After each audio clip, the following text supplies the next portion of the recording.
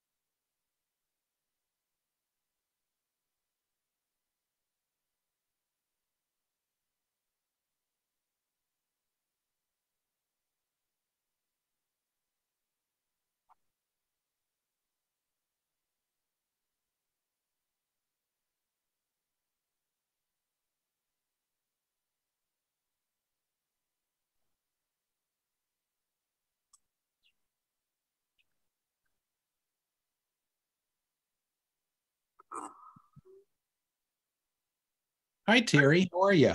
I'm good. How are you, Dave? I'm well. We seem to have lost David, and uh, we seem to be stuck with on the same screen here with the warm up. So I hope everything is okay. Scott vanished too. Scott vanished, and David uh, fell off with his video. there we go. There he is. we can't hear you, Scott. Yes. How about that? Here we go. You hear me now? That's like good. Scott Roberts now. Yeah, yeah, yeah. All right, I'm going to hide behind my screen again here. well, at least we know he's there. Yeah. Y'all set for Thanksgiving?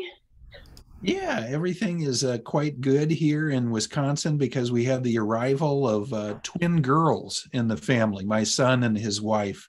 Oh, creamy. Mm-hmm. So they're still going to be in the uh, NICU for another uh, three weeks or so, probably. But they're doing fine and and looking good, and they're tiny, but they're growing, and so everything's good there. Well, that's great. That sounds exciting for the holidays. Yeah, another generation of Eicher girls yeah, here. Yep. Definitely. Wow. Have you had any snow yet? No, no snow, thankfully. Yeah. I mean, sort of, you know, little bits of it in the sky, but nothing that's stuck at all, really. Yeah. We had some snow flurries, but nothing that's stuck on the ground. Kind of gets me in a Christmas spirit. yeah. Yeah. Well, it won't be long. We'll be getting a deluge, probably. Yeah. How's everything going back in the homeland though these days, Terry? Pretty good. It's dry, just Yeah. like every place else, I think. Yeah. Uh, wind blows all the time. All of our pretty leaves have blown off the trees almost. Wow. Yeah. But uh, it's actually, I was just in Oxford a couple weeks ago Wow. looking around down at Hueston Woods. Yeah, That's a nice, uh, uh, visually stunning area there. It is. It really is. I was at Hueston Woods before all the leaves blew off the tree, or, you know, there was still quite a bit of color. It was Oh, beautiful down by the lake. perfect time to be there. Yeah. Yeah. Yeah, definitely. Actually, that's where I'm spending Thanksgiving. Uh, Wow. yeah, families getting together, so we're going to be down there. Oh, nice. Well, that should be fun. Well, I hope the weather is nice for you there. Yeah, me too. You know, I don't mind a little snow though. I'm kind of I can I don't know, it just fits the holiday. Yeah. Yeah. Well, excellent. Glad to hear it. Yeah. Uh, when is the Tum- uh, Tucson Rock and Mineral, the big show that they do in Tucson? Tucson Gem Show, Gem and Mineral Show. It's the biggest uh, show of collectors of that kind of stuff in the world. There's also another very big show in Munich each year, but it's not quite as big as the Tucson show. So it's the Tucson show, generally speaking, is you know three or four hundred dealers, and it's kind of spread out at various hotels and other places. It kind of migrates around a little bit as the hotels evolve and and either gain or lose quality, you know, but it happens every February. We're actually throwing a start party, the magazine does at the same time as the show. Oh, um, really? Mid February, yeah, so that we can be there at the same time and look at some star, you know, hope there's a lot of crossover with the people who are interested in rocks and minerals and meteorites too, of, you know, doing things at, at night uh, and getting the astronomers to be interested in the rocks and minerals during the day a little bit. Yeah. My dad was a rock hound. He used to go to Montana and bring he would go with another uh, couple. They would bring home baskets of Montana agate. And they would make beautiful jewelry. So I think some of that has kind of rubbed off on me. Sure. And that's good stuff. That's fun stuff to have. Yeah, that agate from that area. Yeah. Yeah. Yeah. I found myself up on Lake Superior looking for agates on the beach. I spent time walking on the beach. Yeah, that that's a good collecting spot too. Yes, indeed. For Yeah. the yeah, but you'd go, you know, it's you're dizzy. I mean, if you go through Tucson, you know, three or four or five days in a row, and you look, you know, from the mid morning to late afternoon, you know, after a couple days of that, you're just dizzy. You know, you've looked at a hundred thousand uh, specimens, you know, and it's Yeah. can be overwhelming, sort of, you know, but it's fun. Yeah, I bet so. so. Hi, David. Hello, Or- Terry. I'm back. Hi. Hi, Terry. Good to see you. yeah. Yeah. Yeah. I've been in Tucson when the show was going on, um, but not at a time when I could stop. I was driving through on my way up to Flag Yeah. and I couldn't stop. so, Well, it's you know, remember what they say about the Tucson Gem Show. If you if you want to have that collector mentality that I'm infected with, certainly and many of us are, bring all the money you can and more. I bet I am going to make a point to be able to go out there at the same time when I really can stop at the show and look around. There's a show um, here in Ohio Saturday that I'm going to go to. nice. So not near as big as what that is, but yeah, just a nice little show. Sure. Um, it's yeah. big enough to have some interesting things. That's all that counts. Yeah. yeah, Yeah. definitely. Yeah. Yeah. Cool. Yeah. It I is. went actually I went to one in Indiana probably two months ago and it was really nice. It was a bigger association. And it was it was at a fairground and covered like three huge buildings. wow. I had fun at that one. That- I found all kinds of stuff. yeah i mean that's pretty good size and and after all this stuff you know it's planetary geology this stuff so Yeah. Yeah. Yeah. And I love looking at the old dinosaur, you know, dinosaur Yeah. bones that are fossilized. I mean, that was amazing. yeah yeah the fossil area is another huge adjunct to all of this at tucson as well and they have you know everything from you know for both rocks and minerals and fossils you know there's everything you know from a two dollar specimen for kids all the way up to you know million dollar pieces for museums you know right there on the spot Yeah. When you guys got into fossils, I thought you guys were talking about me. I hear a voice. Hmm. Well, we have um, we have some old friends here uh, already watching. Norm Hughes is watching out of Tulsa. Harold Locke, uh, howdy, Norm and Scott, and the Great Star people on the panel. Osmosis 007, howdy, Internet peoples. And David Ing. Uh, Dave was on Global Star Party a long time ago. He should come back sometime. He says hello, everybody. So we're getting started and, you know, or restarted with our great tradition of the Global Star Party.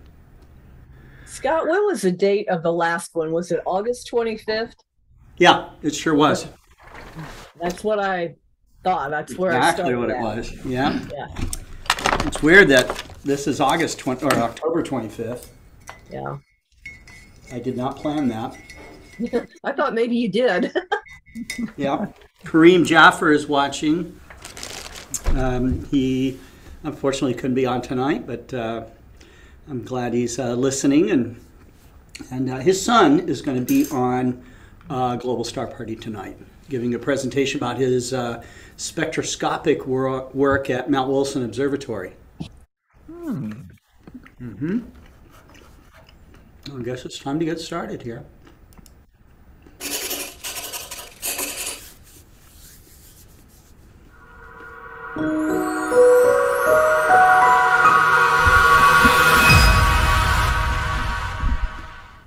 Astronomers using NASA's Hubble Space Telescope have found a jet propelled through space at nearly the speed of light by the titanic collision between two neutron stars, which are the collapsed cores of massive supergiant stars.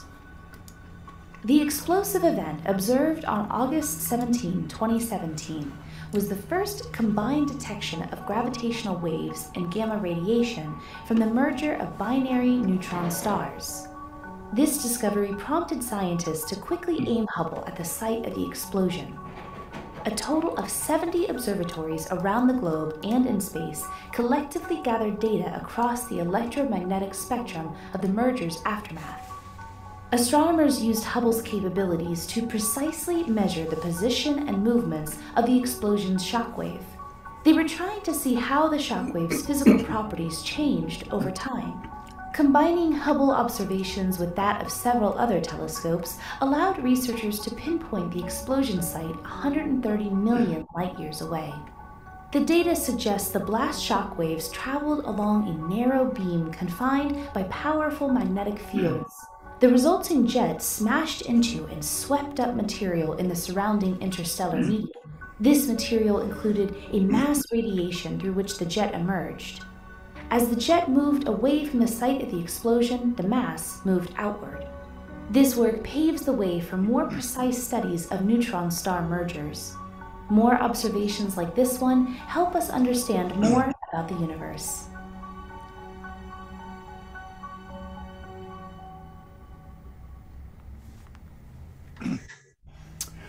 Well, hello, everybody. It has been a long time, a couple of months, I think, since we've had a, um, a regular Global Star Party. Um, I have been running um halfway around the world uh, doing events such as the Starmus event in Armenia. I came back just to change suitcases, and then I went to um, I went to Arizona, uh, to Oracle, Arizona, for the um, David H. Levy uh, Arizona Dark Sky Star Party. Um, and uh, combined with that was the entire community of Oracle who decided to celebrate their dark sky heritage and uh, have celebrations at restaurants and bars uh, in the area. It was a lot of fun. We did have some thunderstorms in the evening and even into the late evening, but almost every night it did clear off. Saturday was the coup de grace, though. We had uh, clear skies all the way through, and um, uh, we had a live uh, live bands, uh, music that was you know inspired by my uh, interaction at Starmus, um, understanding that uh, music and astronomy really can go hand in hand, and um, uh, it was uh, it was a fabulous night. They so many people came to Oracle State Park that they had to sadly turn some people away. Um, but uh, uh, it just gives us encouragement to do it bigger and better next year. Um, so, uh, and then from, from that point, uh, came back, changed suitcases again, and went straight out to Mount Wilson Observatory, where we had the 60 inch star party. Um, and we just had a fabulous tour by uh, Tom Meneghini and Chris Burns uh, of Carnegie. And, uh, you know, a new group of people got to learn all about the history of, uh, that was made at Mount Wilson. So you'll have to join us on one of these trips here in the future. Uh, but uh, let's go ahead and get started. Uh, we have uh, David Levy here with us, uh, and he will kick this 104th Global Star Party, crossing the Great Divide. Um, and, um, you know, it's that whole theme is kind of metaphorical in, in the way that you know, scientists and even amateur scientists are crossing the great divide of the unknown, you know, to try to figure out where we are in the universe and, you know, our relationship to it. But also, uh, it is uh, uh, for amateur astronomers, especially uh, in the way that we cross the great divide, in the differences between people. Uh, astronomy is one of those uh, uh, things, especially amateur astronomy, is one of those things that uh, bring people together and makes us make us all realize that we're all connected somehow. And uh, so, but uh, I'm going to turn this over to David Levy. David, thanks for coming on to Global Star Party. Thank you. And this is the 104th. I think I've attended 103 of the 104. Well, we added an extra one, so this is a this is still technically for you 104th. so still 104. It's still one. Okay, so I have an unbroken record somehow. That's right. I have to tell you that a lot has happened in the two months that we haven't had the star parties. And uh, the most important thing is that Wendy, Wendy died on the 23rd of September, which would have, which was the night, the one night I was at the um, Oracle Star Party, the Star Party in Arizona, and we were observing together. I had given her a big hug earlier that later that afternoon, and then went up to the Star Party, and she passed away, leaving a very bright meteor that we could all see that night as her way of saying goodbye. I have two quotations today.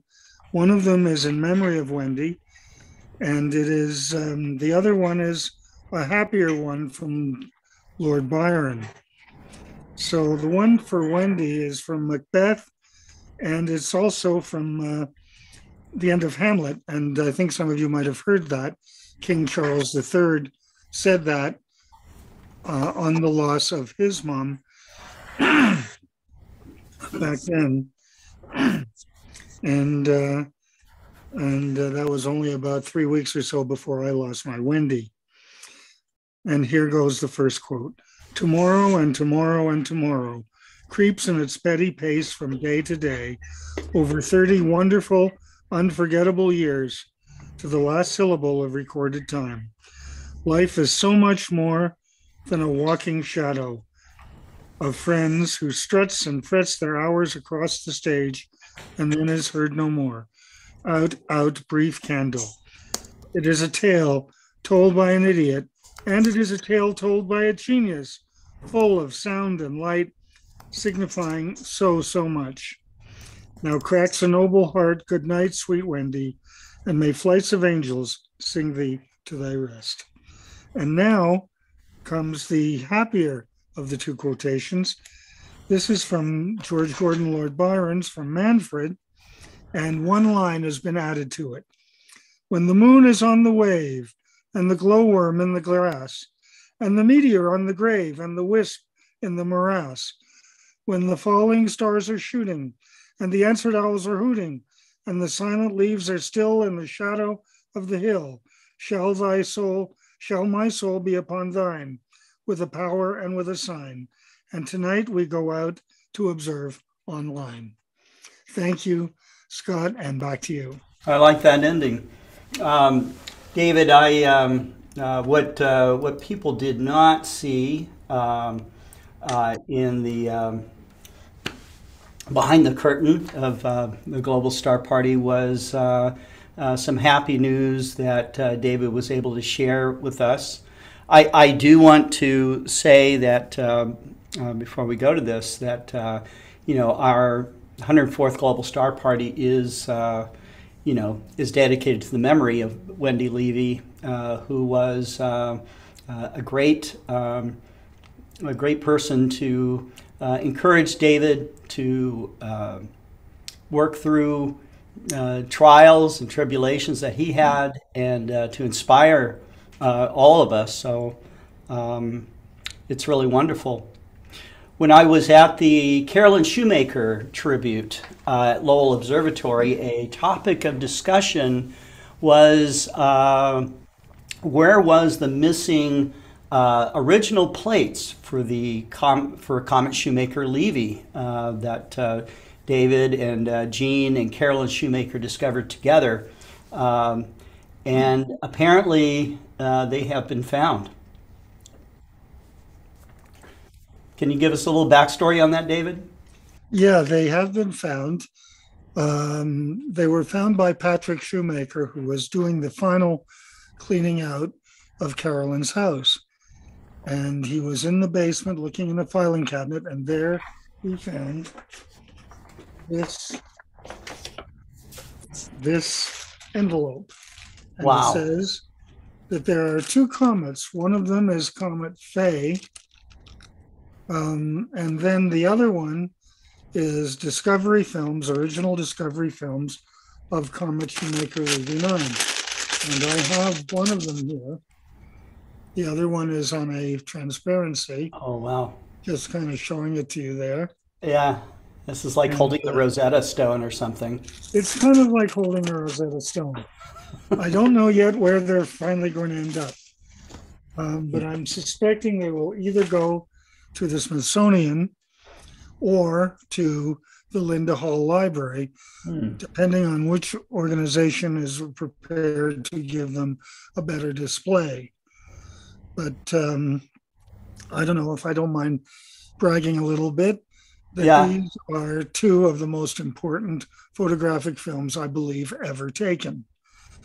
And I'm so glad that they were recovered just before the house was broken up and sold, Yeah, just before everything would have been tossed in the trash.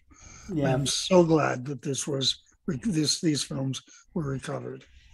I, I would certainly rank these films uh, in order of importance along with uh, the uh, discovery of the uh, variable star in M31 with uh, from Edwin Hubble and um, perhaps maybe one of the first images of a star or nebula or the moon ever made. Um, so this is uh, just to kind of have it in your home and to be holding it uh, is really amazing in itself. So, um, but I'm sure you'll find a, uh good place uh, where you know people throughout uh, throughout the future will be able to uh, check this out. So, uh, very important. Um, One of the things, one of the things that I remember regarding these films is that when, when it the announcement came from the Central Bureau for Astronomical Telegrams that the comet was going to co- probably collide with Jupiter, um, and uh, the three of us were sitting in the observatory in the bottom floor of the 18 inch, and we're just looking at the films again and we weren't talking very much. It was really pretty quiet that afternoon as the three of us were trying to understand the importance of what we were reading Yeah. and what we were being told. oh yeah, yeah. To absorb all of that. Well, thank you for sharing that with us, David. Thank you. It's really cool. Okay. All right. So we are going to transition uh, now to uh, Terry Mann from the Astronomical League. Uh, she's going to share, of course, the Astronomical League is, is, is an organization that we uh, greatly support um, in, in all the ways that we can. Um, from the underwriting of the National Young Astronomers Award and the Leslie Peltier Award, and now um, and now the uh, Wilhelmina Fleming Award for women in astrophotography. Um, but uh, you know, it's a wonderful organization to join. Um, if your club is a league club, then you're kind of automatically joining. Um, but uh, if you're somewhere in the world and you support what the league does and all of its observing programs and all the awards and things that it does to support and uh, uh, encourage people to look up and uh, explore, um, you can join the Astronomical League as a member at large. And I know lots of people that uh, watch this program have done just that. So, um, but I'm going to turn it over to you, Terry. Thank you for coming on to uh, the 104th Global Star Party. I know that you've been also running all over the place, and uh, uh so it's nice to have you here with us. And um, I'll let you take it away. Okay, thank you, Scott. I hope I remember how to do this. It's been so long since I've been on here.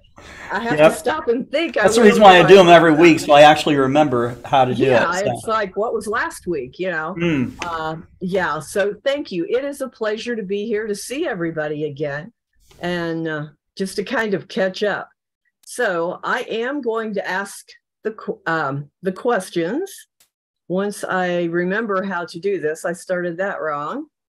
Let's, there we go. And uh, we'll see if, there we go. We always talk about observing the sun and being very careful and make sure you have the right filters.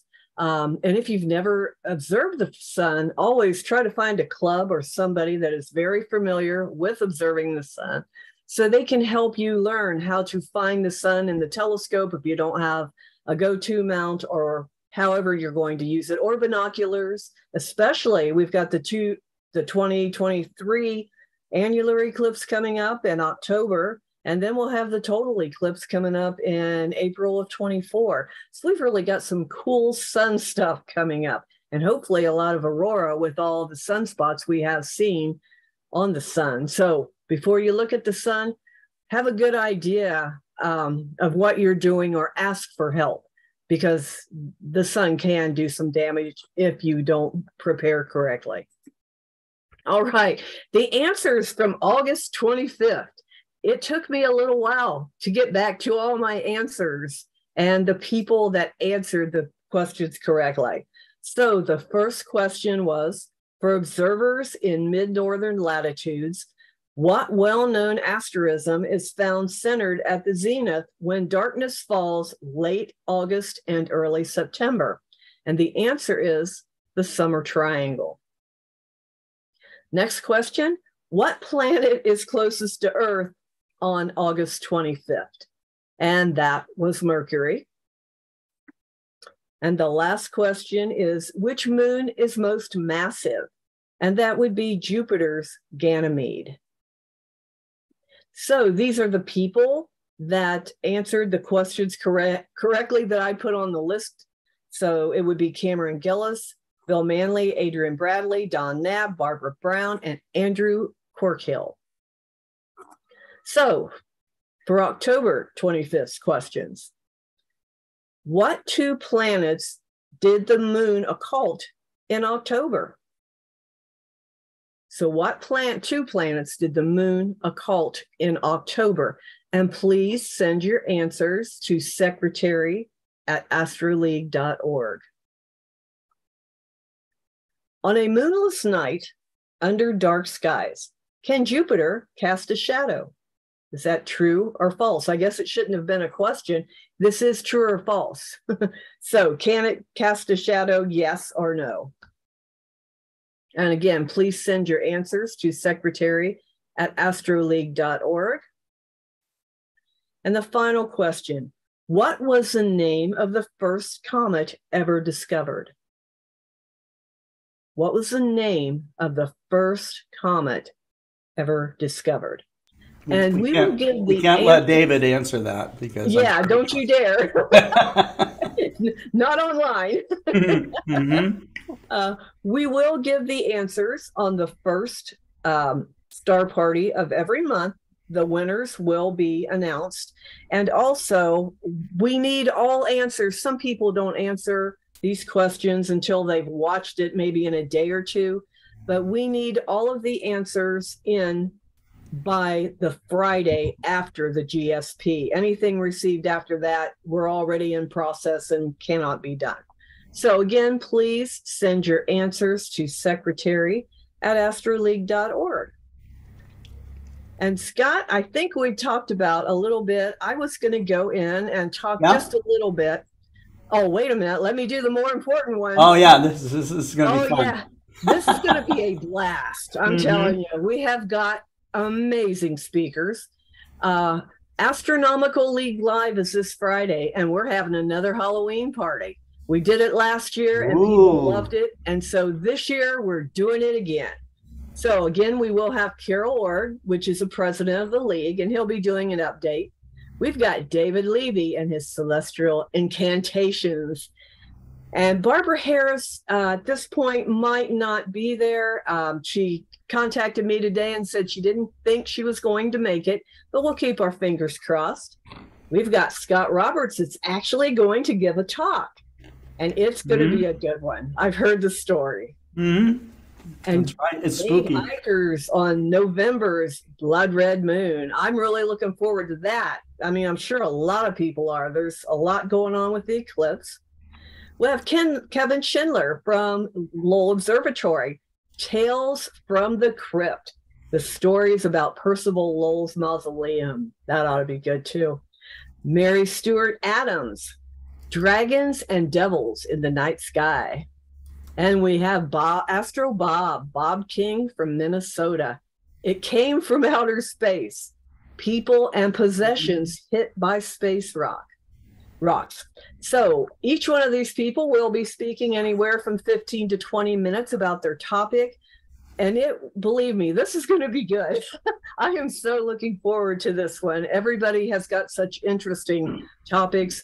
Dave, I can't wait to hear about the eclipse and David, you are always, always welcome and such a pleasure to have on AL Live. And Scott, it's about time you got up and gave a story. Uh, I'm scared, which I should be on Halloween. this time you're going to make an appearance. So please join us this Friday, 7 mm-hmm. p.m. ED, at Eastern Daylight Time. And you can watch us here on this channel or on the Astronomical League Facebook page, whichever place, and it will be recorded as always, so you can watch watch it anytime after. So, all right, your topic was interesting to me because you know I do a lot of astrophotography, and there are you know there us women are around that do this, but most of the time, you know, there's not as many as what there is male. But I tell you, the connection and the the actual camaraderie, camaraderie in astronomy is amazing. Our community is so easygoing, so willing to share information. Um, and just, it's a pleasure really to be in such a community where you can know so many people. But for me, I think being a woman out in astrophotography or night photography, and I actually I've known men that will probably say this too. When you first start it, you go through an adjustment period, especially when you're alone. You can go and you scout during the day. I scout all the time during the day, wherever I'm at, where I want to shoot that night. But when you go back at night, it is a total different, the feel is all different. Everything's quiet. You hear the noises. At least I usually am way out in the middle of nowhere and secluded because I'm after the darkest skies. And that's what everybody goes after. If you're going to be imaging or visual, you want the darkest, clearest skies you can find. And I find myself in a lot of really cool places that if I was not doing this, maybe I wouldn't be there. Look at Starmus. Look at what these guys have done. They are seeing the world and they are bringing so much back to all of us. And with Scott doing broadcasting, it actually opens up the world even more. So, so many of us connect that way. We get over that division. But this is uh, this is actually Casper, Wyoming, setting up for the 2017 eclipse. Oh wow! Yeah, and you know, you, when you're in this hobby and you see a view like this, we sit here and we say it is amazing. But I'm telling you, it'll knock your socks off because being in the crowd the sounds, the people, the excitement. It is amazing when you're at a total solar eclipse. It'll be amazing to see the total lunar eclipse or the annular coming up in 2023. You don't forget it. I mean, I've only seen three total eclipses. Dave can outdo me by a long shot, but it's something I can tell you the picture from each one. I can tell you the feel and what happened from each one. And again, I bet every one of us here that has seen a total solar eclipse remembers so much about it. You don't forget this and you share that and it gets others excited. And now with 2024 coming up, people are coming out of the woodwork here where I li- live. And, you know, I'm working with the parks people in my counties, with the libraries, doing talk, getting talks already lined up for next year and the following year to get ready for this because so many people will see the 2024. And Michael a Bakage, Backage, I don't say his Bakage. Bakage. There we go. He Somewhere gave amazing, yeah, he gave an amazing talk at Alcon. Uh, I was I had a great time at Alcon. I listened to his talk and it inspired me even more. But you know, it's just like um, spending the night at Arches you know, during the day right now, I think, well, maybe you don't have to have reservations in October. I think it might have stopped at this point, but I'm not sure. Just going and shooting at night, trying to set up and do the type of shoots that you do. You know, like I said, when you first start this, there is a little bit of element of, ah, you know, you're out here in the middle of nowhere and you're alone and you hear the noises. I just actually, I just did a shot uh, was in Colorado at Canyon of the Ancient shooting a couple months ago, and the people were talking about. I was at a B and B in a ranch, and they said they had a bear break into their honey. Okay, oh, wow. I'm out. yeah, I'm out here hmm. five o'clock in the morning, and I hear something grunting in the woods and breathing heavy. I'm thinking, oh my gosh, the bear, you know, and I'm not about to take off because he's not threatening me. He's, you know, way far away. But there is that element of very much being aware of everything that's around you. Your spidey senses kick in. You know, you mm-hmm. begin to be aware of the wind. You begin to be aware of lights, anything traveling and eventually, as you do this long enough, you get better at that, but you also relax more. I find that when I go into a shoot and I'm by myself and I'm really literally in the middle of nowhere, I, I sense a lot of things around me. And I also know when I pull into an area, if I don't feel right, and I, even though I have no reason, I will not stay in that area. These are things I think as you do this, you get used to. And once you relax, you begin to see all these details, um, such as I think this is the three gossips at Arches. Uh, uh, the Alaska aurora. I spend many, many nights traveling the night skies in Alaska or night roads looking at the sky in Alaska alone. And, and it is spectacular. Um, you know, seeing the Earth's shadow just in different areas around the US uh, Borrego Springs. Um, it, it, was just incredible. I would not see these sites if I didn't do these things. Uh, watching the Milky Way at the national parks just is an amazing opportunity. But one, the whole thing I think I'm trying to say is you begin to relax once you do this a lot. You see more. And actually, it's kind of like it's a very humbling kind of experience when you're standing under that dark Milky Way mm. when you're standing in a place like I saw Scott and um, you know the whole group out at the temple when you were doing the star party. That had to be amazing to be in such an old, old place. Yeah. And all of the people that were there. I mean, it had to be incredible. So to be able to just, do, oh, I bet, and share it. Um, you know, I, went to Death Valley. I had wanted to go to the racetrack all at Death Valley, the Moving Rocks racetrack, all my life, and to actually spend the night at the racetrack imaging. And and you know, I found myself when the moon was up when I first got there, so I had a moon I could do a lot of shots, and then it set. But standing in the middle of the racetrack was something was a bucket.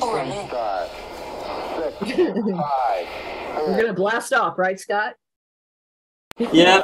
yeah. Blast off time. and again, just the aurora, just amazing stuff. But I tell you what, this is my last shot. I have never in my life seen this site before. Um, in May, I was in Island of the Sky National Park, and I was doing the arch of the Milky Way and the air glow. I have never seen this before. And I, I was totally amazed because it was like one arc over the other arc. And I, you know, how you just see something you've never seen and you stand there in awe with your jaw on the ground saying, Oh my gosh, what what is that? I spent so much time there, and you can see the air or the light pollution, mountains kind of here in the background, but it was spectacular. That you know, and again, I'll never forget this evening. And I'm sure Adrian can uh, can go along with this too. He knows exactly what I'm saying. I'll bet. Yes, I do. Yeah. Uh, did you go through a stage when you first started doing this? There is a little bit of a getting used to it stage that you you do. Yes, there is. I can vouch completely for that because even as I do it now, every little sound that I hear, if I can't recognize what the sound is, I immediately put up my dukes. So it's uh you're out there by yourself Yeah. and you know all of your fears run through your head. Now the truth is you know that the animals like you said you talked about the bear um the animals generally want no part of human beings. They're not going to engage unless something is wrong or you know something big. So you you generally left alone. Um, you still do have to be aware of your surroundings.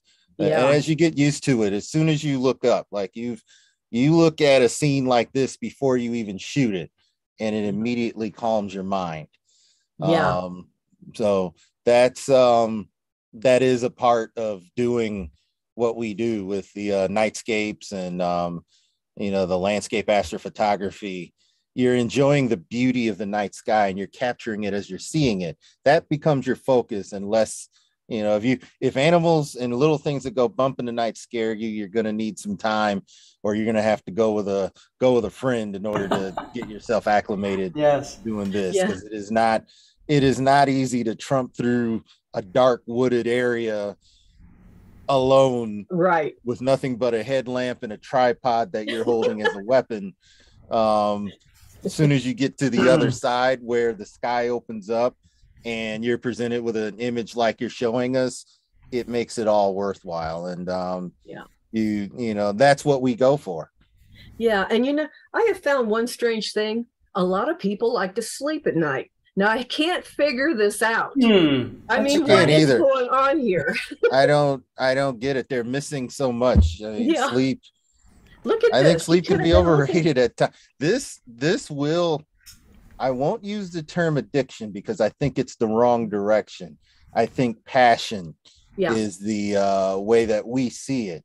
When you see beauty like this, and in, in some of those dark places you go to, you know that you see it before you actually image it. Yeah. And it really drives you to want to continue to not only capture it, but show others and say, you know, all the light that we throw up there, you know, you're blocking your view of this. You know, this is- Exactly. this yeah. is, It, it brings light pollution home. It yeah, shows people that don't understand what light pollution might be or how it affects really dark skies or even city everywhere. It kind of brings it home. So I will quit talking and let you move on. So thank you very much. Thank you, Terry. Um, okay, uh, that was that was excellent. Our uh, our next speaker is um, uh, David Eicher. David was with me, uh, or I was with him at uh, the Starmus event in Yerevan, Armenia. It was uh, it was really an amazing um, event, something like I've never been to before, um, and I felt. I felt it was a real honor uh, to be there. You know, I mean, there was so many Nobel laureates there, uh, scientists that uh, you know that you've heard about but never had a chance to meet, uh, much less just hang out with and talk to. Um, and uh, you know the, the, entire presentation, the astounding music, the fusion of music that was there. This was not you're not going to be able to buy the album uh, of music that was performed there, um, which is sad because they should have they should have uh, the uh, soundtrack to Starmus on uh, you know for streaming or something.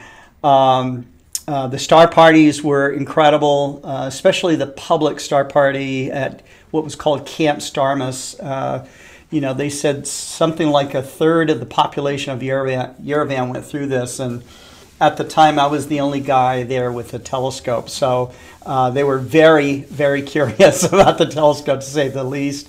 Um, and we did get a nice peek at uh, at Jupiter and Saturn uh, while we were there.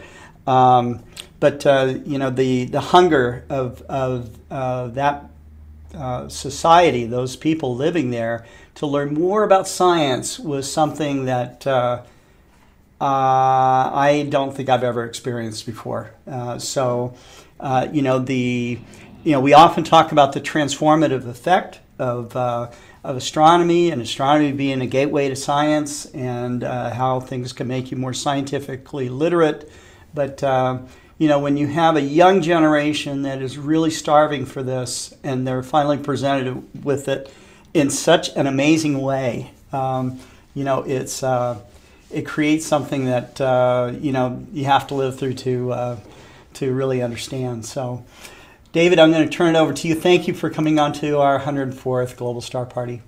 Of course, thanks, pal. And it was really a pleasure to have you there. And we really had fun. You know, there's nothing oh, like it. And you're right. I mean, when you go to a place where people haven't experienced this kind of thing and the enthusiasm, the, oh. the you know, the energy from people was just incredible. And, and uh, it was a, a, large number of people. We had, uh, you know, I think between four and 5,000 people there. And it was kind of the first event uh, after which we came out of the, pandemic and kind of had a normal event with all the old people together again.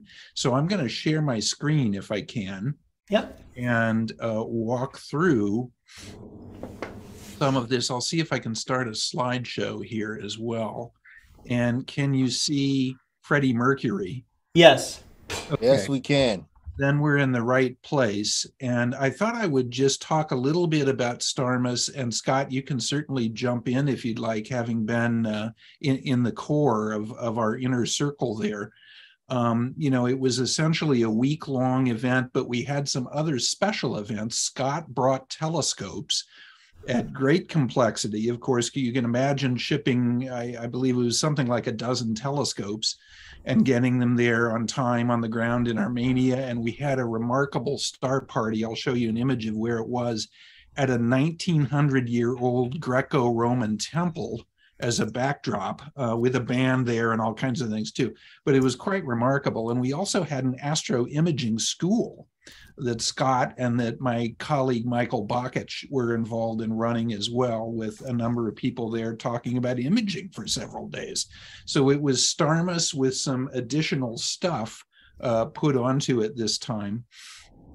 And I just kind of wanted to open with this image because there's a huge festival sort of opening night of all kinds of things that goes on.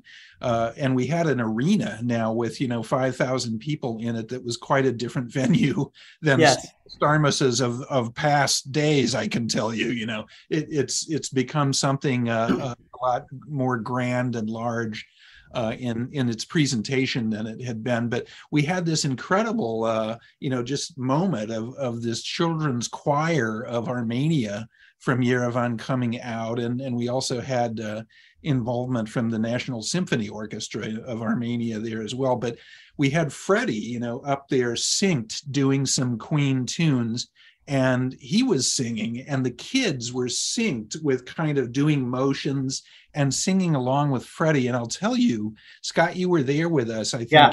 front row as well and when the kids were got to singing with freddie we are the champions they yeah, were, yeah. were weeping there watching yeah yeah i definitely i don't i don't care how uh, hardened uh, you are to uh, things like this but uh, we all had big knots in our throats. Um, the the singing was was amazing, and the harmonics and the building were were incredible. I mean, it is. Uh, you know, this this building was uh, built for rock and roll, and um, but uh, you know, th- th- this is part of the fusion of the music that that I was describing a little bit.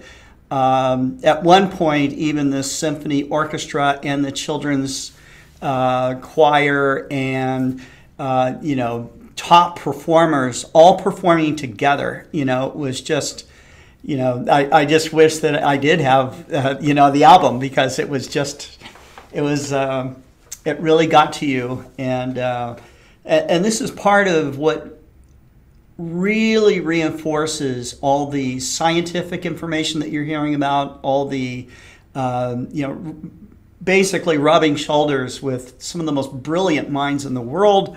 Uh, you know, it was all right there, and uh, there were in the audience children, uh, parents, you know, grandparents, people of all ages were there, and uh, and they were all getting it, and it was uh, it was really incredible it was quite remarkable. And as you know, Garik Israelian is the founder and director of Starmus, along with Brian May, who's an astrophysicist, and he also has a day job. Um, he's a guitarist, um, but but uh, they sort of founded it, and, as Brian likes to say, you know, using both halves of your brain, you know, the analytical, scientific uh, part, and also the musical, creative part, you know, and we certainly saw that here uh, at Starmus this time. So I thought I would just walk through a few highlights. Now, much to my surprise, uh, a few weeks before I left to go to Armenia, um, I was given the startling news that they had made me in possibly what was a backwards move in the in the progress of civilization. They've made me the president of the board of Starmus. Um, and in part, this was because I also found out when we arrived there, we were going in to give a report to the Armenian parliament about the status of Starmus, and that was because the government of Armenia funded a good part of it this time. It's a long story, but the past president was a physicist who who uh, is no longer president, but was until last year. So he really was excited to have Starmus come there. Can you imagine a physicist running a country? You know. Um, and we right. had, you know, running Germany as well there, Angela Merkel as well we're we haven't quite gotten to scientists running the United States of America yet, but we'll see if we can work on that in the future. So anyway, to our surprise, we had to go in and testify to the Army. This is like going into the Cannon office building, you know, adjacent to the Capitol, and testifying about what we were going to do. I I thought for all I knew, they'd made me the president of the board. I was going to spend the rest of my life in an Armenian jail, worked out okay. So they were happy with what we said and you know it, it was fine but that was quite an experience um, and we got to see you know armenia just the the city of yerevan and and the country of armenia going outside the you know it's a really wonderful modern yes. city i would say there's about a 30 by 30 square block core of the city that's really nice and modern and it seems like you know you could be yeah shops and you could be in a part of manhattan in little areas of it and then you get outside of the city and there are archaeological ruins and places to explore and it's very much you know uh, not quite as you know it's it's a it's a sort of an old world uh, place outside of the you know wonderful you know highly shi- shining you know spots of the inner city there. Um, so it was really an interesting place to be. I'd never been there before. I, Scott, I don't think you had been there either. No, no. And I, I was really, I was really taken back at. Um, here we are in a city of a million plus people. Um, crime in Yerevan is almost non-existent. Yes, uh, that was really a surprise. Um, the people that were, uh, you know, uh, the the the hosts and the people that were taking care of us from the organizational part of Starmus were uh, telling us, you know, the backstory of, you know, why this event was so amazing in Armenia, you know, and I had, you know, being an ignorant uh, uh, USA citizen, so to speak, uh, you know, certainly you hear things about some repressive um, uh, things that were going on uh, but uh, Armenia was, uh, of course, part of uh, the Soviet Union at one point, and um, you know they they were definitely it, the average person would not have been able to go and study science, um, would not been able to really use their imagination to create much. Okay, um, you know, and and that was uh, to hear it from them, and not to hear it from you know some something that I might have considered to be some sort of propagandist type of thing, but to really hear it from them, I would say uh, was uh, it def- definitely had a profound effect on me. Um, you know, and the other thing that going back to how nonviolent uh, Yerevan is, uh, um, they were talking about a murder that had occurred there seven years ago that they still talk about. Okay. Um, I was thinking about living in the LA area and going, gosh, you know, murder seven years ago, that, that you know, murders happen every day in, in Los Angeles. So it was just, uh, I mean, it's just if you're considering going someplace, you want to you want to see some beautiful architecture, meet some wonderful people. Um, you know, I, I, would highly recommend Yerevan, uh, and you will be absolutely safe. It's very safe, and and the culture is very interesting, and it's an old culture in terms of interest in science. They're old astronomical observatories.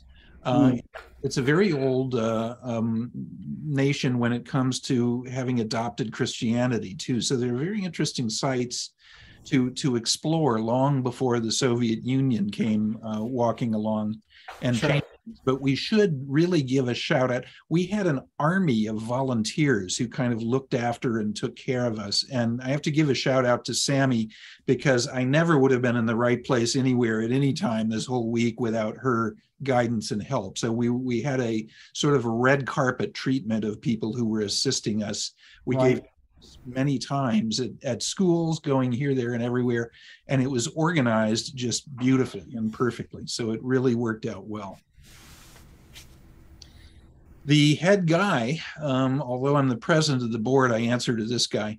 Uh, Garik Israelian is an astronomer in the Canary Islands. He's of Armenian heritage. And so there's a big connection going back to Armenia for Garik to have Starmus there but he's uh, a Spanish citizen now working in the Canaries, and, and he's an astronomer who's involved in all sorts of research and is the co founder of Starmus. When Brian May went back to finish his PhD, which he did 35 years after he began it, uh, because this band kind of got in the way of things there for a while.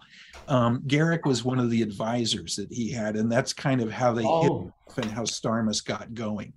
So Garik sort of opened the festival here. You can see the theme of Starmus this time was 50 years on Mars because the Mars 3 probe, Soviet probe, and Mariner 9 uh, both go back to, well, it wasn't exactly 50 years thanks to the pandemic, but it was planned to be 50 years later. We talked about a Martian theme here in large part. This is our uh, neighborhood uh, friendly billionaire who's on the board of Starmus with us, Tony Fadell. If any of you have an iPhone or an iPod, you can thank Tony because he's the inventor of the iPod and the co inventor of the iPhone. Uh, and he also eventually then left Apple uh, and he began this company of home security stuff uh, that you may have heard of as well called Nest.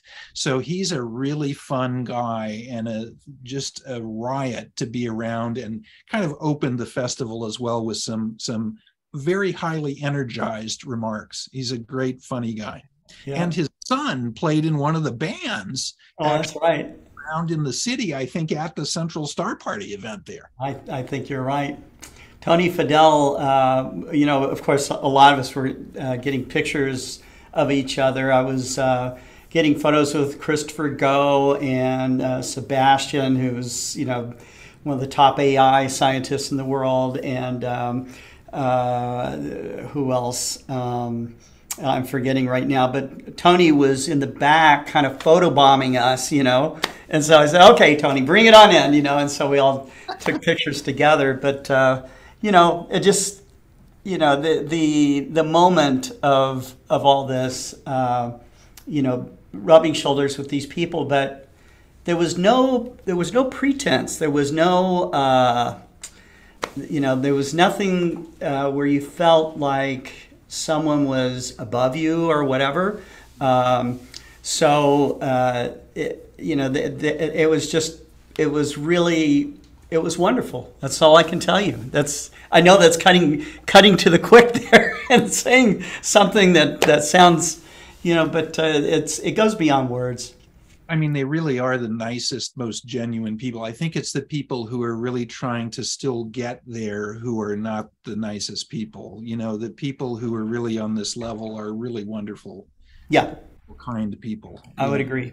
Really nice. And and then this is still the opening concert. And then came along the greatest keyboard player in the history of rock and roll, Rick Wakeman, who is part of our group as as well. And he he put on an incredible show to sort of open the whole thing with the symphony orchestra of, of the country. And you might have heard he he had a band that he was in for a long time called Yes. Um, and he's just a remarkably talented uh, keyboardist and a, and a super nice guy. And he's very, very interested, of course, in science as well. And this is a popular moment. This was early in the proceedings here as well. Uh, you may have heard of this Canadian astronaut, Chris Hadfield, and he did a famous version of David Bowie's song Space Oddity when he was on the International Space Station that got and it became incredibly viral and so on. And to hear Chris play that song live really gets to people as, as well. And so that was kind of a, a real highlight of the opening ceremony as well there's a great bunch of people on our board with us. This is the woman who you may not realize it yet, but who may extend your life span, perhaps. This is Emmanuelle Charpentier, who is a French Nobel Prize winning uh, biochemist, uh, and she has developed this CRISPR technology of gene splicing that you may have heard about. Uh, that may uh, essentially uh, extend with therapy the lives of us in decades to come here. So that is a big, big uh, step forward in biology. This is the fellow you were mentioning, uh, Bernhard Schölkopf, who is is one of the was he was hanging around the astro imaging. That's right, um, not Sebastian Bernard. That's who he is. Talking about ordinary yeah. well, kind of a lens do you use, you know, to shoot the North American nebula and stuff? right. Find out, you know, a day later, this is one of the world's leading experts on artificial intelligence. Intelligence, yes. You know, who, you know, he's talking about, you know, lenses for a Canon to do shoot deep sky objects with. For, it just shows how easy it is to do it. Even, yeah, yeah. You know, at 85, 1.4, 1.8, I'll bet you that's probably what he said or something like that. But uh, yeah, it's. I, I had heard early on within the grasp of all. I had heard early on that that he was uh, into artificial intelligence, and so, you know, I gave him. Uh, I had a short conversation with him and was talking about, um, you know, how far away we are from, you know, super intelligent AI, and uh, he was he was saying, Scott, you have really nothing to worry about in your lifetime. So he said it's it's it, there's some huge problems to overcome. Uh, yeah, to try to get there. We're we're not quite uh, where the the movies present we are with, no. with but but I mean, it was astonishing because this, you know, he was sort of hanging around talking about chit chat, and then you find out, you know, the next day he's a genius, basically. So this is kind of you know part and parcel of what the Starmus experience is like, and these people not having seen each other, you know, either and kind of carting you off to dinner and things like that. It's also an exercise in sleep deprivation. You know, I can tell you that, Starmus. Yeah. No doubt about that. But this guy, he's a very nice and, and very funny guy.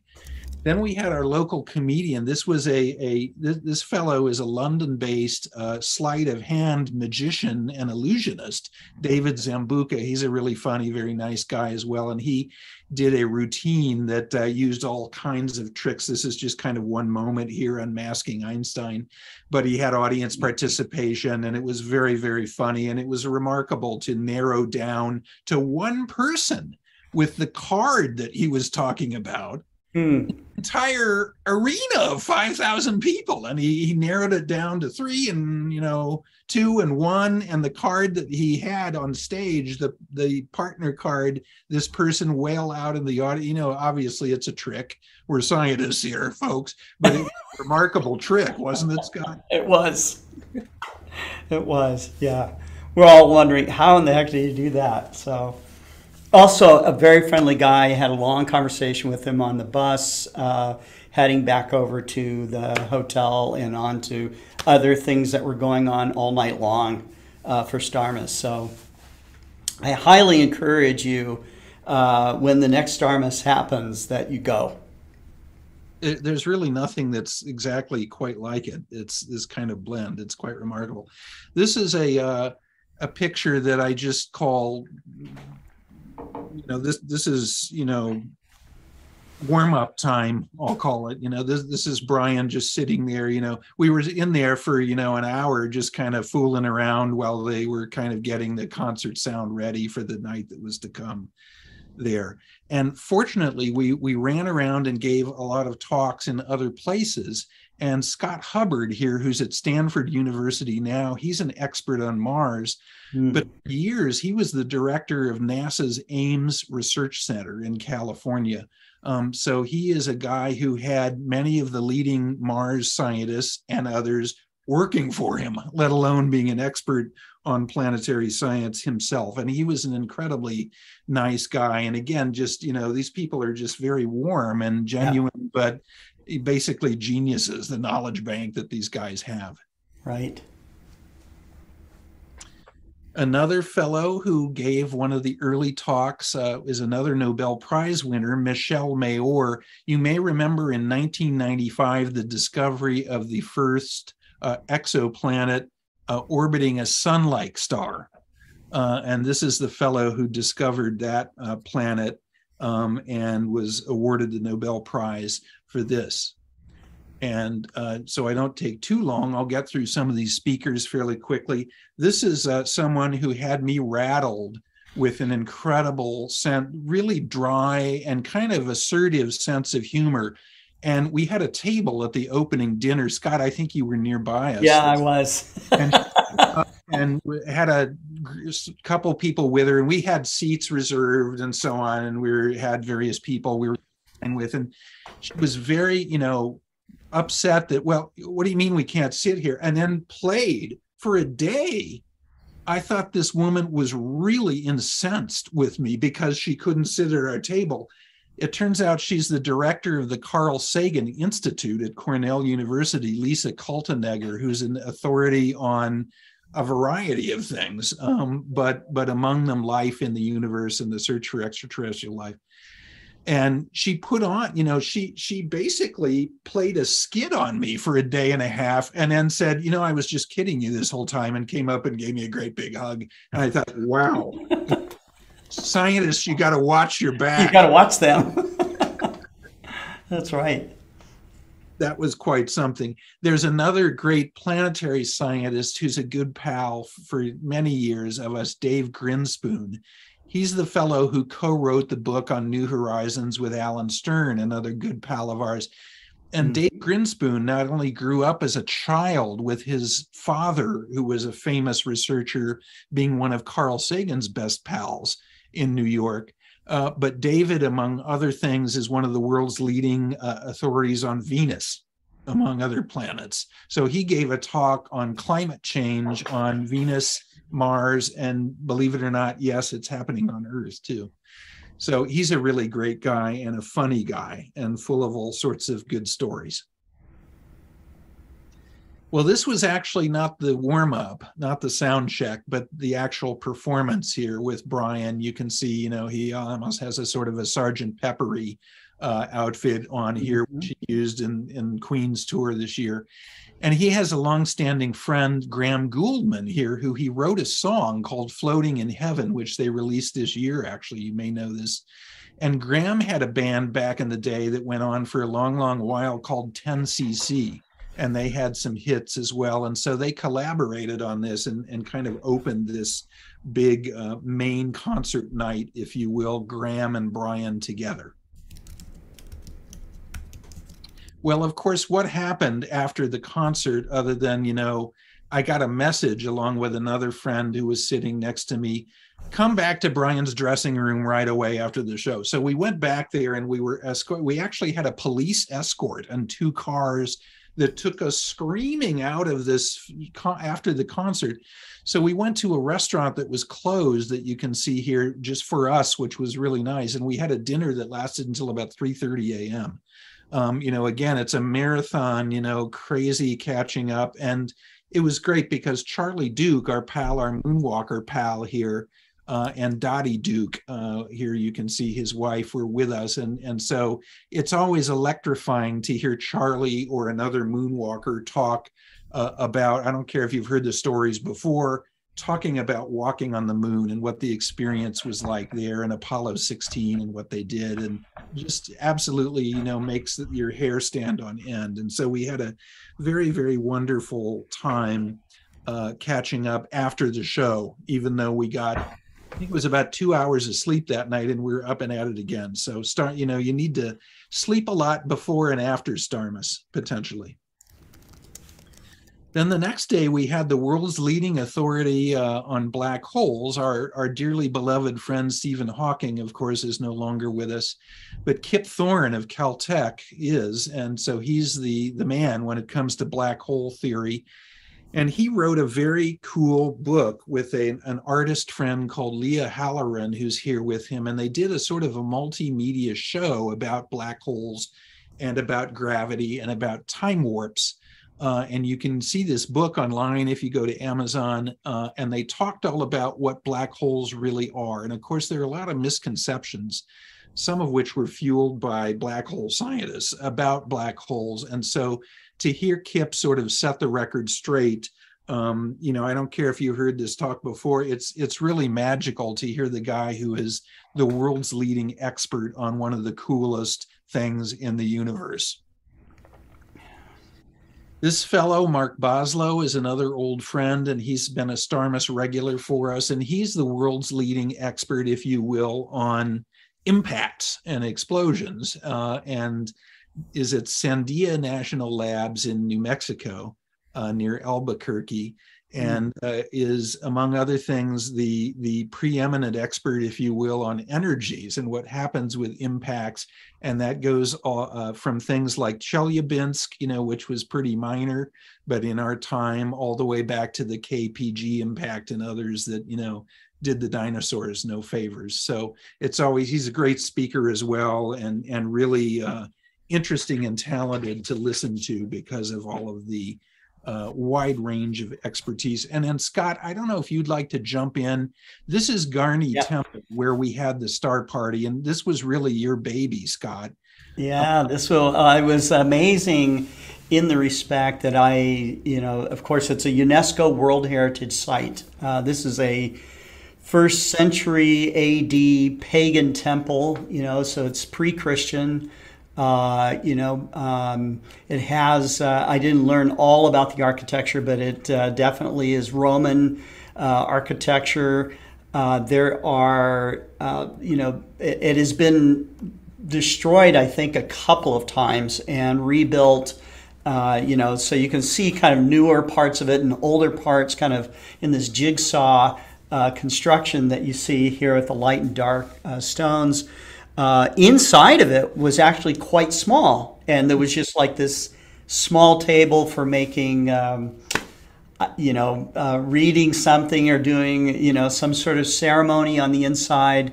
Uh, walking around it, uh, you know, it did feel there was a sacred kind of feeling about it and stuff. So we did, we went early, you know, a couple of days early to check it out and to see uh, where we would put our telescopes and uh, you know the best part of the sky to look at and everything. When we got there for the event, uh, it had uh, the, an incredible lighting job. I, I know that the International Dark Sky Association might not have approved this particular uh, Star Party event, but uh, the stage with the, one of the bands called No Sound its its band leader is an incredible astrophotographer. By the way, I was looking at uh, you know long exposure, you know, sixty hour long exposures that he had done.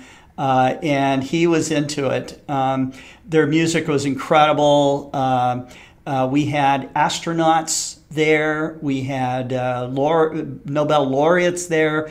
Uh, people that had bought uh, tickets uh, to come to this particular event were treated to really, um, you know, a five star, maybe six star type of event.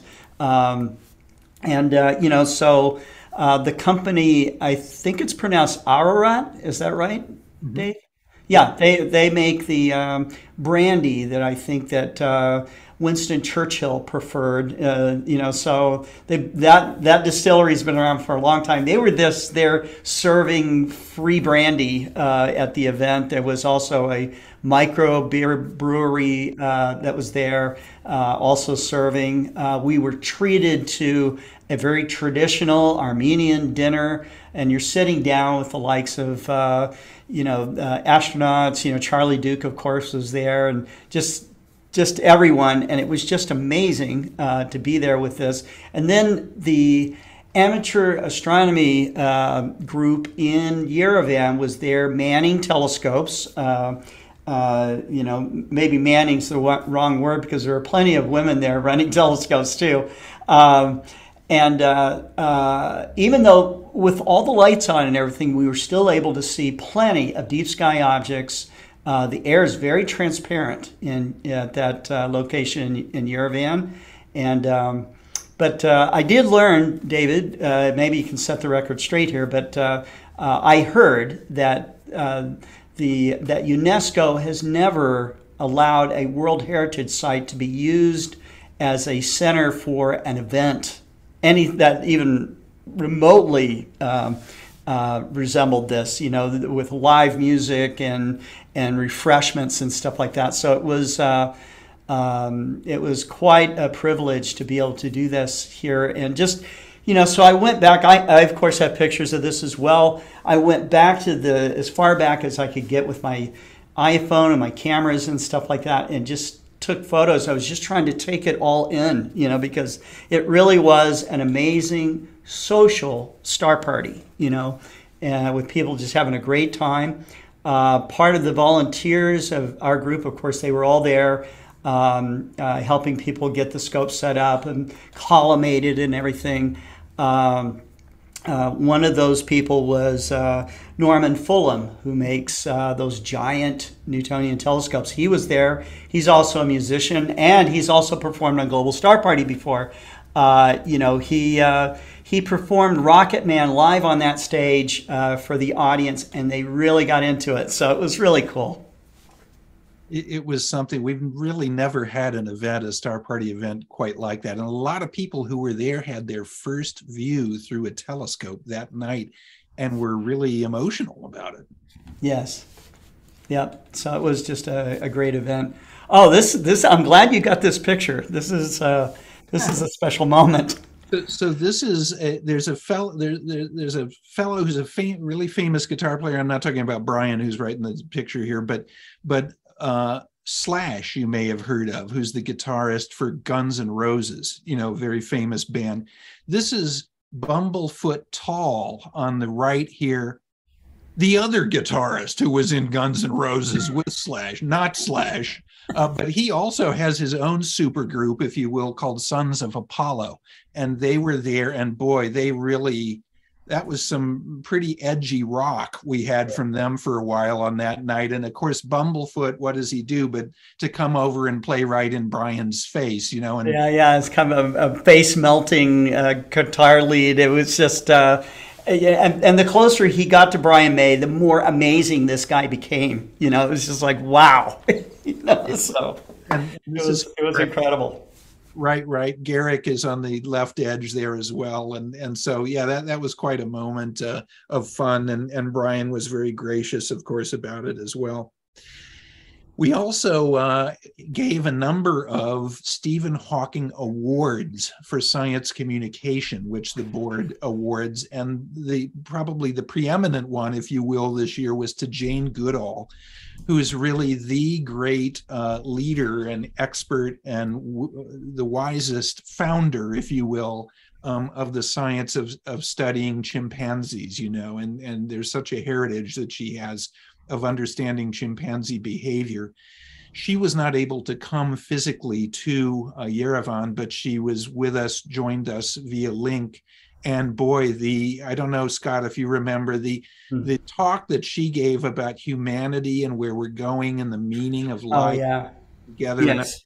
you know, It, it, it, she really, I mean, she shared with us, uh, you know, some profound wisdom about what, you know, being a part of humanity is all about. You know, Yeah. and and there were people who teared up from that talk even Yeah. well it was quite something yeah um and then we go we go from profound uh, philosophy to our pal michael bakich who um, uh, uh, hosted some of the days on stage and was very enthusiastic. And you know, if you know Michael, Michael has kind of a little bit of a Rodney Dangerfield kind of a feel, if you will, of you know, of throwing some jokes out there and making sure audience is very relaxed. And so that went over very well. And I can tell you that Garik has already asked me to get Michael to host some of the days in the future. So Oh, that's Mike crazy jokes and stuff worked very well. Uh, uh, so that that was a good thing for for him. He really enjoyed that. One of the days we also had the chance to go and visit Erebuni uh, Fortress, which is up on the highest point of Yerevan here, which is a fortress that was established in 782 BC.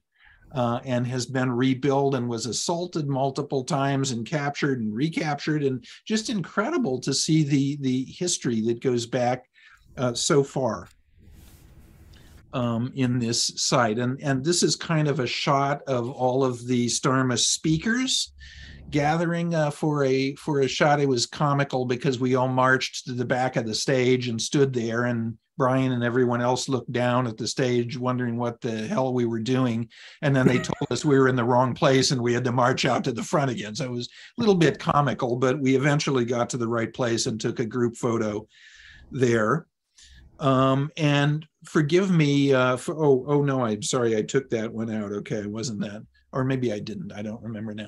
Anyway, we opened. This is actually going back to the start of the festival, and we uh, festival, and we opened with a press conference uh, with some of our board members and Nobel Prize winners here, and with the astronaut on on the left there, Garrett Reisman, who's a a, a space shuttle and an ISS astronaut, and that's Emmanuelle uh, with me um, there in the middle, and Michel Mayor, and, and then a very talented um, scientist who's a multidisciplinary scientist, Chris Rapley, who, among many other things, has been the director of the Science Museum in London, who's a really nice guy and a Mm. super special guy.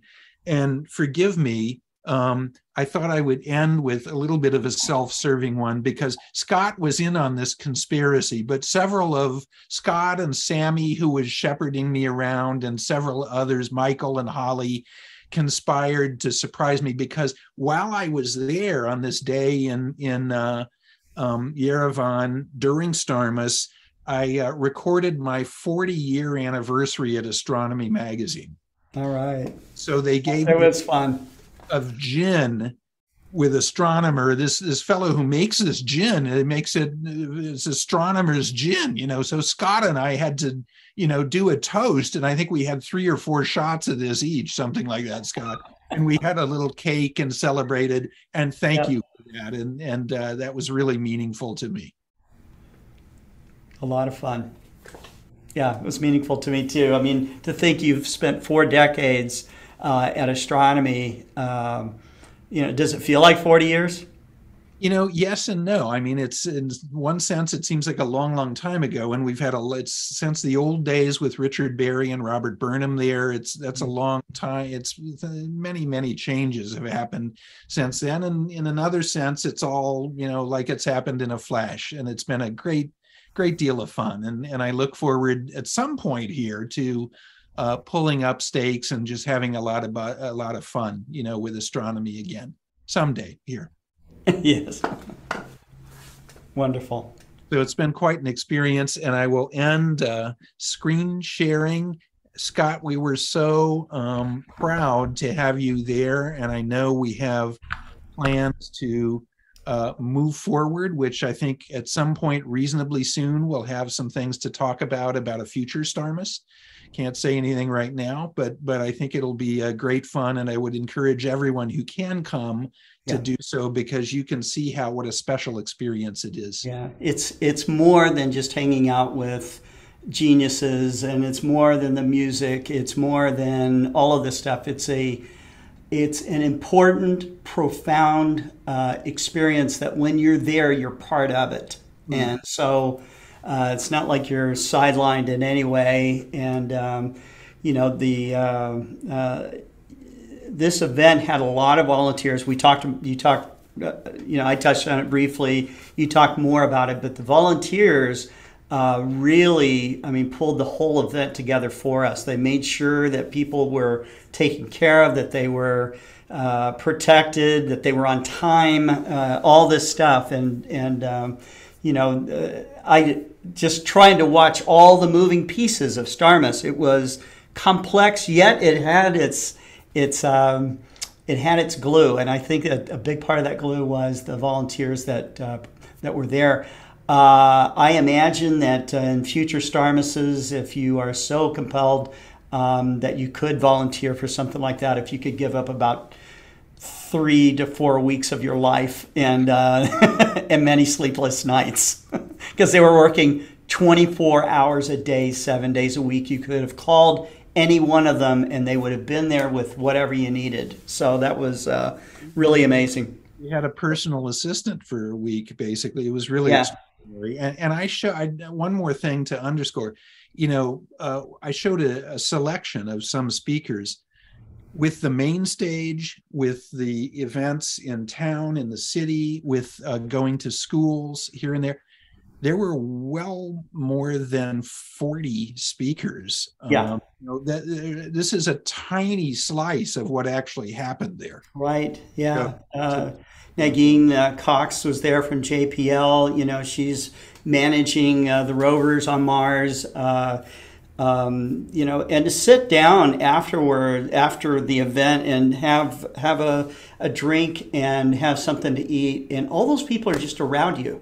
You know, uh, that was it made it seem a little surreal in that respect. Um, uh, but um, uh, all, every one of them said, you know, I don't know how it all came together. It did, uh, and um, you know, they can't wait to do it again. So, Well, I can tell you that we will do it again.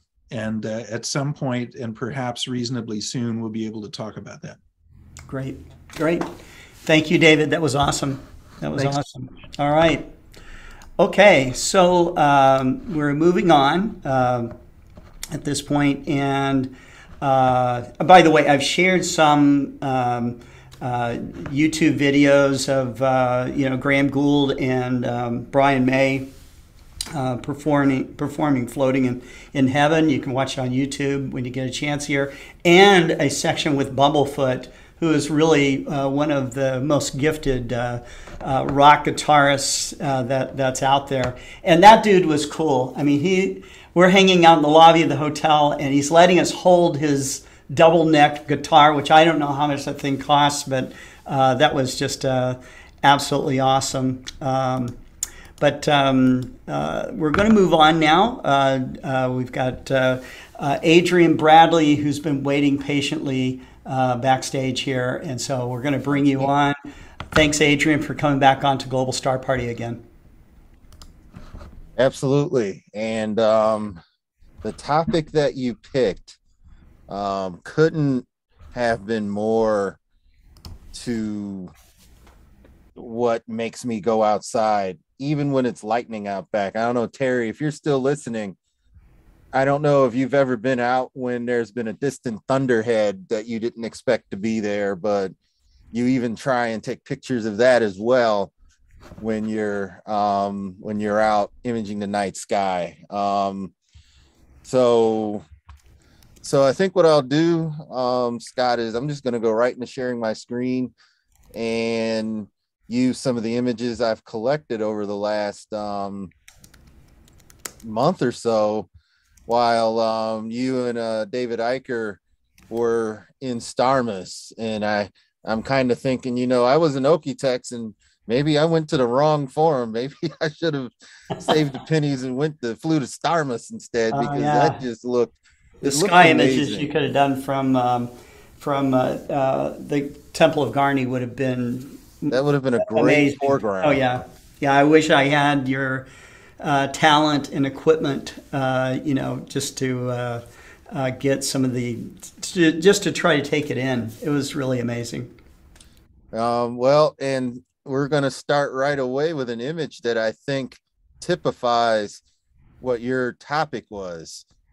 There I am in a self portrait, basically, um, looking at the night sky, just sitting there and uh, contemplating what I'm seeing. And if if you know your constellations, you know you're looking at Orion, Taurus, and this part of the winter Milky Way over Lake Huron. It's a uh, a Bortle three to Bortle four sky. You've got the fall. This is a this is a slice in time. Anytime I'm out imaging the night sky, this is what it looks like before I actually hit the button. So mm-hmm. sometimes I'll go ahead and I'll hit the button while sitting there and see if I can sit still for two minutes. So that's something I've started. So the question is, how did I get here? Well, that same night, I fired at the Cygnus region and I noticed I got some fall colors here as well. It's fall in Michigan. I'm back from Okie-Tex. And so we're going through this story backwards where I'm noticing the Milky Way dust lanes don't come out, even with two minute exposures, one for the ground and one for the sky. This is all I can get. It's a beautiful location, and you can see the fall leaves. And I was able to capture this the way the eye sees it. You know, if if there were a little more light, of course, but um, it's a very natural setting. And if you walk down here and you look over this lake, this this might be what you see with some trees in the distance. Some have lost their leaves. There's some fall colors here, and there's leaves this way. So, you know, also this is a this is a simple shot, but it's our winter hexagon or winter circle with Sirius here, Rigel here, Aldebaran here. Um, looking for, which I do believe this is Capella of Auriga and Castor Pollux. Um, and help me name this star. It's it's escaped me. It's uh, the little it's Canis Minor um, that fills out the circle. This has joined the winter Procyon. circle. Say it again. On- Yeah. Mars is now a part of the winter circle for this season.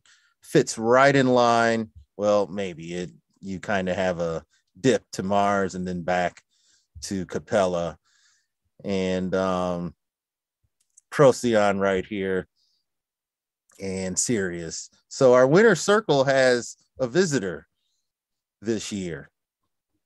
And um I thought that was interesting, so I frame it against this tree and and I took this image. So having come back to Michigan where if you shoot in the daytime you get fall colors like this um it that's what led to trying to do those fall colors at night but I came when I came back I thought I'd try my hand at Milky Way photography at another favorite spot. I wasn't getting much of the Milky Way as uh, Perseus is here, the double cluster, but I noticed there's a thunderhead in the distance. So, you know, the picture that's in my background, this is a full image. So I turned my attention to trying to capture light. If I could capture a bolt from the thunderhead, this was probably the best shot. Um, I think you can see some of the rain and the it's a distanced sea storm. And whenever there's one of these, you know, the stars are above it, but it often captures my attention. when I try to shoot at the core of the Milky Way, I didn't have my tracking unit, so I got a lot of stars, streaks, and barely this part of the Milky Way. And when I wanted the Thunderhead to produce more lightning, it wouldn't work. so so I just accepted what I got here. In order to get here, this is where Terry Mann was talking about. You see these woods behind me. It's about a quarter mile walk through a trail in these woods to get to this spot um, in order to take photos. So you do have to be committed. If you're there with a friend, it's great. If you're um, there by yourself, you just have to trust that the animals really don't want to come after you. They, unless they're hungry, and then you might have to make a noise and, um, you know, and they go away quietly. Now, as we're traveling back, we um we got a chance. Let's see. We'll go with we'll go with this picture taken one of the last nights at Okie-Tex over one of the mesas. The uh, earth shine here and the bright moon. Yeah, look at the way it's lighting up the the top of the tree. Yeah, I mean, you can tell this is not a, um, you know, this isn't something done in Photoshop. this is right. real. That was the that was the single real image, and I just cropped it in and tried to um, expand it a bit. Yeah, the Photoshop. If I wanted to be a Photoshop hero, we'd take another image, layer it on top, and maybe even try and do some stars. But I like simplicity in my photos. Um, you know, putting a lot of effort into photos, you do that sometimes when you want the picture to be a reflection of your own how great you are at doing pictures. But if you want the honorable David to like your photo, you best keep it simple and you best keep it about the night sky itself, or you may you may get a harsh rejection. Oh, Say, I got that. this isn't when David sent an email. yeah, I you're getting uh, you're getting accolades here from the audience, so that's great. Yeah. Um, you know, we've got these mineral moons, David, that you've probably been sent, and um, you know the moon well, and um, you can tell when it's something that has lost its natural appeal. You too, Scott, everyone out there. Yeah, those those can be very interesting and i'll give you a case in point um with some of the images i tried to collect of the zodiacal light and orion. We we tried it again for this year. We captured it and sometimes the sharpness you know the the resulting image may not have quite been you know the way that i would have liked it. I actually want to leave that there um here's an example. So this i think is a little overdone. It's it's you've got a lot of dust lanes. And the thing about dark sites the dust lanes in the milky way are much more visible and you know, it's much easier to pick them up in images. And all these stars come along for the ride because there's so many so much more starlight can come in. And while you've got detail you know, if you like it for the detail, like I can go zoom in and there's the shape of M23 right there. Um, but you sometimes blow out some of the features here, and it's possible to take shots. You know, there's around here, I think Baade's or Body's window appears. It's possible to get that sort of imagery, but you just have to be careful with um, the settings that you use. Whereas a shot like this, well, the foreground looks a little more natural here, even if it's a composite. And yes, lots of red light. This was a, a night that got cloudy. So a lot of people took more liberty at brightening their uh, lights. But look at the dust lane here. Um, very much visible. The stars here doesn't appear to be a split in the Milky Way. It appears to be a full unit essentially and there's Altair, Tarazed, and if you've seen some of my other presentations, you know that I like to look for Barnard Z and see how it looks, and I like to look for the coat hanger and see how it looks, and whether I've got some colorful stars whenever I do this section of the Milky Way. Many might say, well, Milky Way season is over when this part of it sets. To which I say, Milky Way season is all year round. Cygnus sets over here, and it's in a dark area where you've got all the sky glow. It still can be as bright as the core. Um, let's see. Here's uh, another attempt, and there's a meteor that streaked through this image.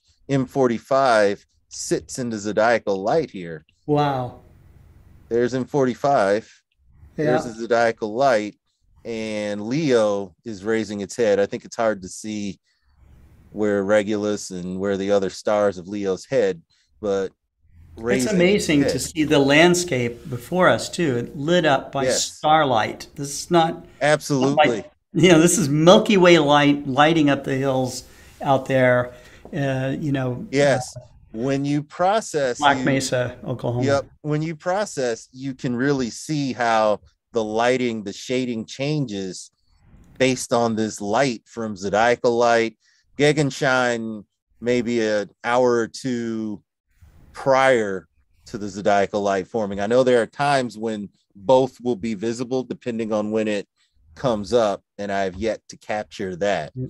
But um, Milky Way can- light, Yeah, Milky Way light is amazing. You can you can see a faint shadow around Yes, each one of the cactus and stuff like that, but it's not it's not elongated or sharp, um, you know, like you would from uh, the sun. Yes. So it's uh, you know, it's very it's like uh, an amazing studio lighting. you know. yes it, it absolutely is and Yeah. it does help you when you shoot a photo like this. Now chromatic aberration i don't recall if i used the tracker i was able to get this hmm you know to show exactly how camp looks. This is sort of uh with your eyes what you see and you see most of this. Some of the detail you know is not as it may be a little clearer with the picture but this is an eye view you can see you know the butterfly rising over the mesa over here. So it's it's an amazing time and i always recommend um that you know if anyone comes out come on out and you know take a look at the night sky. Here you've got we back off a little bit and we've got you know we've got the mesa. This is this is essentially what you're looking at when you go to Okie-Tex there are a bunch of campers telescopes out. Here's somebody who's sitting there working on his imaging. You got the big Dobbs, you got this scope here um, from next door, and you've got the Milky Way just sitting here with the cat's paw and these four stars, which are part of the uh, lobster claw. And you've got all of these, all of this detail, the Ptolemy's cluster here, the butterfly, somewhere here over Sagittarius M22. There's M22 shining, the lagoon, Right. Trifid, all of these M23, M25, small Sagittarius star cloud. And I spent a lot of time observing, even more so than imaging, just because I wanted to I wanted to capture with my own eyes what I'm seeing. In another view of the uh, Cygnus region. hmm That's beautiful. Look at that. So Yep, the whole summer triangle over this mesa. Yes, very serene and and there there's a lot even and this the shot here typifies what a cloudy night looks like that you generally don't see when you're looking at the night sky it's all clouded up except for a bright region poking through the galactic center. In only 30 seconds, we have all of this star detail here. And um, there's there's M23 sneaking through. Everything else is covered by this these dark clouds, which because there's no light pollution, they're dark underside. So it's just like someone's closing the uh, observatory door on top. And um, and you can still get a beautiful shot if you know if any part of the milky way presents itself Yeah, that's cool. and one thing that i always try to mention you know when you give me the opportunity is milky way season never ends um there are going to be some images that i'm showing again but um and here i was able to finally get a clear view and some more ha detail here you've got this section of the Milky Way near Orion. That's a challenge for those who are only used to shooting the core. Sure, shooting the core can be beautiful. You know, you've got all this. I decided to shoot it here, and this image kind of typifies what the nights at Okie-Tex look like. Um, if we go all the way back to um, I'm not even sure I can do that, but I'll try. Um, let's see if this is the one. So, from my location at home, you know, you've got this, but from Okie-Tex, you've got this same region. Look how much more detail you can get. Um, the Cygnus region looks like this. That's amazing. And and in a Bortle three sky, it's not that far off, but you see how it's a little more faint in a Bortle 3, Bortle 4 sky at two minutes versus the two minute shot that I took here fills in a little bit more and there's a little more detail going towards the uh, where the bulge starts which is below horizon. What happens with our type of photography is the cooler looking the landscape the more people are drawn into the photo but if you don't live in an area where you've got great rock formations try and make your sky something that you can look at. Yeah. There's the Pelican, there's the North American. Can we see that in Michigan? Well, now Well, that we you know where it is, yeah, you can see it. You can still see it.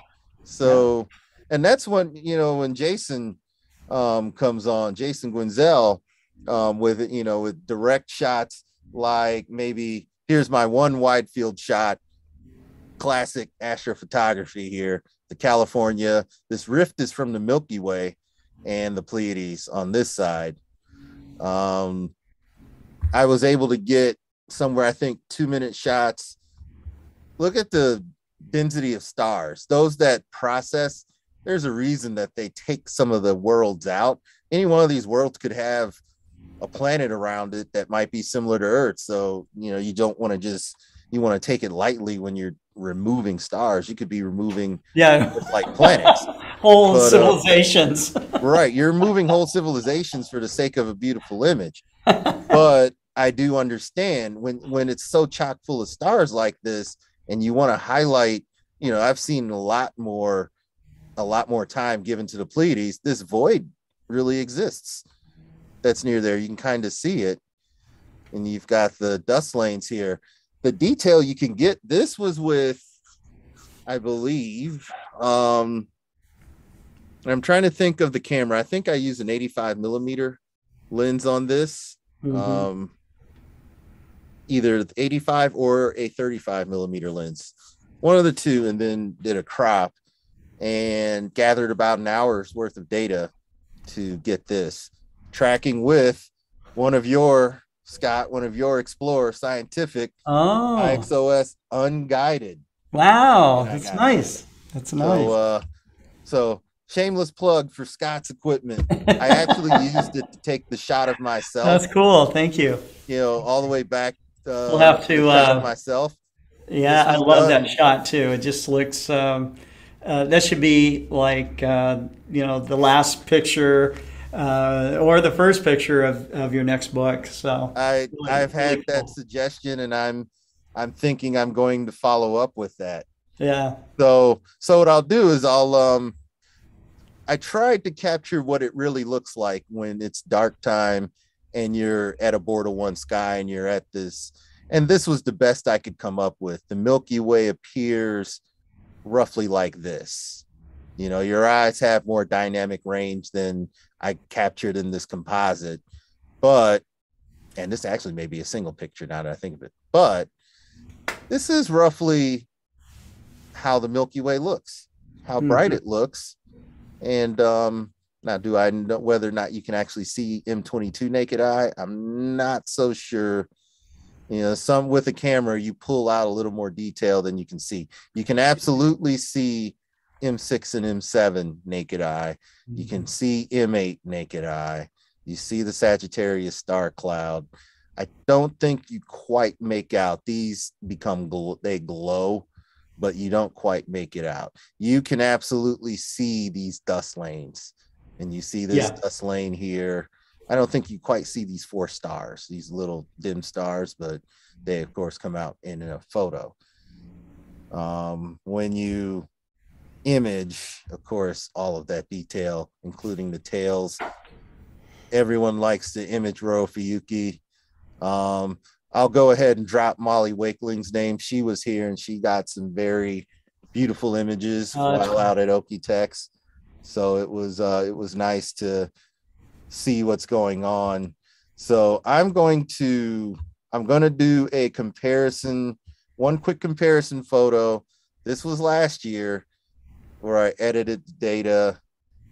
And this year, that was my updated image. Not much different, really. let's go back one more, one more time, so we can. Yeah, see let's see if I did this right. Um, let's see if this is the nope. So we'll go back. Uh, so, so this was a processed image I did in 2021, Mhm. and then I think if all I got to do is just close this and that, and this is the processed image Mhm. from 2022. A little bit of vignetting here. You know, that It's okay. doesn't look much Right. different, but it does. That's basically how it looked at twilight. Yeah. And this Milky Way comes out at twilight. These dust lanes are visible naked eye, and you use them to jump across here. This dust lane, this LDN, I want to say it's LDN 90. That little dust lane is visible. And Mhm. then this dot right here is actually the wild duck M11. Those are you you learn where the Messier objects and the NGC objects. I've got a few more to learn. Um, but when you can see those objects in a Milky Way photo, you know that you've got a decent, and I do mean decent uh detailed image. And again, it's uh, for me, it's about marrying the earth with the Milky Way. So we showed this image. Well, when you turned around, you saw the other side. I And see. This part of the Milky Way with M33 here And, and, and then 31. M31. Yeah. I wonder if can see the M1 dust lane. You can actually see the dust lane Yeah. there. There it is. Yep. And I wonder if M110 somewhere, if there's a glow, it may have disappeared in the uh, noise reduction. The noise reduction sometimes is or is not your friend. You know, if you blow things out, the double cluster gets bright, but the heart and soul show up.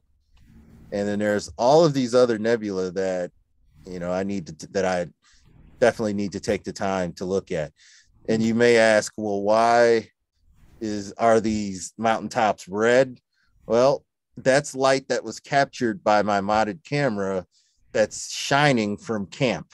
All the Yeah, red all the light red. That's is actually amazing. on those mesas, reflecting on those mesas That's amazing.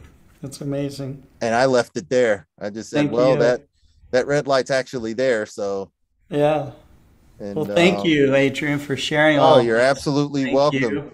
Yeah, And, we, uh, we have to be moving on to our next speaker, but uh, Right.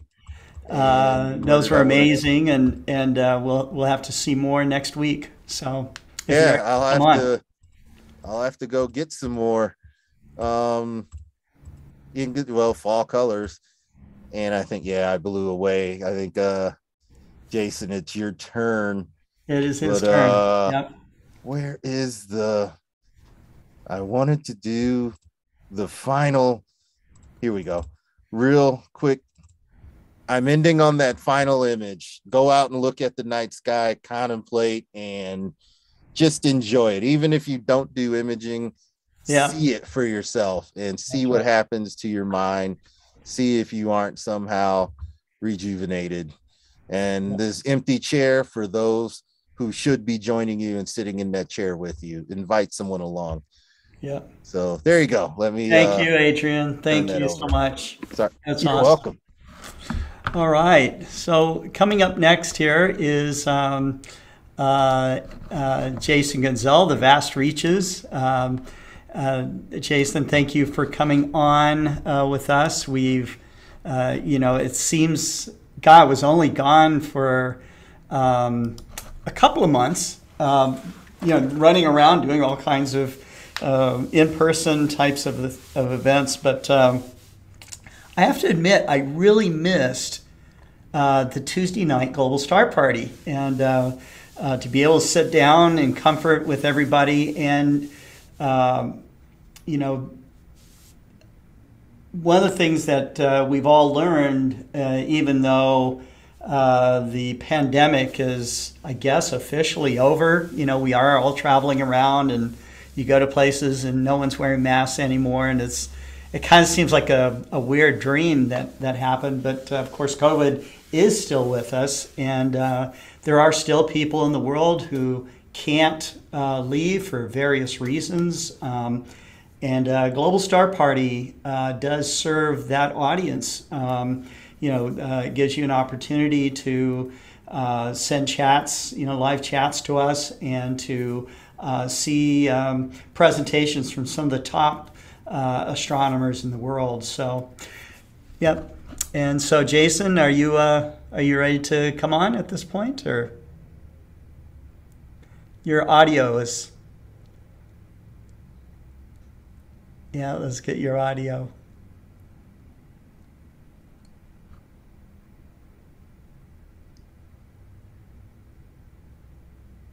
No audio. Uh, yeah.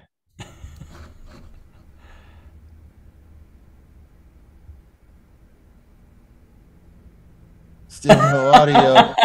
so I have an idea, Jason. Um, Uh, you, you could. have to do a silent. Uh, No, no, no, no, no. He doesn't have to do that. He can actually he can actually call me, uh, and I can I can uh, have his voice over telephone onto my microphone. I've Oh, done that that kind of thing before. I think he's actually going for. I think his plan B is a laptop, though. I just saw Laptop. Oh, okay. He could do that too. That's the cool thing about uh, the platform that we're on. Um, uh, when I was at the Arizona Dark Sky Star Party, we had one guy running PowerPoints, another guy, uh, you know, running a, uh, you know, various Zoom. You got to have multiple Zoom connections and mix uh, your presentation, which is kind of cool. So Yeah, I've had I had to do that a couple times, I think, because uh, if I came in, like say I'm on the road as I usually am from imaging or something, and then I get to the computer or something doesn't work out, I've done that where I'll present with the computer and talk with the phone. So yeah, I've I've been there before. Yeah, make doing all of the stuff that we're doing here to give a presentation um, can be a little um, can be a little tough. So I think that uh, I think Jason has now logged in with another computer to get us audio here. You want to say something? Can you hear me? I can hear you fine. I can hear you. All right, hold on Yeah. for a second. I got I got to turn the speaker off on this thing Okay. so I don't feed Yeah, back. good. Yeah. Yeah. Okay. So Now, how do I hear? Can you still hear me? I can still hear you. Yeah. All right, I got an echo on my end. Um, let me try uh, to turn my turn the volume down off. on one of them. Yeah, and turn it all the way down on one. All right, can you hear me now? Yes. Yes. Yeah, there's a little disconnect between the video and the audio, but that's okay. Yeah, that's okay. happened All to me. right, yeah, I got one crazy setup going on here. Sorry. Um, all right. Well, as all long as I'm coming through full volume because you guys are really uh, quiet to me, I, I can just uh, talk. I have. Um, so just one final check. This is working. Yes. Yes. Okay. Yeah, I don't know what happened here. I apologize. Um, so I've got. Um, thanks for having me on, Scott. And again, sorry for all the uh, discombobulation, but No, it's all I right. got a little bit of, of uh, um, presentation I put together. I did a talk at a local astronomy club here last week, and I'll just uh, walk through that because you know the topic of this is um, you know how we connect with the night sky, and um, really that's what astrophotography is all about for me. Is that connection we have with the night sky and, and my ability to um, to kind of explore from my backyard. Let me see if I can get my screen shared here. And let me know when you're able to see this. Yeah, it's good. Good. Yep. All right. Well, okay. One way or another, we did this. I don't know how. I tried to hook my laptop up and that didn't work either. We is, have uh, the this technology.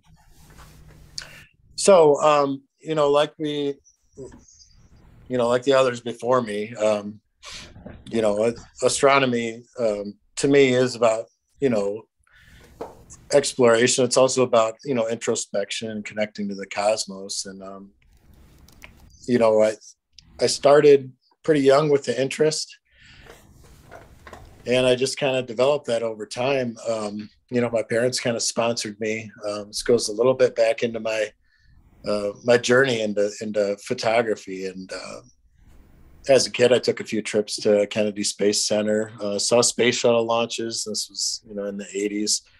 Um, at about the age of 10, my parents gifted me this telescope that you see here in the center, and I actually still own this thing. It's a a cheap department store refractor, um, Jason brand, and I thought it was cool because it had my name on the side. But this past summer, I I um, put my iPhone behind it, and I still am able to get decent images through this, and it just kind of demonstrates that maybe you don't need so much to kind of get that connection. Um, you know, all told, the equipment here is uh, dirt cheap. If you were to find one on uh, Facebook Marketplace or something, you could probably pick it up for free.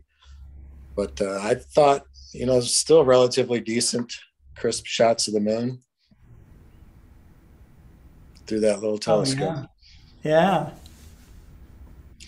And so, uh, you know, out of out of childhood, I, you know, re- had my young adult life where, you know, I wasn't really involved in astronomy at all. And in uh, 2009, I picked up a Canon Rebel camera because I've always had this interest in landscape photography, and really that kind of spawned a, a reconnection with the night sky. I immediately took that camera and started shooting.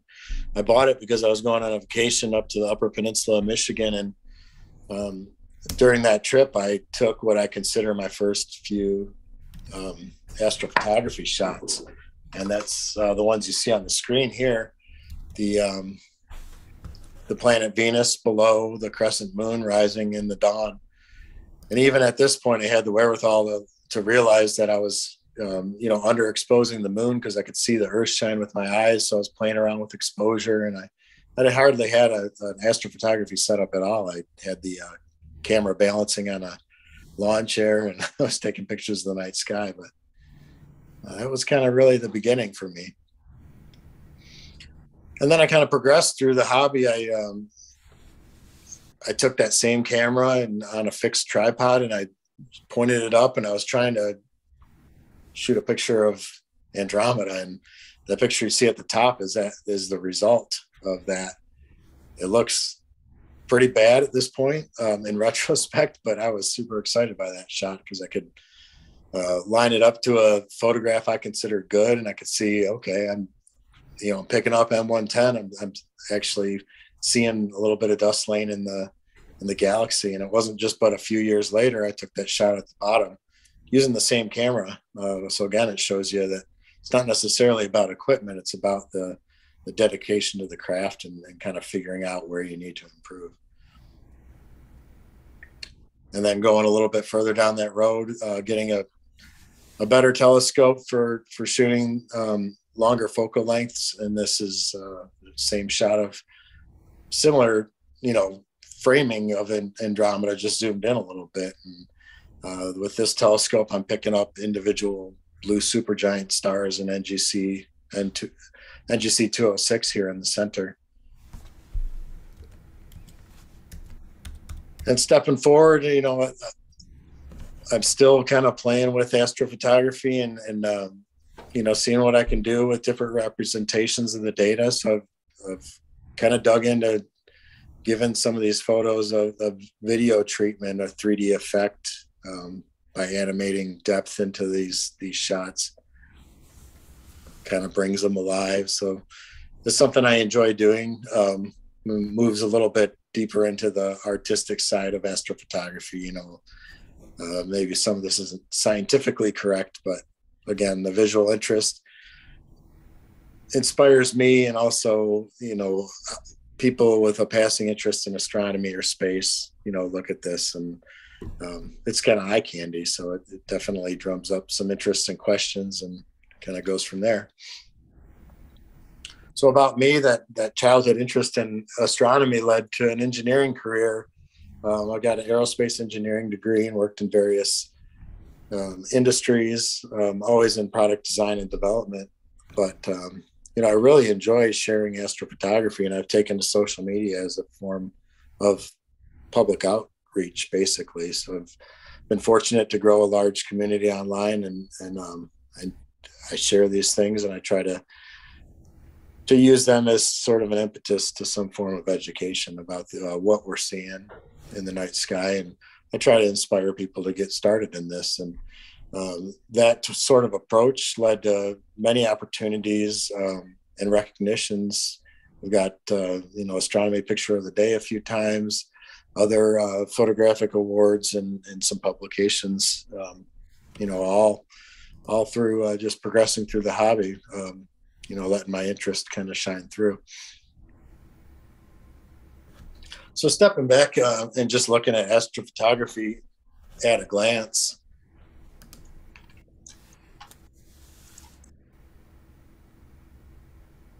um, I really kind of separated into two main pillars, and that's the science side, which can still be amateur science or uh, what I call citizen science, and there's a lot of uh, different categories you can you can enter into and actually contribute to the science side of things. And then there's the other main pillar, which is uh, pretty pictures and videos, and that's kind of what I do. I just like the, like I said before, I just like the eye candy of it, and I would consider the main categories here: deep sky, which are galaxies, nebula, clusters, just uh, looking at objects far away from Earth uh, outside our solar system. And then planetary, which is everything inside our solar system. And then the uh, Milky Way nightscape, kind of the stuff that Adrian shared, uh, just looking at wide angle shots, maybe incorporating some uh, Earth elements into those or some landscape elements.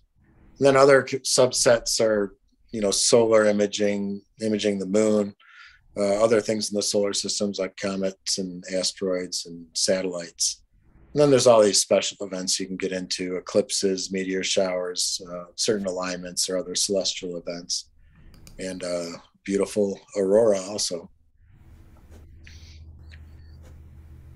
and i wow. you know describe a little bit about the discipline astrophotography. I underline discipline because it really is a lesson in um, patience and perseverance. You got to have certain personality traits uh, traits to really excel in the hobby, and um, you know, namely just be a problem solver. You come up with all sorts of issues and, and problems when you're when you're imaging the night sky.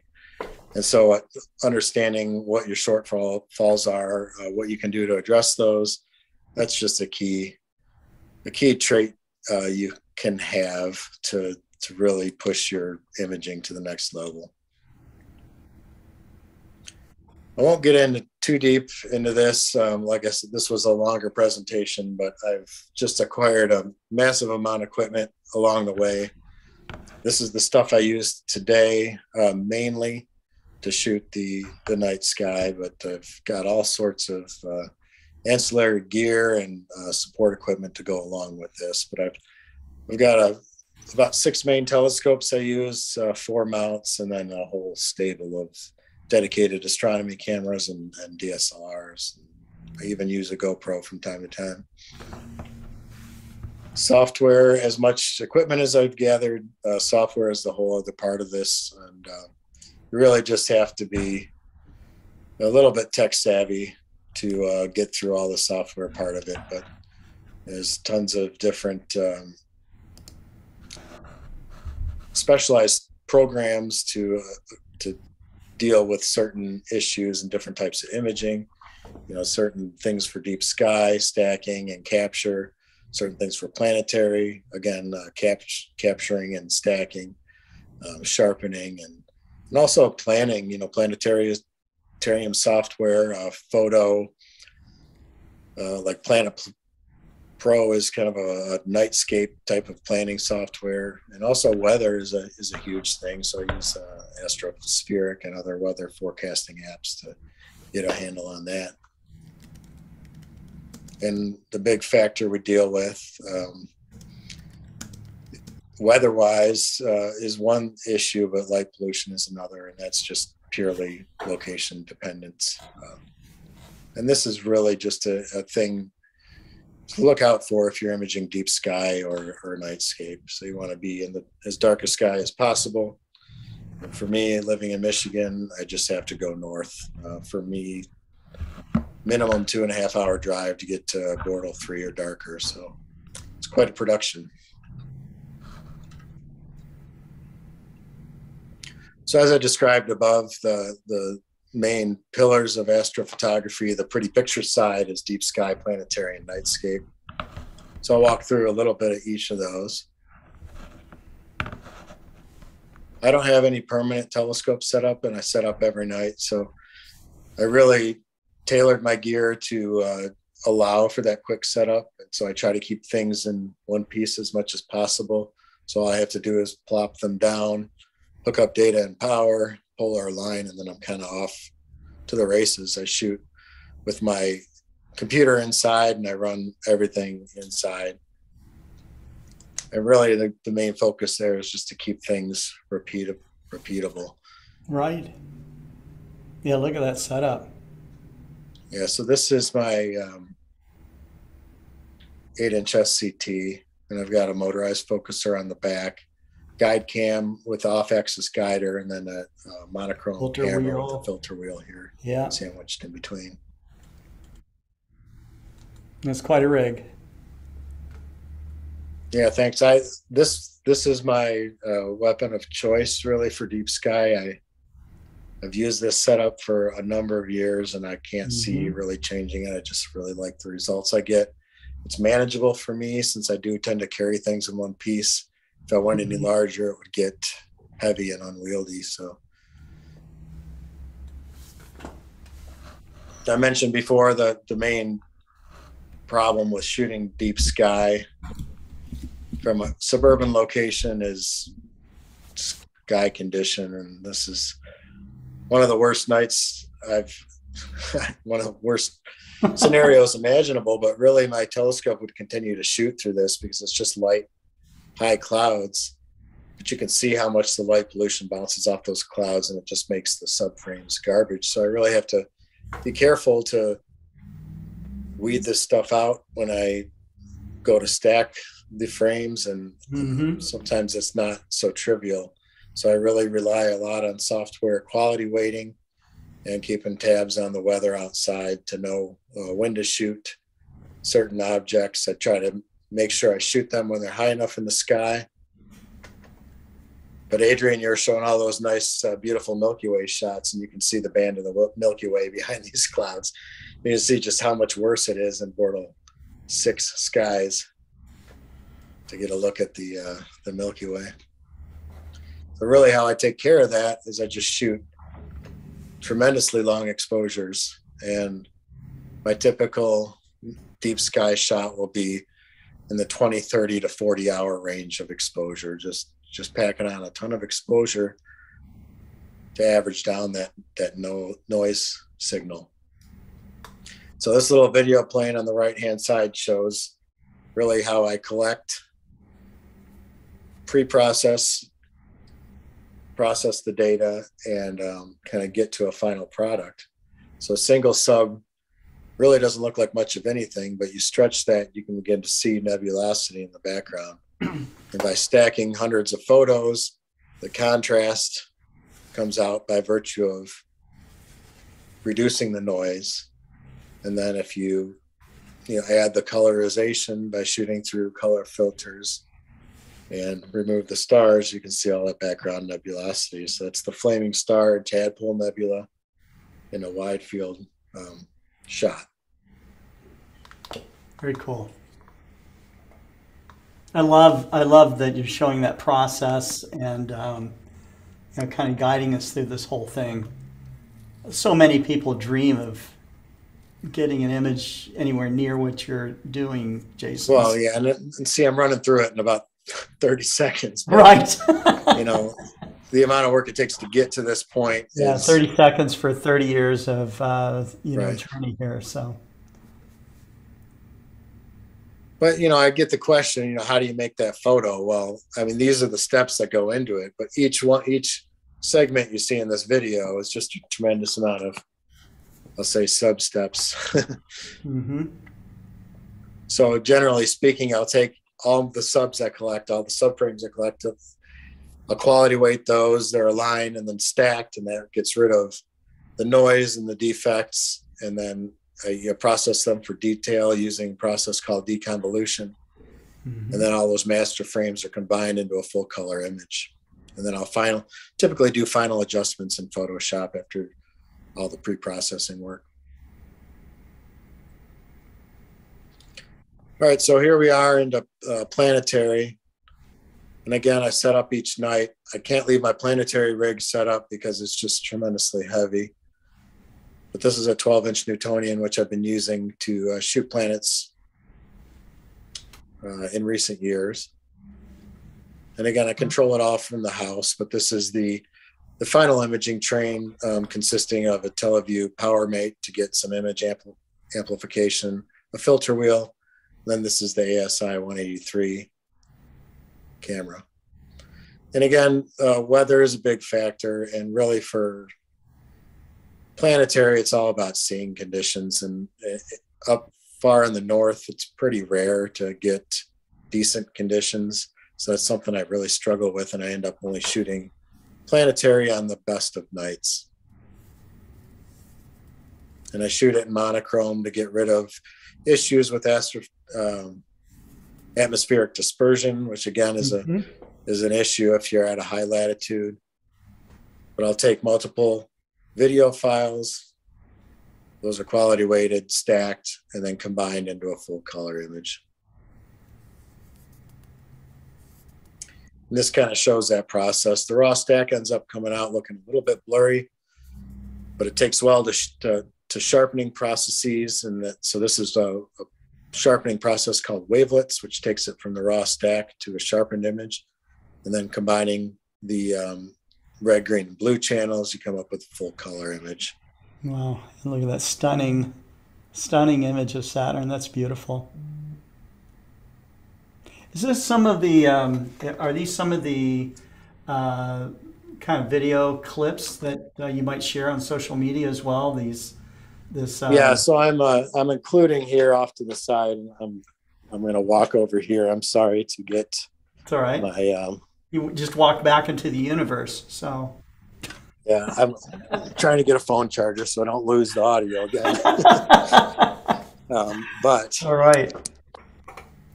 um, yeah, I, I share these. you know, I've started to share a lot more video format online. Yeah. Because a lot of the social media is kind of moving to that, Yeah. but it lends its well itself well to these video, uh, these presentation type things because you can kind of see the, you know, people like seeing things move. it helps. Pictures worth a thousand words, but a video is worth a million. Yes. All right. So, um, you know, an offshoot of planetary is is lunar and solar. I do a lot of that work. Um, I've presented it on the Global Star Party plenty of times. We'll Mhm. see a little bit of more of that later, but I just want to move on to to Nightscape. Um, it's something I really enjoy doing. I don't get the chance to go out and do it much, but uh, I just love the blend of you know these natural landscape elements with the night sky. Um, Adrian presented a lot of beautiful work um, just a few minutes ago. But a little bit about, you know, how I shoot night sky is, uh, you know, I, I take really, really portable setups when I go out to do this because I like to get places that are, um, you know, maybe less accessible. Um, you know, find those good landscape elements, and and um, that adds a lot to the image. I use a Canon 6D. I've got the star tracker and uh, you know just a lightweight tripod. What's that big yellow telephoto lens I see it mounted on the uh, the fence there? Yeah, that's a that's a 16 ounce. Um, Energy drink. yeah. all right, so um, you know, like I said, it's my goal is to find those, those interesting um, foregrounds. Was fortunate enough to get to Hawaii last Oh, year, yeah. and this is from the top of Haleakala, so it doesn't get Mm. more interesting than that, I think. But this is the big island of uh, Hawaii in the background, and I'll take typically it depends on the darkness of the sky, but a few minute exposure, uh, a series of those for the sky tracked, in a series of those for the static foreground, and blend those together in post processing. So this just shows that um, I'll take, you know, this is three by uh, two minute sky exposures tracked, so the sky is crisp, and then three by two minute static for the ground, so the ground is crisp, and then those are blended together by masking the horizon line, basically, and then um, you see at the bottom that's the combined and processed Yeah, final cool. image of Yeah. that set of data. But definitely can do a lot by brightening brightening things up. I mean, I think you'll notice by looking at the top two that they're a lot darker. Um, that's representative of what the scene actually looked like to the eye. And then the bottom is, you know, brightened up for that visual interest. hmm Stunning. All right. So now I'll do a little bit of show and tell. Uh, I just have a series of uh, looking at space. Uh, this is the core of the Pac Man Nebula.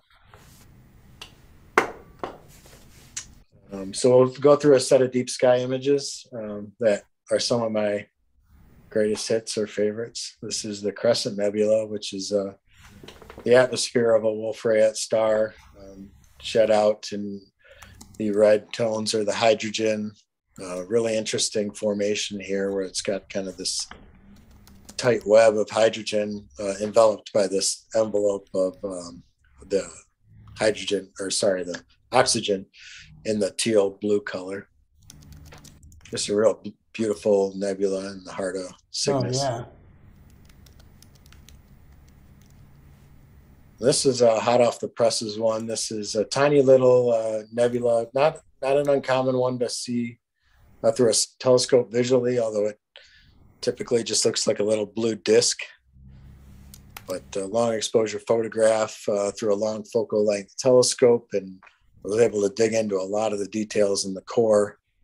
And down below, I set my uh, image alongside of the Hubble Space Telescope image to show just really how far we can go with an amateur telescope um, as compared to a, That's a space telescope. Quite a difference in budget, Yes. a little bit blurrier. yeah. but nonetheless, uh, I mean, to me, it's breathtaking. It's it is spectacular. Yeah, that you know Yeah. something you don't really see in the Hubble Space Telescope images are the extended nebula that surround a planetary or a typical planetary will have a bright core but this extended shell around it. So that's something I really tried to do by bringing out the um, the faint hydrogen and oxygen Yeah, layers yeah, out in the distance, and that really takes a lot of exposure. So this is almost a 30 hour exposure image. All right, you got a Struble in on this one. And Yeah. as somebody who's observed the blue snowball a few times and it just looks like a blue snowball, this uh, blows my mind here. I, I stepped back on right quick and I saw this, and you know, this is Isn't something beautiful? we can't see visually. And um, it's great. It's I think the first time I've seen what the interior of the blue snowball looks like. So uh so uh Yeah. kudos to all those hours just to get that. It's uh it's inspiring to see exactly what it is. I know the course HST, you got pretty darn close. You got all the same data, maybe not the same precision, but then again, you're not running an observatory above Earth. So, yeah, you don't have a 90 inch telescope in in space. right. May- Maybe and someday. Yet, and yet, but yeah, that's your, that'll be your save That'll your be my my GoFundMe. yeah. But uh, just with what, like you said, with what you've got, you've got an amazing image. It took a lot of time. I mean, it, this isn't this isn't something you can just take a snapshot of two hours later. Ooh, look what I got. It takes a lot of time and some dedication to do it. So, Yeah. hats off. So you'll notice a trend here with what, I shoot with this telescope is I try to put a lot of hours on target, and that's you know mainly just to get the light pollution uh, squared away, but also because I do try to hammer into these details, and by quality weighting the subframes, I can pick the best ones to stack, and and so that's what I I tend to do also. And this is uh, NGC 4490, which is the Cocoon Galaxy, and its companion this is an interacting galaxy pair and really just a, a beautiful um, web of hydrogen surrounding these galaxies and that's just because of the creation of stars uh, due to these galaxies passing through each other this is the wizard nebula shot uh, with the explore scientific ar-152 in narrowband Wow. Wow. That's an achromat telescope. I I use um, narrowband filters to you know shoot deep sky through it. That is. Who would have thought that you could do that with an achromat? I mean, really. That was something, an image like this would have been impossible to do not too many years ago. So, with an achromat system. It's fun fun stuff. Uh, this is a wide angle shot uh, with a telescope called the TPO Ultra Wide, which is a little um, telescope not bigger than a can of Red Bull. It's uh, 180 millimeter focal length. So the field of view you see here is about five degrees wide by seven and a half degrees tall. It's quite a substantial field, and um, again shot from my backyard. So I had to use a lot of exposure time to pull out this dark nebula.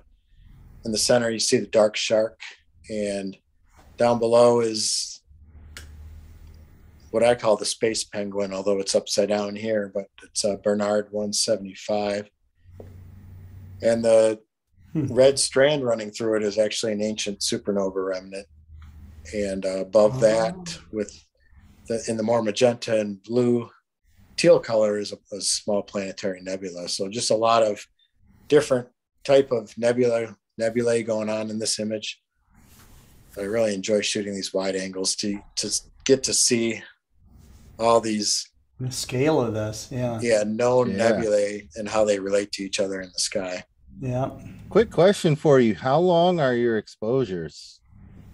Um, For this telescope, I use two minute broadband and four minute narrowband. Okay. So yeah, I I was able to get two minutes unguided on my little bitty California and Pleiades uh shot, but I only did an hour's worth. Um so what this is showing me is it just takes a lot of time. Yeah, yeah, you just got to know, put a lot of time into it.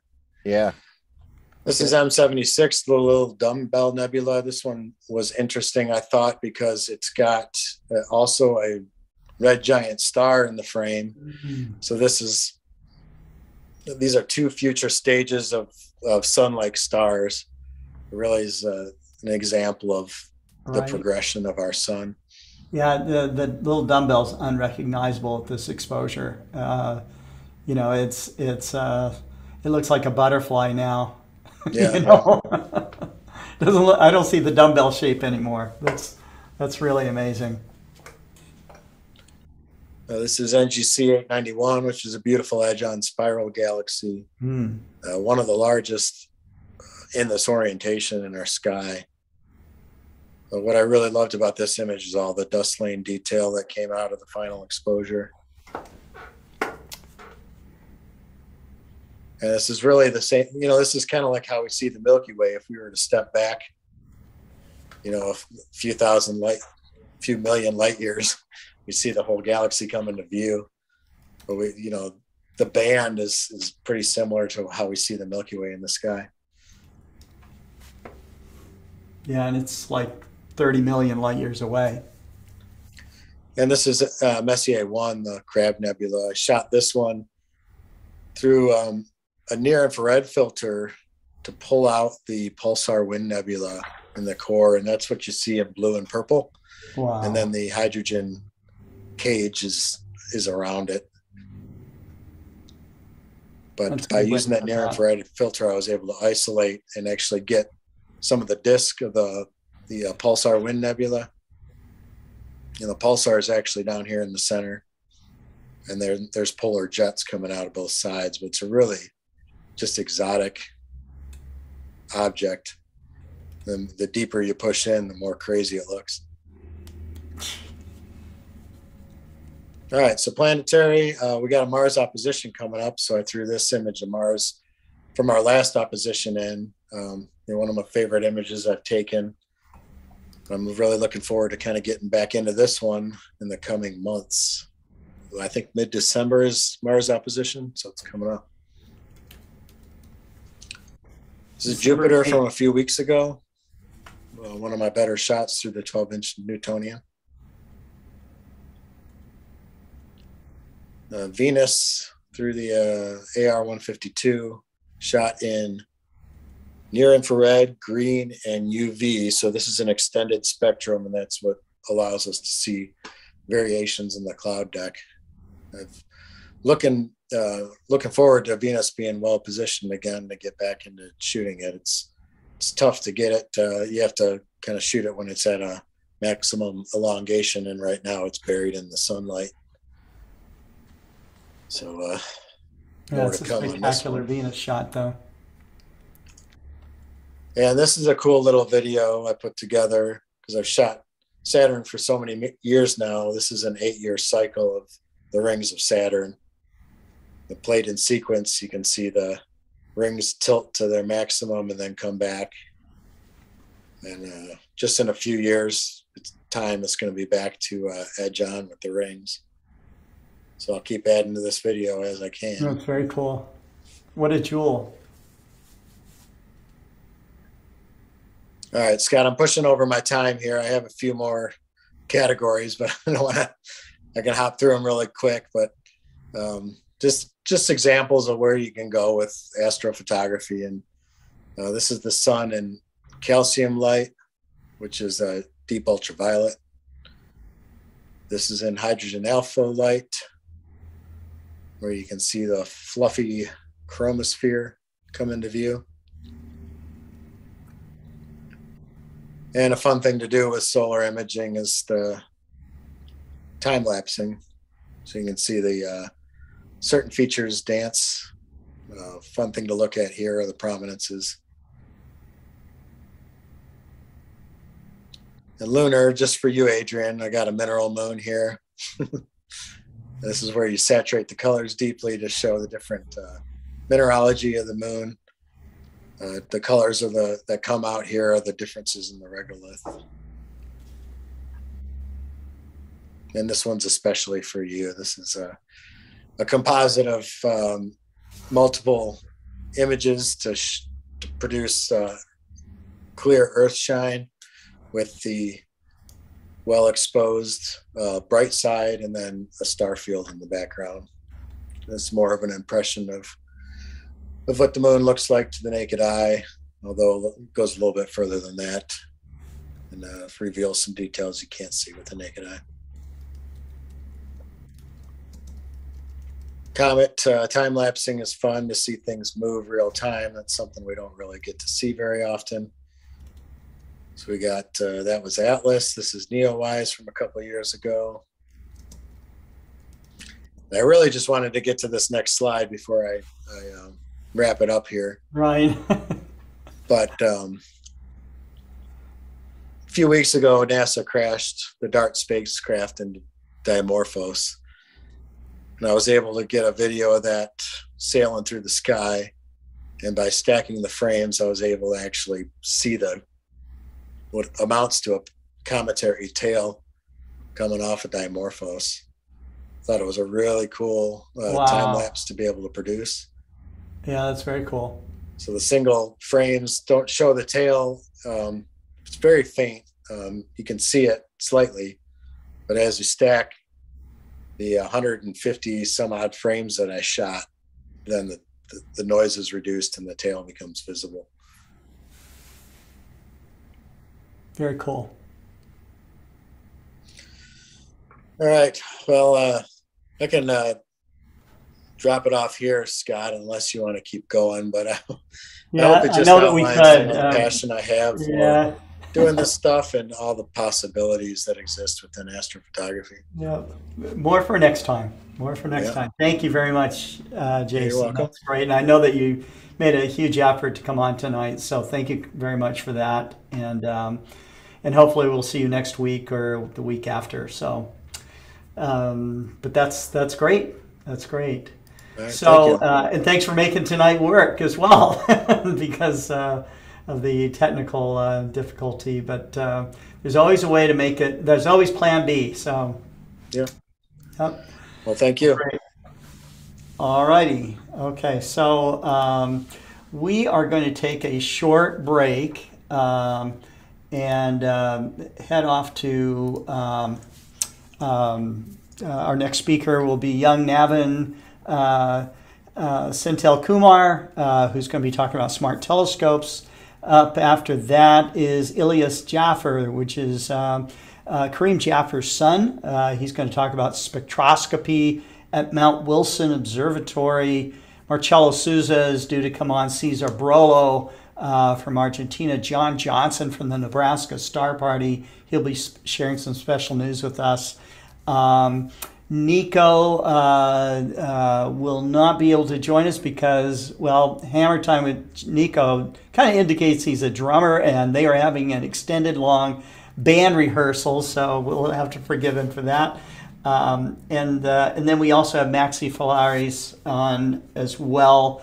I will include uh, a special video that was uh, uh, recorded actually for Starmus with Doug Struble, who you heard uh, people talk about earlier in this program, and Chuck Ayoub uh, of the famous Chuck's Astrophotography. They made this beautiful video together about uh, how they overcome uh, light pollution to make the incredible images that they do. Uh, you know, Jason Guenzel is one of those guys as well. So uh, let's just take a few minutes, and then Navin, you are up next. So here we go.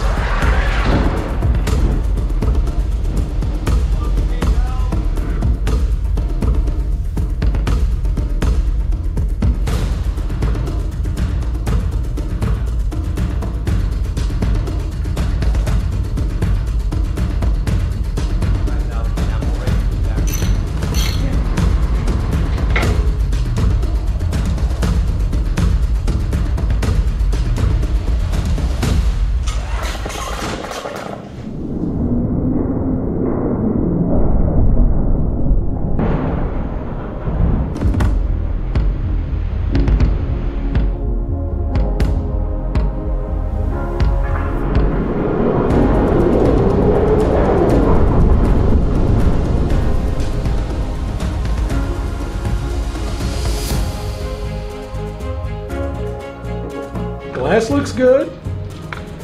Yeah. No cracks on the screen. Seems okay.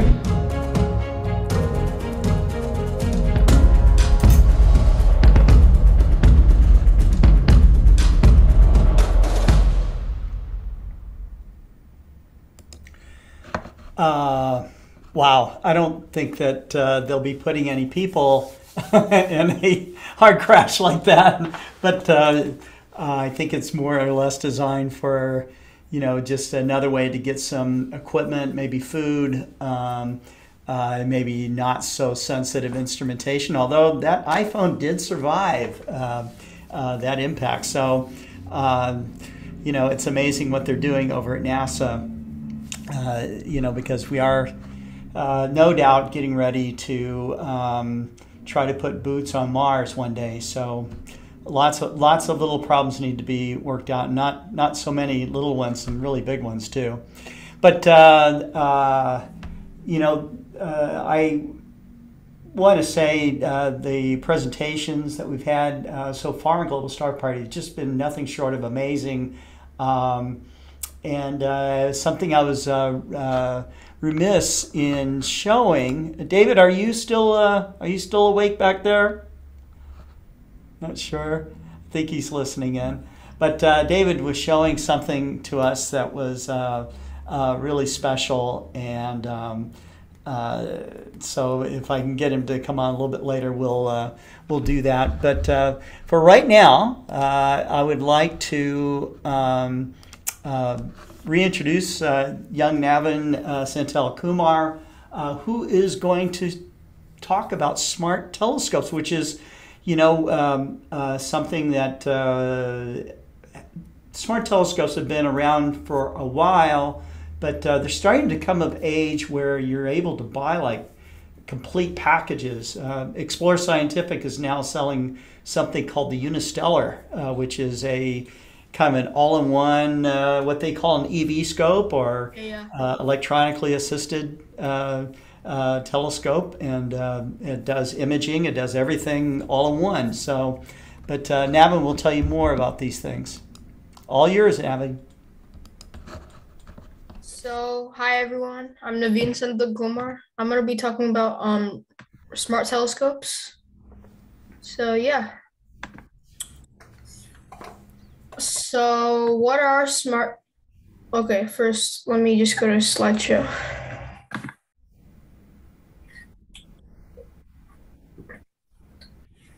So, what is a smart telescope? Smart telescopes, also known as a robotic telescope, they're a totally brand new category of digital smart robotic telescopes that can you can control from your smartphone or tablet or any other mobile device. Use they use integrated image sensors, software, and um optics to deliver unique and compelling experiences in all simple and all-in-one efficient packages. So now let's get into the per how why they're here. So they're basically using cutting edge technology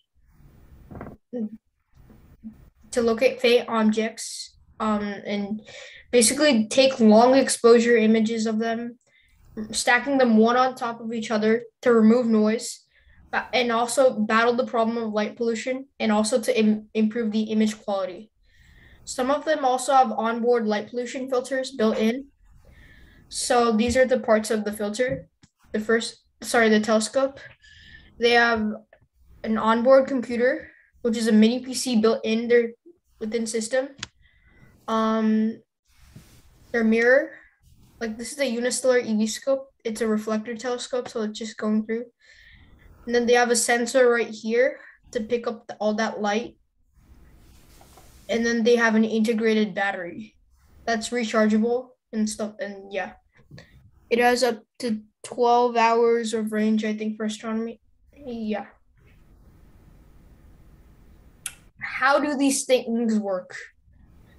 So, first thing it does, it identifies where it's pointed in the sky, uses plate solving, or like uses like two star alignment or what, or like something like that.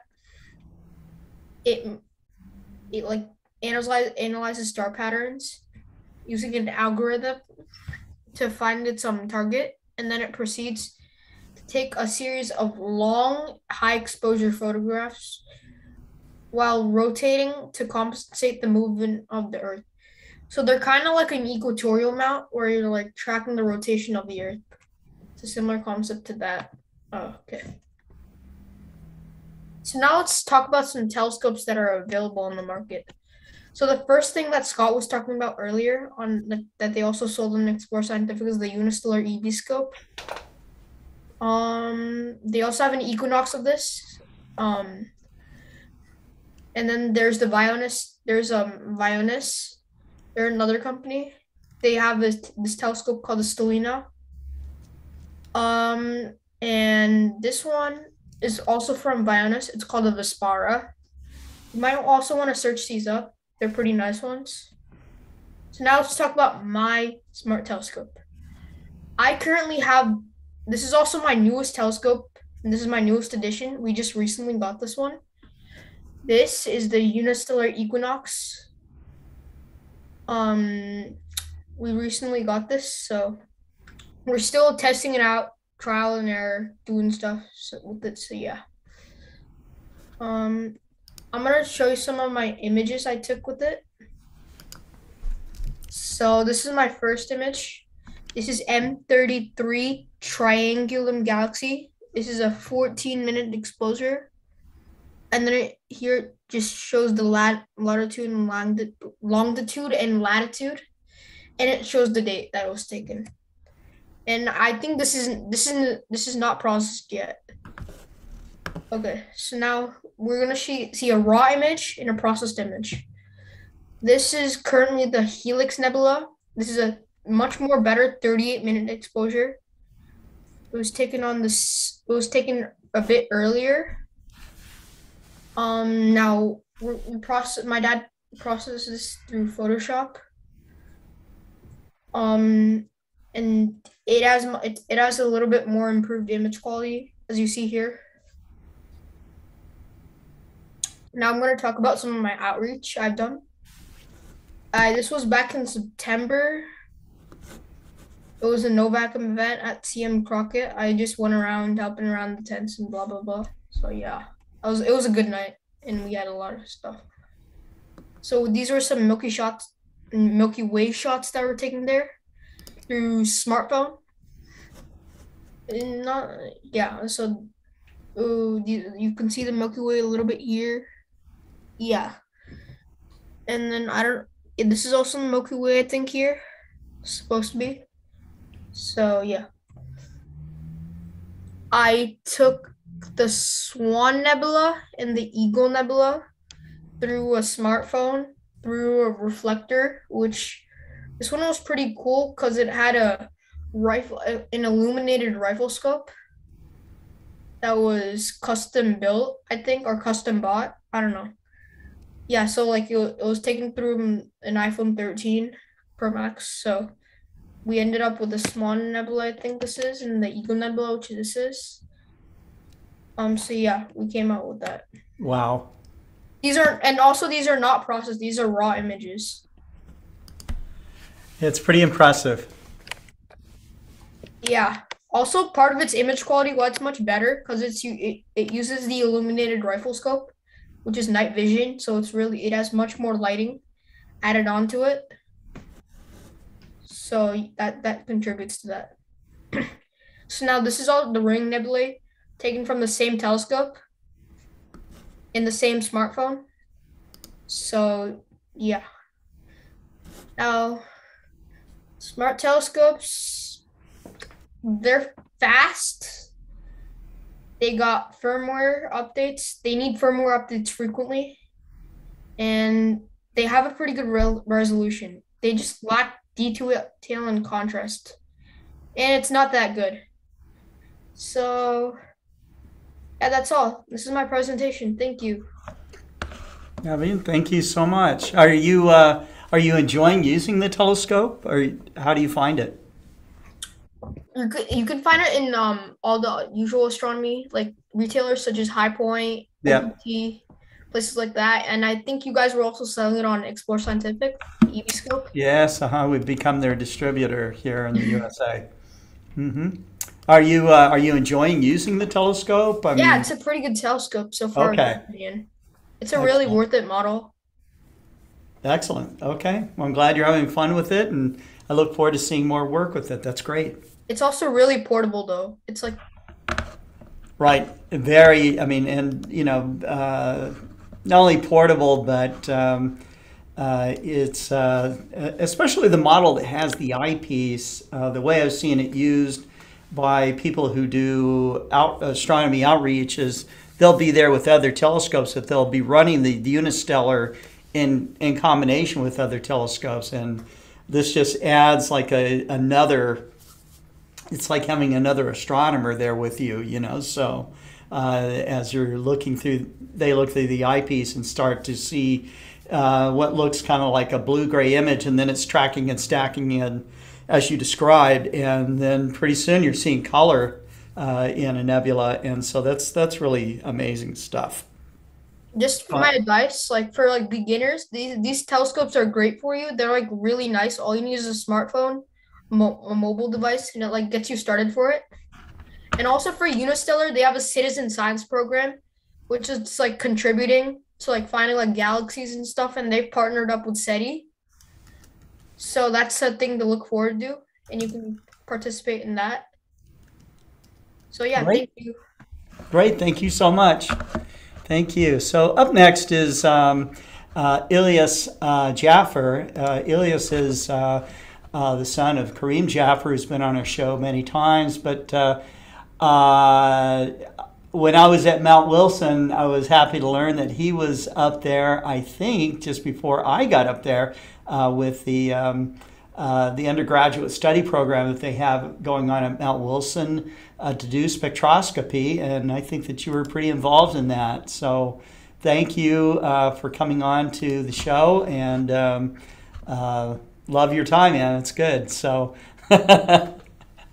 anyways, I'm going to let you have the stage. Ilyas, thank you for coming on. Uh, I don't think I had a chance to meet you before, um, but. Um, uh, uh, maybe tell us a little bit about yourself and how you got involved in the uh, the undergraduate uh, program at Mount Wilson. Yeah, for sure. So the uh, summer, ast- uh, sorry, it's called the SOAR, the Summer Observational Astrophysics Retreat, and it's not just for undergraduates. Uh, Oh, um, they've they've had people as young as eighteen, and I think as old as uh, like uh, I think forty year year olds Hmm. uh, attend. So it's it's um, it's really about getting to uh, uh, to be more hands-on with astronomy. Uh, it it was quite the fun experience, and uh, so um, uh, about end of August, uh, I gave a uh, presentation about uh, my experience at uh, Mount Wilson um, for the uh, Montreal uh, RASC, uh, which is still up on their YouTube channel if you'd like to go see that.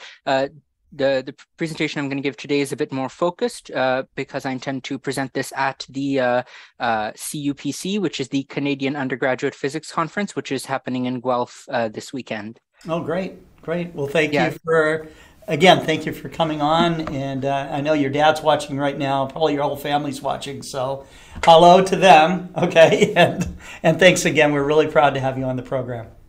Thank you. So yeah, I'll begin by uh, uh, is is my screen visible? It is.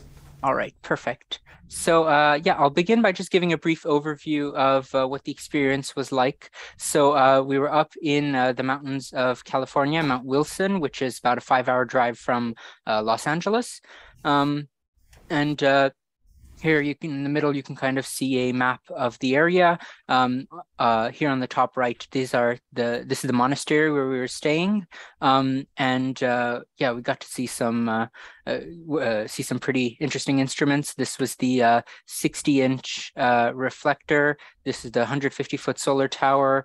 This is the snow solar telescope. That one is really cool because a, a lot of the stuff is done manually.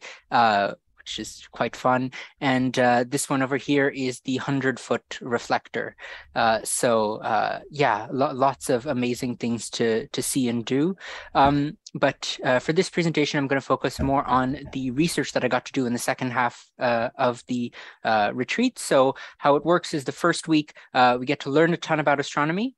And then that weekend, we draft up and submit a proposal for a research project to do the next week with some of the instruments over there. So um, yeah, so the uh, project that I decided to work on uh, involves spectroscopy. So uh, for those people who are not quite aware of uh, what spectroscopy is, um, basically when you've got uh, an electron that's around an atom that gets excited um, and then gets goes back to its initial state, it will emit certain certain wavelength of photon um, that is characteristic to that atom. And the same thing can happen if light passes through it, that same wavelength is what it will absorb. So uh, uh, spectroscopy is basically looking for uh, either what light uh, uh, was emitted or what light was absorbed. Now, the problem with looking for molecules is that you don't just get a line, uh, uh you instead get a band. So, um, uh, because the uh, electronic structure of uh, molecules is more complicated. Um, so instead, um, when we look um, when we look at the spectrum and we're looking for molecules, we'll see uh, kind of uh, drop down and then it kind of tapers back up because there's a whole range of uh, of wavelengths that are emitted but um, the main wavelength that's emitted is called the band head and that is the one where you'll see the strongest decrease. So um, uh, yeah basically my project here was to look at the spectra of uh, of cooler stars and see if I could detect the presence of titanium oxide and uh, if I could find uh, that cooler stars have uh, uh higher uh, uh, have more absorption in their tit titanium oxide the wavelengths that you would expect for titanium oxide. So um, this is kind of the setup so uh, we used a 16 inch uh, i used a 16 inch telescope um, uh, equipped with this spectrograph uh, and a uh, photometry camera uh, whose specs are written there um, now in order to take the data accurately, we had to take darks and lamps as well. So what what those are is so each camera is has like its intricacies and in order to remove like the peculiarities of that uh, specific camera, what we'll do is, uh, depending on what exposure we're taking, uh, we'll uh, shut off all the light to the uh, to the camera, so cl close the telescope, and then just take that long of an exposure and see what pixels are hot. And so once we have our actual data, we'll be able to subtract those. Um, now, lamps are uh, slightly different. For lamps, uh, we use uh, emission spectra uh, of known atoms uh, to ca basically calibrate our image. So uh, here you can see uh, this is the um, the lamp that I got for the star 57 Pisces. Um, so uh, the lamp that we used is a mercury argon lamp so you get the lines that you expect for mercury and argon. Uh, and you take a lamp before and after to see if there was any drift uh, that you have to account for for like uncertainties and stuff. Um, uh, yeah and uh, finally when we're focusing the telescope for the coarse focus, you always want to go in the same direction because there's some backlash with the gears. Um, but when you're doing the fine focus, because it was a friction drive, uh, we were fine to go either way. And uh, uh, we use what's called full width half max to determine uh, whether uh, our instrument is in focus or not, which means uh, looking at an object, um, taking the brightest pixel, uh, going at half that and seeing what the spread is. And you want to diminish that spread as much as you can in order to get a more focused image. Um, so uh, this is a full width half, uh, half max curve that you see here on my slide. Um, so yeah, uh, basically uh, what I do with this lamp is uh, I take the sums of the columns vertically and just move that into Excel And then in Excel, I can see where the peaks are. And because I'm using mercury and argon, I know what the wavelengths I'm expecting uh, uh, these emission wavelengths to be. So I can um, use those to kind of get a graph uh, to correlate uh, pixel number with the wavelength. Um, and that then allows me to take my actual data and uh, know which wavelengths I'm looking at given which pixels are hotter. Um, and here you can see that the precision is kind of high. Uh, that is because instead of just using the uh, brightest pixel, uh, the, the peak pixel there, uh, I instead uh, took a certain range and then did the centroid to get like a weighted average, just to, to be more precise. Um, now, once I take the actual data, this is what it looks like. So it's an exposure over a certain amount of time, and there is some like drift that you can see, but it doesn't matter because we're taking the sums over the columns. So, uh, uh, uh ah, yes. Uh, there is some correcting to do, however, uh, due to something called instrument response. So each instrument because the light is passing through that being recorded, um, well, the instrument will respond to different wavelengths slightly differently. So what we have to do first is take the spectrum of a uh, star whose spectrum is known so that we can then, uh, uh, so here is the spectrum I took for a star called Alphecca. Um, and uh, I knew the, uh, uh, like in, the, in our database, there was the spectrum for Alphecca, so we could correct that to see what the instrument's response was. And here there's a few irregularities because our uh, spectrum in the database um, didn't take into account the lines of absorption from our Earth's atmosphere. But uh, once we take that and kind of smooth it out, then we get this approximate instrument response curve that we can use to uh, calibrate our data. Um, uh, so here is one of my uh, original data, and here is what it looks like after it's been calibrated using this instrument response curve, which I mm-hmm. generated using this software called ISIS. Um, now, uh, you can see at the end here it tapers off. That's just because that's where my instrument response curve ends, but that doesn't matter because this region over here is where the data I'm actually looking for is. So all's good there. Um, so uh, once I did that and I uh, uh, normalized these spectra and plotted them on the graphs, you can kind of see how, uh, so uh, K2 star, Arcturus, is the hottest one that I looked at, and uh, uh, V1351 Cygni is an M star, so it's it's it's on the cooler side. Um, and you can see how when you're going uh, from the hotter at the bottom to the cooler on the top, you can see that drop from titanium oxide more uh, uh, more obviously, and that is kind of what we were expecting. But uh, I wanted to quantify this, so uh, I went on Excel um, and used the uh, uh, ratio between the highest pixel and the, the lowest pixel of that drop uh, to uh, quantifiably determine the strength of this absorption line. Uh, and uh, doing so uh, yielded this graph, which follows the, the theory that I was uh, expecting it to, which was published in this article of the American Association of Variable Star Observers Journal. Um, uh, which is that uh, when the temperature of a given star is cooler, the opacity of titanium oxide increases, and thus the titanium oxide uh, absorption lines are more prominent. And um, uh, to discuss a little bit the, the theory about why we'd expect the opacity to increase is because in like really hot stars, there's so much energy that the bonds for any molecules to uh, to exist would be broken immediately. But titanium oxide can exist in slightly cooler stars because they won't break those bonds immediately, which is uh, basically what I was looking for and was thankfully able to find. Uh, so uh, I consider my experiment to be a success.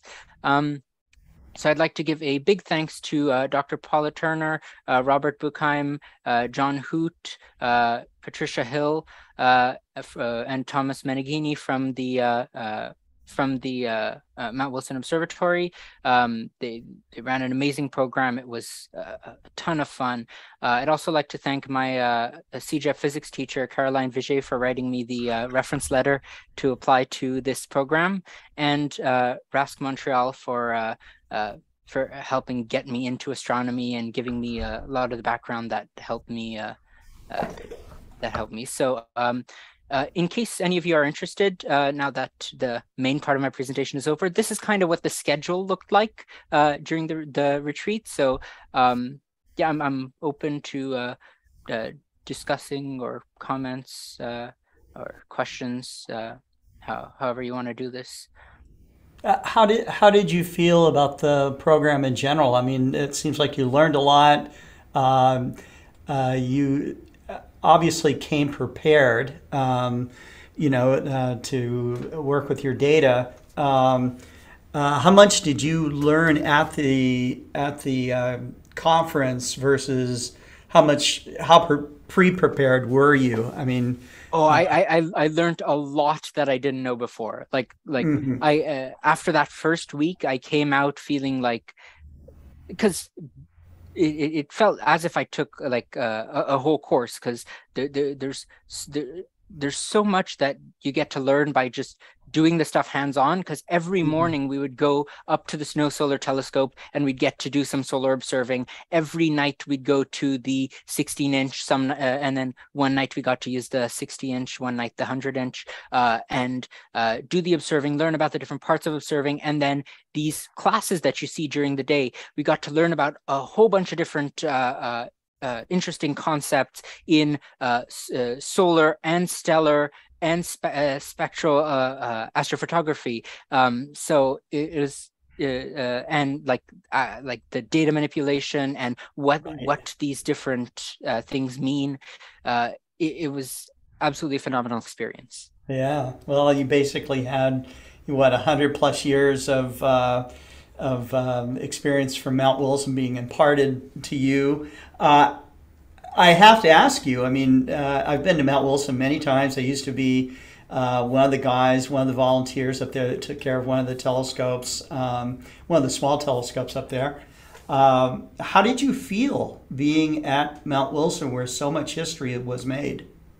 Oh, it was it was it was such a great feeling. Like um, I basically you, you it was imposing, but it was also really inviting like it was inviting uh, uh, the the fact that that there was uh, I mean Mount Wilson is where uh, uh, Edwin Hubble discovered the expansion of the universe, and so it's it's inviting you to keep looking to yeah. to, to, to you know just to, to to to stay curious, to keep asking questions, to keep uh, uh, to, to, to keep looking into into this that and and just discover, um, and mm-hmm. I, I I really enjoyed that.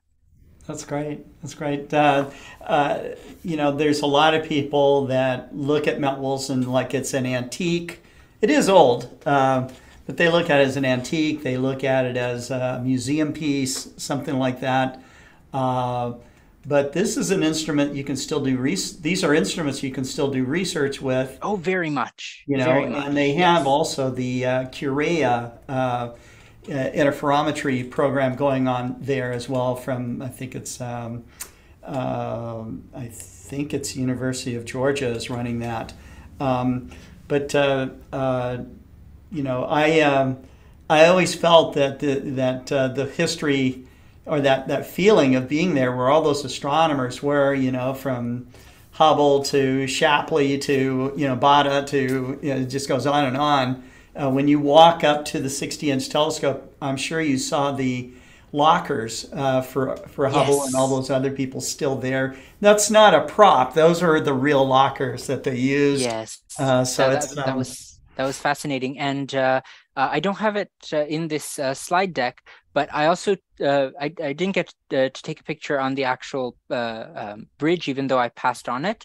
Um, mm-hmm. But uh, from the uh, hundred inch dome, uh, I took a picture of that bridge, and there is a picture floating around on the internet of Einstein and and a bunch of the Mount Wilson people right. uh, standing on that bridge. Yeah, so. I failed to mention Einstein. So that's yeah. right. That's right. He was yeah, there. and uh, that CHARA interferometer uh, you spoke about here on the map, you can see the different uh, parts of it. Uh, I didn't actually get to go see that because uh, mm-hmm. I, I'm guessing there was stuff going on, but I got to see it from the outside, and it it it's quite impressive. Yes. Right. Well, I'm glad you went. do you plan to go back at any time, or is this something? Kind of a one and done type of deal or if I get the opportunity again, I'd love to. Yeah. All right. Well, great. Well, thank you so much, uh, Ilyas. And um, again, uh, uh, uh, you know, regards to your father, who's normally uh, who's appeared on Global Star Party many times, but you are also welcome to come back at any time to share your, uh, you know, your new adventures in astronomy. So thank you so much. Thank you. So, so Ilyas, just to let you know, I told your father what a wonderful mm-hmm. presentation that you did Global Star Party, and uh, he sent back a little love icon. So, so he's uh he's sent his approval yeah. Great yeah. job. I can see you're following in his footsteps of uh yeah. you know of astronomy and hope it goes hope it goes even further for you than it you know as it does for your father who's uh uh he's responsible for me joining the RASC. So you know his outreach continues. I, I wish you nothing but success as you continue learning um all these things. So excellent. Thank you so much.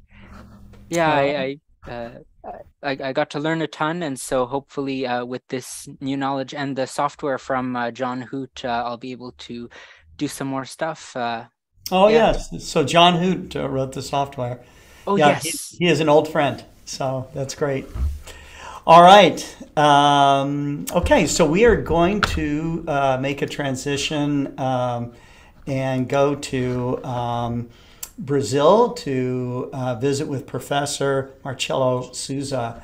Uh, Marcelo is uh, is always up to some new program in astronomy outreach with his students, and um, uh, so it's been a couple of months. It'll be great to catch up. Marcelo, how are you? Hi, I'm fine. Nice to see you again, Scott. Yes, nice it's great to see my old friend. All of you again. It's a great pleasure to be here. Yes, wonderful. And, and in, this period, we had the opportunity to organize many new activities here. And tomorrow, we will have a special event that we will have the participation of the representative of the consulate of United States here in Rio de Janeiro. That will be the the event that for the close we will go to close the the project that you developed during one year in schools here in our region. Then I will share now the results that we got uh, with the development of this project. And for us, was a fantastic experience. I hope you can see the screen. Let me see if we, I share. I share the screen. It's starting to share. okay, okay. Uh, my computer, sorry. my computer sometimes, uh, here I say that it's not answered, but I, I will talk until, ah, I think that's shared now. Yes. Yes, yes, it is here. And uh, we, in the spirit, we had the, the opportunity to participate in an event in Santa Maria Madalena. Mm -hmm. That was an event, is the city where is located the headquarters of the, the State Park of Desengano, that is the first dark sky park in Latin America. Uh, here is our group, and here is a my friend that's responsible for the presentations in the uh, mobile planetarium. Okay. Yeah, we were there, and a lot of people participated. It's a small city with 10,000 people that lives there. Is a and the, we organize the solar observations, uh, the observation of the sky at night, and the, with and we help the o Carlos that is from the Astronomy Museum with the sessions of in the planet mobile planetarium. That was a big success here. And you had a lot of people with us observing the sky. In a not during the day the sky you have clouds but uh, during the afternoon it was possible to observe the, the sun. And it was a big success in this city it's a small city now that uh, only talking about astronomy because of the recognition of the park and here are the team our group and also the responsibles in the city. This, this person here that I don't know if you see my my mouse here, but he, this guy that is my side, he is the owner of a hotel in this city. And he that is the person that's responsible for everything that's happened there. I I was there with my wife to stay for a weekend, and then I talked with him. And a few months later, I and our group organized the first astronomy event in the city. And after this, we organized other events. And now the city has the first uh, dark sky park in Latin America. And uh, the, something that uh, is amazing and is different from what we expect. He ha, he has problems with his eyes, and he can't see uh, in the telescopes the images. But even with the difficulties he has, he supported astronomy events in the city. And here is our project, Young Stars of Tomorrow. That uh, was a fantastic experience. He, these are the group, this is our group. Mm-hmm. We have uh, nine students that receive a scholarship. Wow. That, that is paid by the uh, United States Consulate in Rio de Janeiro. Oh, that's during, great. During one year, we have four university students and five fundamental students from fundamental schools and high schools that have scholarships. Here is the team. Uh, in one of the meets, we have meetings all the week. Uh, and the, this was the first activity in schools in the end at the end of September 2021. Now that's when we began. Uh, September 30, 20, hmm. 2021 was the first activity in school for the project. We distribute many gifts for the students who receive the support for Charlie Bates Solar Astronomy to give the solar glasses. Né? to the students who receive the support from the United States Consulate to give gifts from NASA for the students. And I also have your support here, Scott. Thank you very much to announce the event. Oh, uh, thank have you. Also it's been an honor. It's and you, part, you participated in one of the uh, video conference with the students as part of the project. Thank you very much. Thank you. And here, a part of the events that organized, you can see here, these schools are located, most of them far from the center of the cities, in regions where the students don't have any kind of equipment, any kind of support. And then we had the opportunity to visit the schools and talk with these students. This was most important for us. Mm-hmm. Uh, all of them from public schools here in Brazil. And the, it was an unforgettable experience. You can see here, this is in front of one of the schools. You have farms in front of the school. And uh, near the, in the middle of the farms, you have one school there. And they needed, uh, they need to go in a scholar bus because they live far from the school. Uh-huh.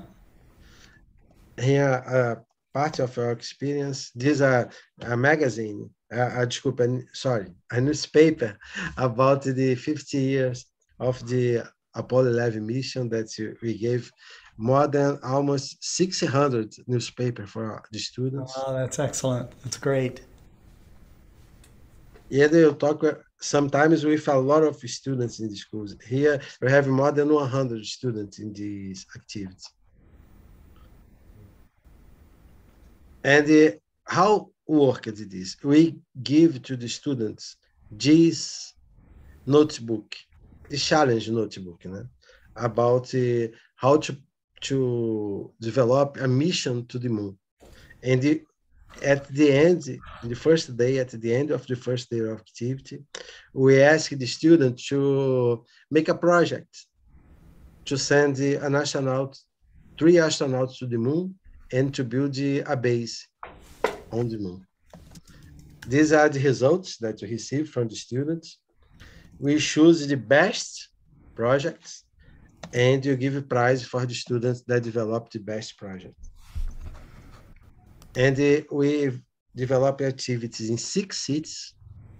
We had the opportunity to visit 56 public schools. We developed activity in 56 public schools, something that uh, we didn't expect that you have. Uh, we uh, we began during the pandemic periods then we didn't imagine that it was possible to visit so many schools and develop eh, a, a project in so many schools in only one year of project.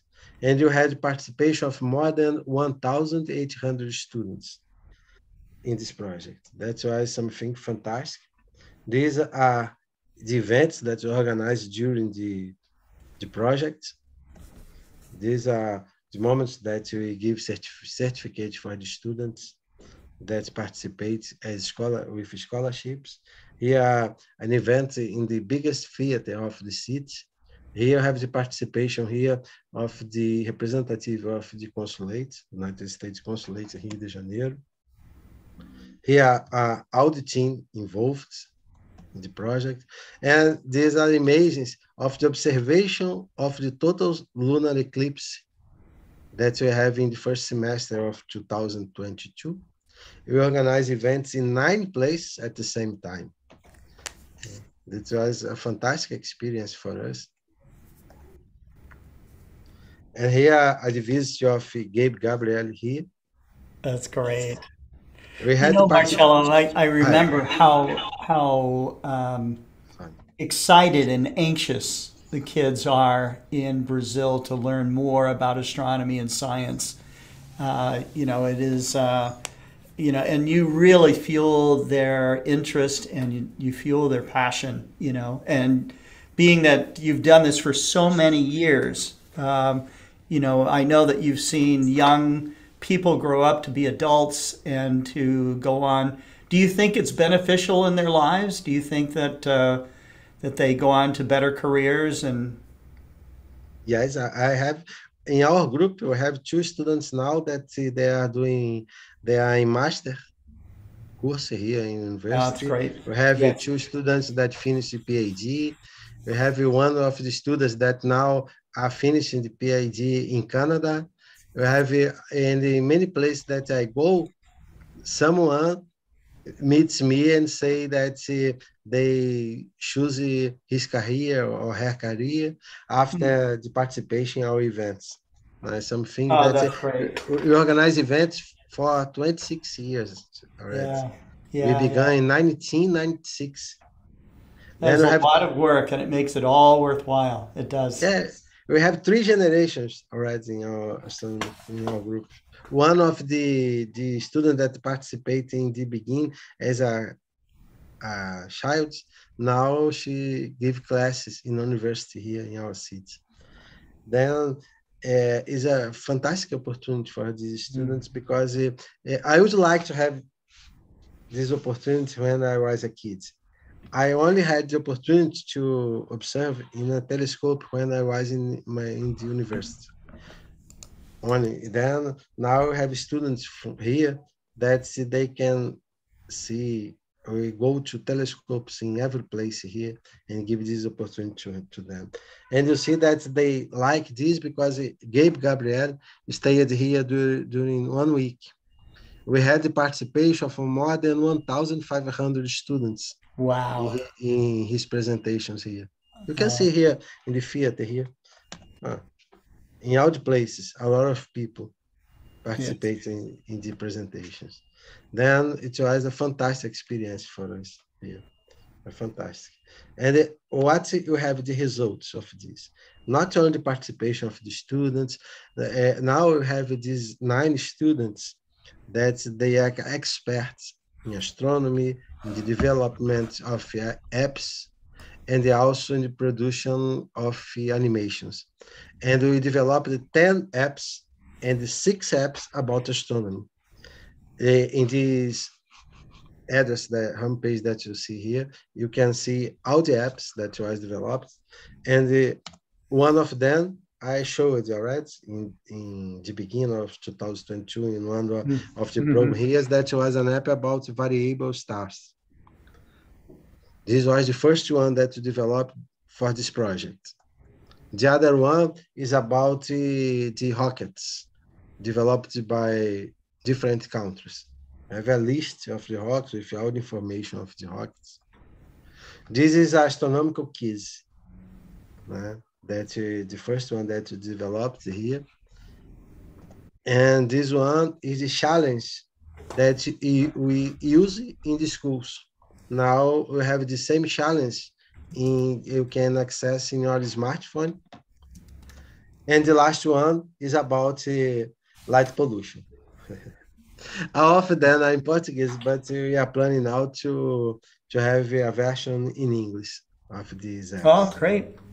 Wonderful. The most Oh. important is that now I will have a group that knows that they know how to produce the apps. This Right. is most fantastic, no? And this is the address for the apps. And also we have uh, six animations né, with this group that is Stars of Tomorrow. né? I show it here in the programs. Né? Here you have the links where you can see all the animations. Now uh, we have only Portuguese, but uh, uh, we are planning to make a version in English now of the animations. né?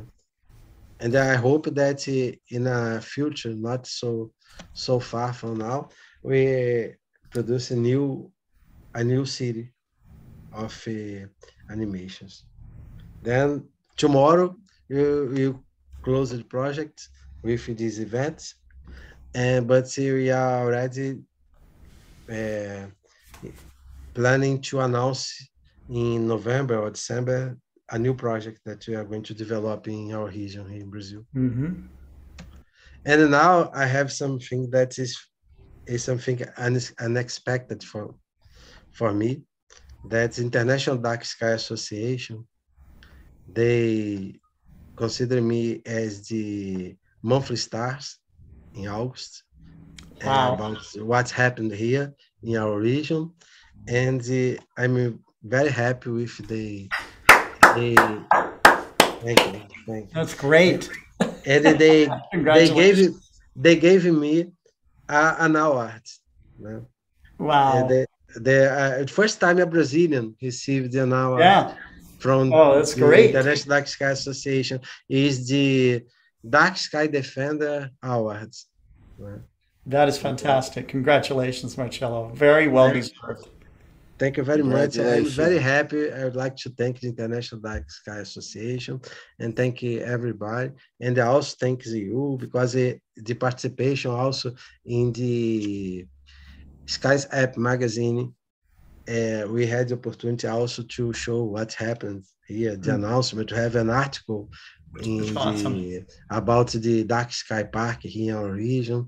Then it's important to, to have the opportunity to share our experience here. Thank you very much, Scott, for all your support, and it's a great pleasure thank you. to be here. Thank you. I am so happy for you.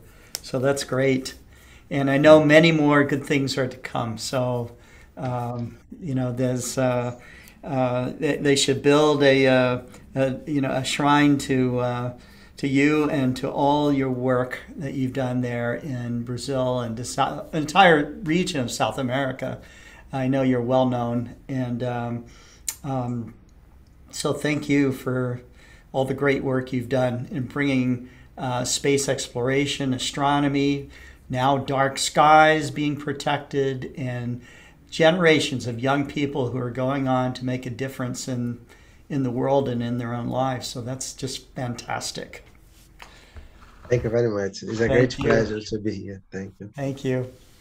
Okay. All right. So uh, we are still going to stay in South America. We're going all the way down to uh, Buenos Aires, Argentina, where Cesar Brollo just gave some talks to an amazing astronomy event down there.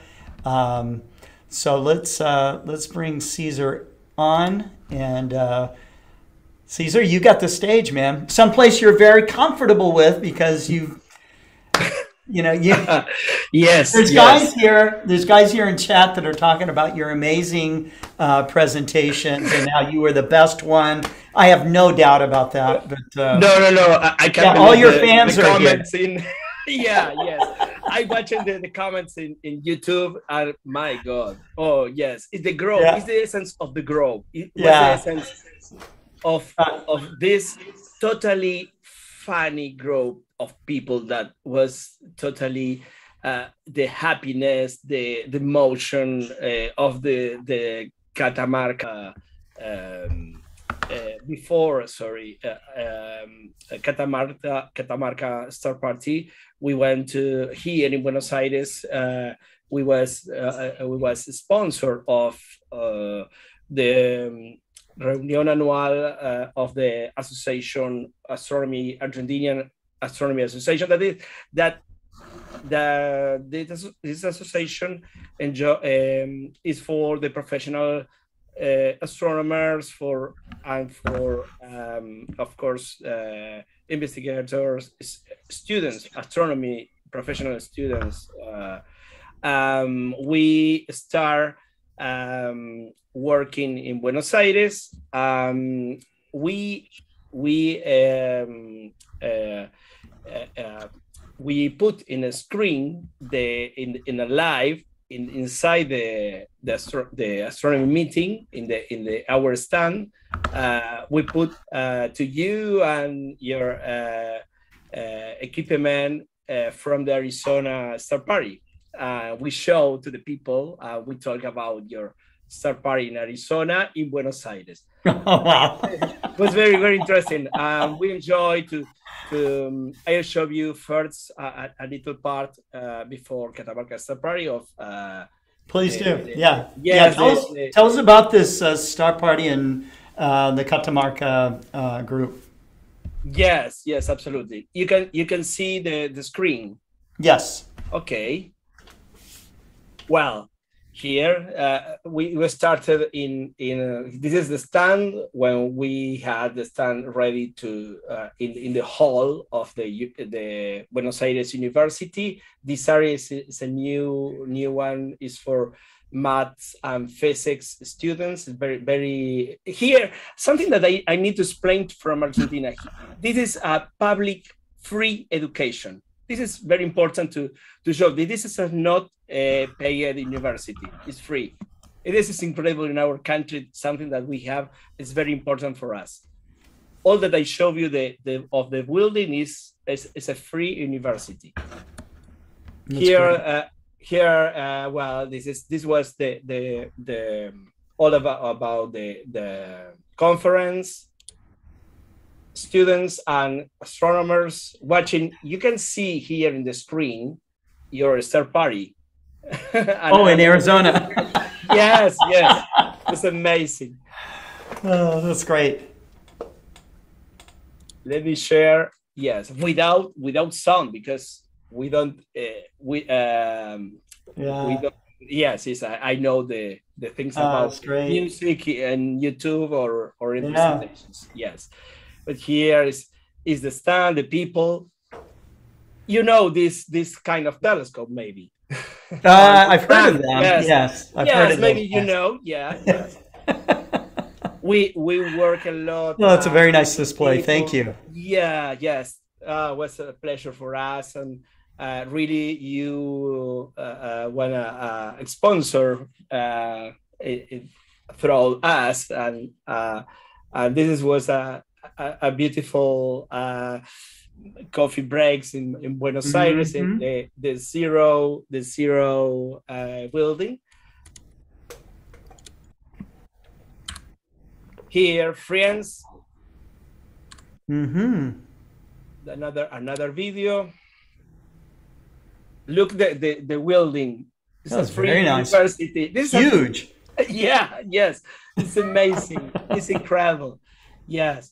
I, I, I took the, this video only to show for the people that that this university is, is amazing. It's all for uh, math and physics department. Wow. This university is very, very huge and Yeah. architectural or you know uh, uh, social science Yeah. or you know Super modern. this is It's nice. all- absolutely, and this is all the posters of of uh, the expositors, you know, the, Mhm. the, the, for investigations, you know, and really we enjoy a lot, and we talk with the students of astronomy, professional astronomy, a lot about um, optics, sensors, photography, astrophotography, and it was very interesting the the the, the things between the professional uh, uh, astronomy students and the world, our world of uh, amateur telescopes, and something that every time is more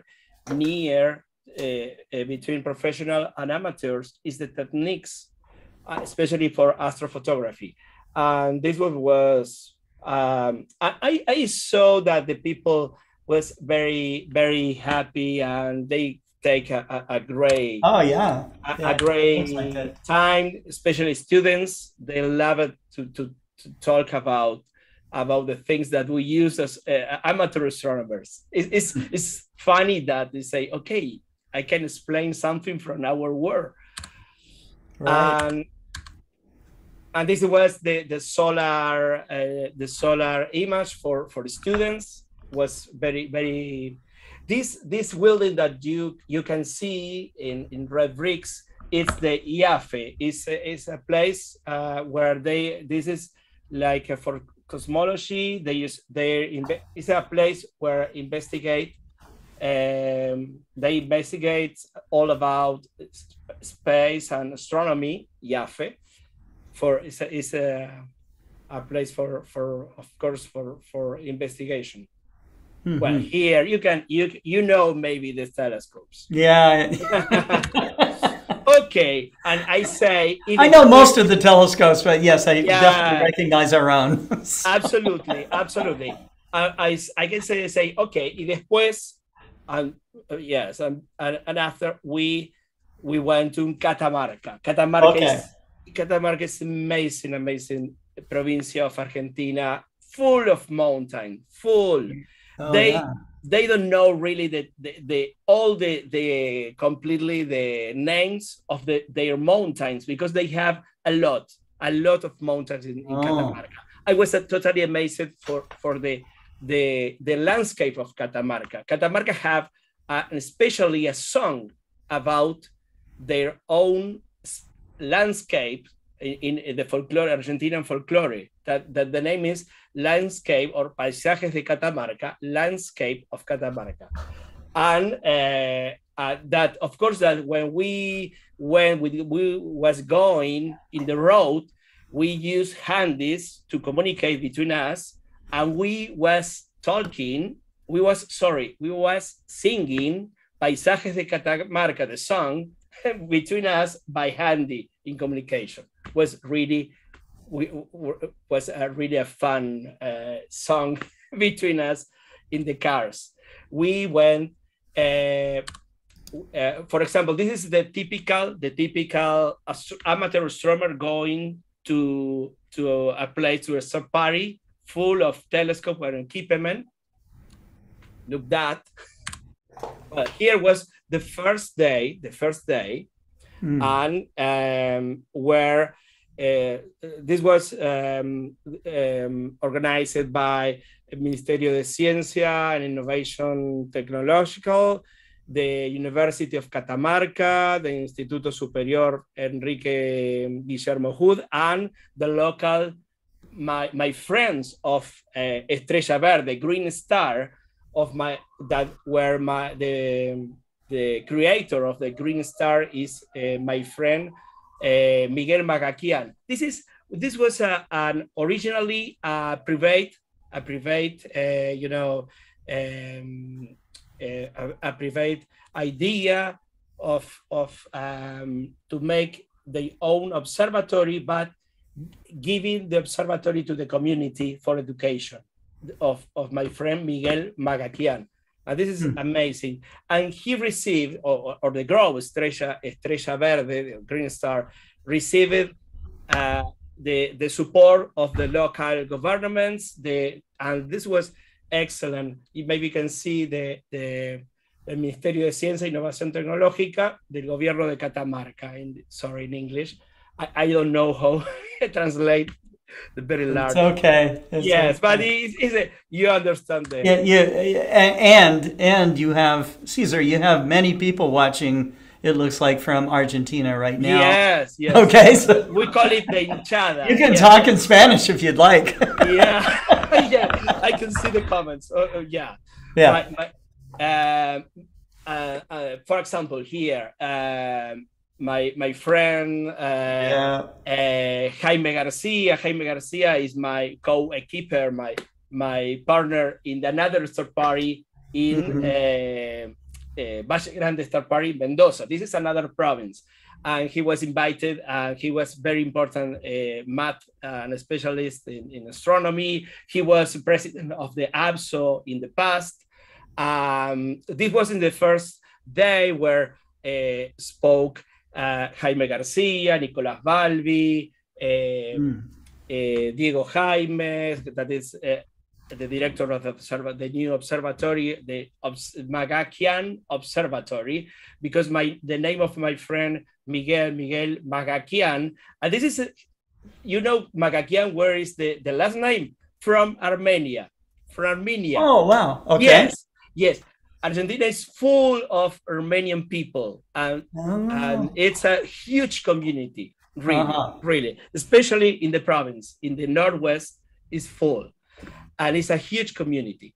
And he had the, the great idea to to call to his observatory Magaki, uh, Observatorio Magakiano, something like uh, you know, playing with the last name, Magakian Observatory, uh, Mm. was a great idea. Re- really, really a, a nice idea. Well, this was in the in the second day where uh, another friend that maybe you know because you call with me and um, at, uh, and uh, Gabriel Bengochea that he's a cosmologist, physics. Do you remember the name that you talked with me and Gabriel in the road when we uh, we was returning from from the the from the Patagonia? And we talk between uh, in the road in the in the gas station. Uh, Gabriel Gabriel uh, really enjoy us with a lot of, of things about about physics, about uh, uh, quantum physics, or and all about gravitation. Especially he he uh, actually is is uh, is. Is uh, in the investigation and um, of uh, all about uh, gravitational force, you know, dark energies, all that. This is a, a, a is a, a, great specialist in this. Hmm. Well, more of of uh, uh, Jaime Garcia. Maybe you know this guy. I, I talk only a little of, about optics and uh, and and uh, well, you know, but you know me, no problem. Okay. Yeah.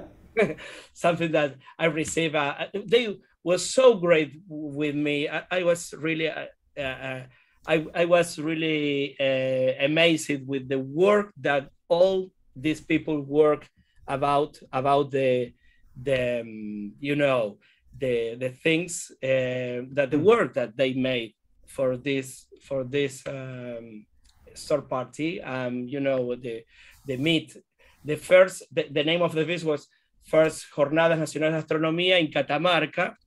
Mm. Well, and of course that I went so fast as was uh, fast as possible. I went to the to prepare the observatory with with uh, Diego Diego uh, Jaimes. That Diego uh, it's, it's an excellent professor uh, for Mhm. kids and teenagers, and he's the director for for the of the observatory, and we work fastly for the night to put Jupiter in a camera, you know, for the Mhm. first light of the of the observatory. Mm-hmm. And uh, and this is the the tower. Here you, you here is the is the dome, but it's impossible to see now from here. But it's isn't here the, the dome. Here's uh, the gov- the uh, the government the government uh, give to to the observatory the two big screens to show uh, you know presentation and the the Oh, that's great. Look at Yeah, that. yeah, yes. Yeah. Screen Yeah, was yeah. touch with touch, and there was like a, each one was a was a computer. For me, was wow, a Rico brand. I don't know, it was amazing. Okay, the the and the party started and was amazing with talking about the history. And Miguel, Miguel, when I went I went uh, to the airport, Miguel came to to the airport to re- to receive me in the in and going to the city, Catamarca City, San Fernando del Valle, Catamarca City, and we went. Uh, he told me, Cesar, I have a surprise for you, and you know when I think, okay, I don't know. I'm scary sometimes. okay, but yes, yes, Miguel have a, a huge, a huge energy. It- It's Yeah. a guy that you know when when if you can if you sometimes you came here and we can go to you Okay. know this guy. That's a Yeah. deal. yeah, it's amazing. And uh, we started the, the, uh, talking about the history of of the the how was all about the the eh, Estrella Verde, the, the, the growth Green Star started. Um, was very very nice, very emotional. The the the work that they, we, that they made to have a, a- an association, a grow, an observatory. You know, it's a private observatory, and this is amazing. It's open to the all community of of uh, of uh, San Fernando del Valle de Catamarca. Well, here the presentation, the a lot of people, and the inauguration, and uh, something that that for me was amazing. Here is the inauguration. Here I am, Mhm. and something was amazing for me was that that they uh, uncover uh, uh, Miguel uncovered Wow, at something that. were yes Yeah. I am part of the- Yeah. of the grand uh, God, God parents. Congratulations. But for me, yes, I can I can't believe this. For me, Yeah, it's, a, it's, a, wonderful. it's a huge, a huge, you know, it's a big uh, honor. Yes. big honor. Absolutely, for me was Yeah. wow, totally Yeah. amazing. But by like the by this, well, here Yeah. You have where is the the the yes yes. It's, I am more responsible now about this. yes, absolutely. Well, here You're not going to forget us now, Cesar. Now that you're really famous and uh, Yes. right? Are you, Yeah, You yes. remember? Say, who is Cesar Brown? yes, why?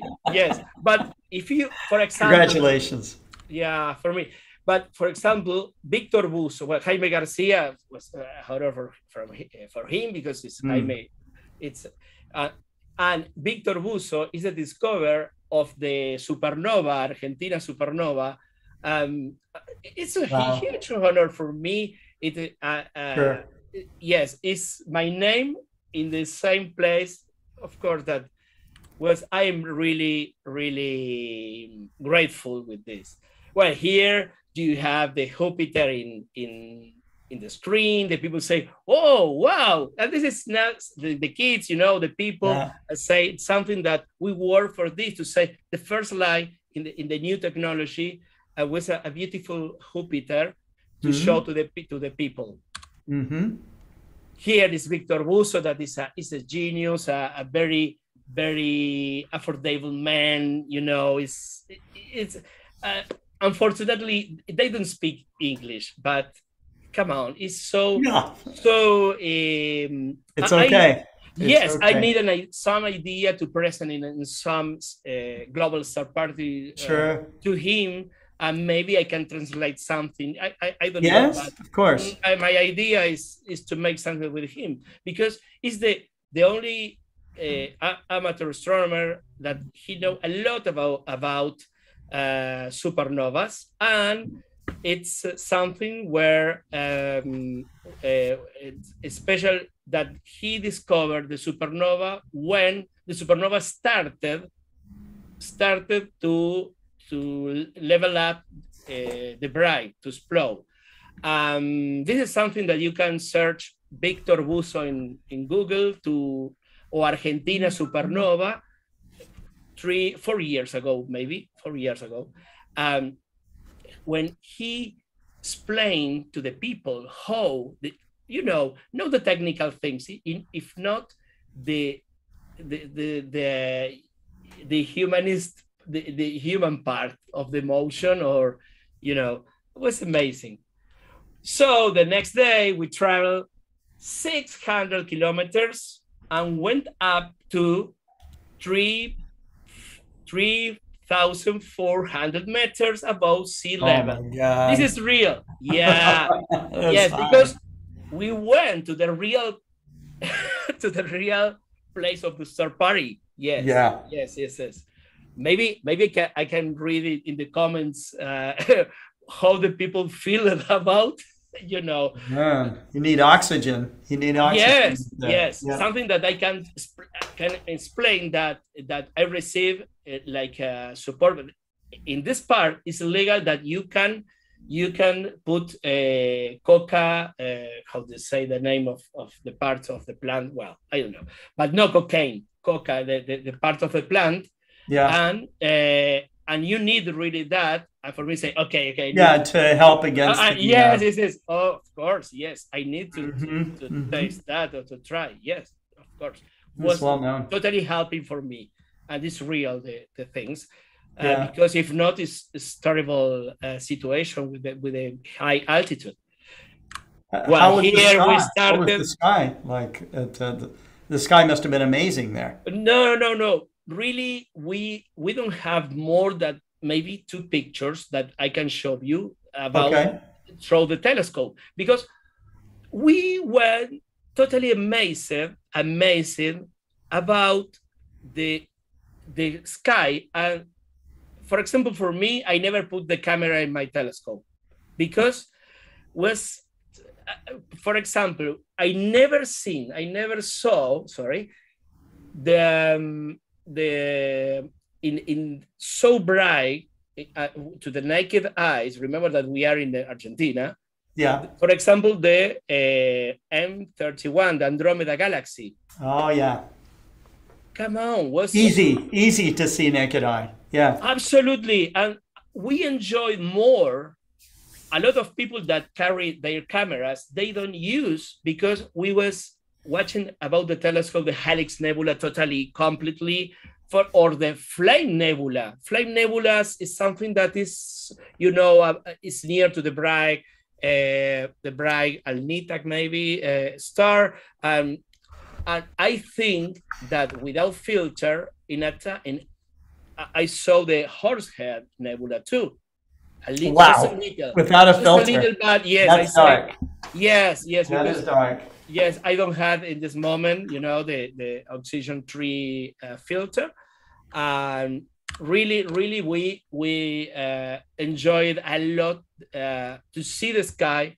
We had a, a 16 uh, inches uh, telescope. We have 11 inches telescopes Cassegrain. We have a lot of telescope uh, with great apertures where we use it and we um, we really enjoyed the the to observing situation of, of the sky where they say come on it's for me i never i don't remember to see a so beautiful dark sky in many many years it was amazing Yeah, yeah. It would be hard to beat. Yeah. Yes, absolutely. Uh, she's uh, Liliana Liliana Zakalian is the Miguel Magakian wife, and if you have if you have a, a, um we we call it that uh, beside a, a gray man, you have a great, great woman. She's a genius. She work a lot, work a lot in the organization of the Star Mhm. Party. Um, um, and really, I am uh, helpful with. Um, uh, uh, I'm really, um, how do you say, uh, happy that uh, Liliana uh, work and organized a lot of things about the the um, this star party. here do you have one of, of the of the meet inside in the, the hotel, not in Catamarca, if not in the in Cortaderas uh, Cortaderas uh, hotel. Uh, here we had uh, uh, we had about um, three well the, the place with three thousand four hundred meters over the sea and really we enjoyed a lot of meets and you know uh, things where the people like Victor Buso explained things about about his new book about how mm-hmm. he discovered the the supernova Argentina. Uh, Sebastián Otero from the AAVSO. Sebastián is from Argentina, but he worked in the AAVSO. Maybe people from the AAVSO know him, of course. And we enjoy it. We prepare this a living room for for you know uh, to, to enjoy and share uh, meets and presentations. Uh, we had a, a, great presentation from, from Sebastián. Um, Santiago Mayese, uh, Nicolas Balbi, uh, Fernando Ricardini, and me, we explained things about the San Miguel, you know, Restoration Observatory. Mm-hmm. This guy is the governor the governor of Catamarca, he visited us in the night, and we were saying, "Oh my God, really?" They they, uh, they feel that was really important for for them, and of course for for us, and uh, uh, was a, a, a smart uh, person that were that enjoyed and um, talk with us, very affordable person. Was was really a great experience. Well, here's something of the of the landscape of the place for to the starting because it's over it's very near to the real Andes and it's it's uh, near to the frontier with Chile. Uh, the place is amazing, totally amazing. Well, here starting to the night, Here, uh, um, one of my customers and friend, Alejandro Barelli, uh, and is it the typical things that we make at uh, afternoon, you know, uh, put the telescope in, the, in, the, in place and prepare everything. And here you have something of the night with lasers pointing to the stars, enjoying. Mm-hmm. Yeah. Here's a picture with my, my cell phone because I was totally totally amazing and losing my, my idea to take good pictures. But you know, here we have, for example, here, well, the the Exos 100 with the uh, the Newtonian 130. Uh, here the Dobsonian 16 inches. Uh, but really, we enjoy it a lot, a lot, really, to to put our eyes in the in the in the in the eyepiece really really for ah, here alejandro barelli he have a collection of 80 80 eyepieces and many of them are Explore Scientifics people with a star something that we love really really here uh, is uh, a jaime uh, sorry um, here is, is Diego Jaimes, um, people from uh, that from the Catamarca government that are now are friends, and they support a lot over the all things about that we need for the organization, that they need for organization. Well, here is the people with the telescope in the in the wow, look at this place, place of the hotel. Yes, yes, yeah. it's amazing. Yes, nor is something that if if you have a a hotel with a lot of commodities, with a lot of of, yeah. uh, of amenities. Sorry, yeah. Uh, where do you have uh, only to walk uh, four meters and put your telescopes. We enjoy it a lot, really, really. Um, we are happy to lose a lot of photographies because we talk about it, say, okay, but we, we enjoy the sky to the naked eye or to the telescope. Yeah. Uh, we don't need. I mean, look how dark it is, so that you can see stars mean, Yeah. it's not like there's a light dome or anything. It's it's Ye- just yes. dark. It's I- I think I think that it's impossible to to show how was this uh, sky. Yeah. The pictures are not so good, like uh, you know, to show the real thing are. But for me, it was totally amazing. And all people send me the pictures uh, of this same group, and the pictures are amazing. And with cell phones, they are Yeah. not Large they are not the reflex camera. No, yeah. no, no. I said, Yeah. "O- okay, guys, send me pictures, and the pictures Yeah. are, are amazing, amazing. Yeah, this the, beautiful. The big one and the small one, Magellanic clouds. You know, Yes. like the same idea. When you watch this, uh, we watch it to the sky like pictures.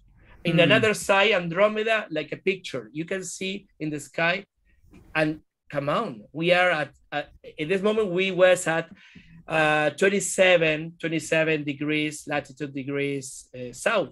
Um, we had Andromeda Galaxy to, to watch by the telescope, or uh, you know, was totally amazing. But the, this one, these clouds, was totally insane, insane. All night I say, okay, my God, it's incredible. Ano- Another picture of the, the, the Milky Way. The Milky Way uh, was, uh, uh, of course, that we was we watch uh, we watched mostly the the Orion arm, not the Milky Way of in of the uh, of this side. And here, well, uh, is Pablo Fiselew or another customer and friend, something that is a, sometimes my customers are friends too. Yes. Fernando Ricardini was the only the one of the I have another picture that I don't have now that the, the four galaxies in in grass Grus um, but a picture that that I can show you is from Fernando Ricardini um, of a Tarantula Nebula, a southern nebula that this nebula I can tell you that this nebula we can saw this nebula a little a little uh, lost brighter brighter and black and white image. Um, Mhm. the, the, the I can I can tell you the, the you know the how we feel to the eyes in the in uh, especially from the Dobson 16 inches Dobson um, Yes. w- was amazing. The picture is amazing, but the things that The real life. details, the real life details of this same nebula was totally, totally insane. Yeah. And here we enjoyed a lot the landscape. We went to the to took pictures of of birds. Um, you know, the place is amazing. Was out for me was totally. I I never I never uh, uh, went to the this part of the country, and it's incredible, incredible for me. Look that it's totally insane. It's the high altitude. We went we went a place where we uh, uh, we are here. Here Wow. we went five thousand meters over the, the the sea level. Wow. It's Look how incredible. blue. Yes. Look how blue the water is. Look at blue. Yes, it's totally insane. This here, do you have a, a, a volcano? Well, it's all thing about this is another. This is a, a, a volcano with a glacier. No, no, no. It's totally. it's incredible. The place. Uh, here, well, uh, watching birds, um, vicuñas. Um, uh, uh, you know, it's amazing. Um, Sebastián Otero from the AAVSO is a specialist to in about birds, bird, bird watching, and he took a, amazing pictures of birds. Um, maybe he need to talk and make a presentation with Kent, with Ken Smart uh, about bird watching. Right. Absolutely. Yeah. And look this picture. Yes, we have this. Was this was was a, a, a, a amazing experience, astronomical, and you know uh, about the nature, about the landscape, the universe. You know, here Sebastián Otero, and eh, he's Miguel Miguel Magakian, and really, uh, I I am really uh, happy to know this this guy because a very human person. Uh, he and and his wife are amazing, and his family is is a, a, beautiful beautiful people. But here, our guest uh, in the in the translations. No translation. It's not. Uh, yes, going. You know, going. In, sorry. So no translation. Go going to the part to visit. You know, the dinner, the price. You know, and we enjoy it a lot you know well yeah, yeah. of course the food in our star party is a very important part sure remember scott yes for anyone that came to argentina food are are totally uh, well in the united states I, I enjoy it a lot in the star party in in Atlanta Party about food. Yeah, yes. Sure. We have something. Yeah, absolutely. Astronomers got to eat, right? Absolutely. Yes. Absolutely. really, we have a, a, happy a happy experience, and mm. really, we are uh, preparing the next year in October the uh, the the same the same uh, uh store party uh, with new things about about uh, the organization. We we will have having the the in April Valle Grande Star Party and mm-hmm. maybe around October the second edition of, of this Star Party.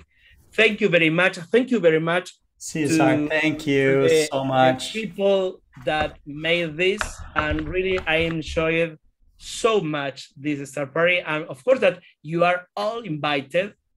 Um, any uh, thing that you know to, for to take the try the trip the you know all information i can give you all about this uh, maybe okay. we can put this in in in I, I don't I'm know. happy to help you advertise the event. Cesar. Yes, yes, of course. Yeah, yeah maybe in the fantastic. comments if if uh, Liliana or uh, Diego uh, Jaime put something about how to contact them for the next year, is perfect. You can watch in the in the comments. Wonderful. Of beauty of uh, YouTube, of course.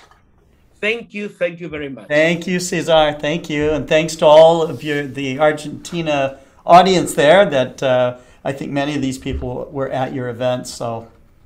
Um, yeah. Yes, I can see. I can see that. That. Yeah. I can see the comments now. Yes. Yes. That's good. Yes. That's good.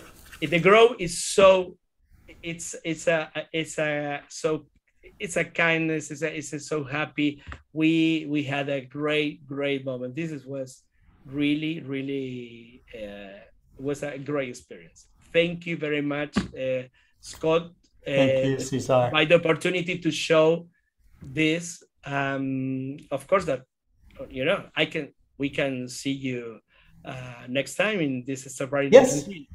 yes, yes. okay all right. Take care, Cesar. Thank you. Uh, thank you. Thank you very much. All right. Okay. So uh, up next, we have John Johnson, who uh, uh leads the Nebraska Star Party. And uh, so he's going to give us um, uh, some um, report on. what's going on for the next year? you know, Nebraska Star Party has been celebrating its dark skies uh, for three decades. And uh, so, um, and along with that comes some exciting news. So I'm going to turn this over to John. Thank you for, for coming on so late, John. Hello. Can you? I, I know me? it's not late for you because you're no. an astronomer. But... okay, I've been saying I haven't been talking, so I need to warm up my voice here. Warm it up. That's right. Okay, so you can you hear me we can hear you fine. You, okay, I got my yep. little mic there. Okay, um, well, I'll jump right into it. I, I uh, uh, Cesar's a hard act to follow, as they say. My goodness, I I, I, was going to brag about my star party, but uh, man, I, I, I won't be able to. Well, you have you have uh, justifiably a lot. We have the dark skies. You do. I I have a few pictures. I'm going to try to pull up a a PowerPoint here. Uh, okay. Uh, and so we'll see what happens. Uh, okay. Help me along here. Let's see. Hit share screen. Okay, hit that one.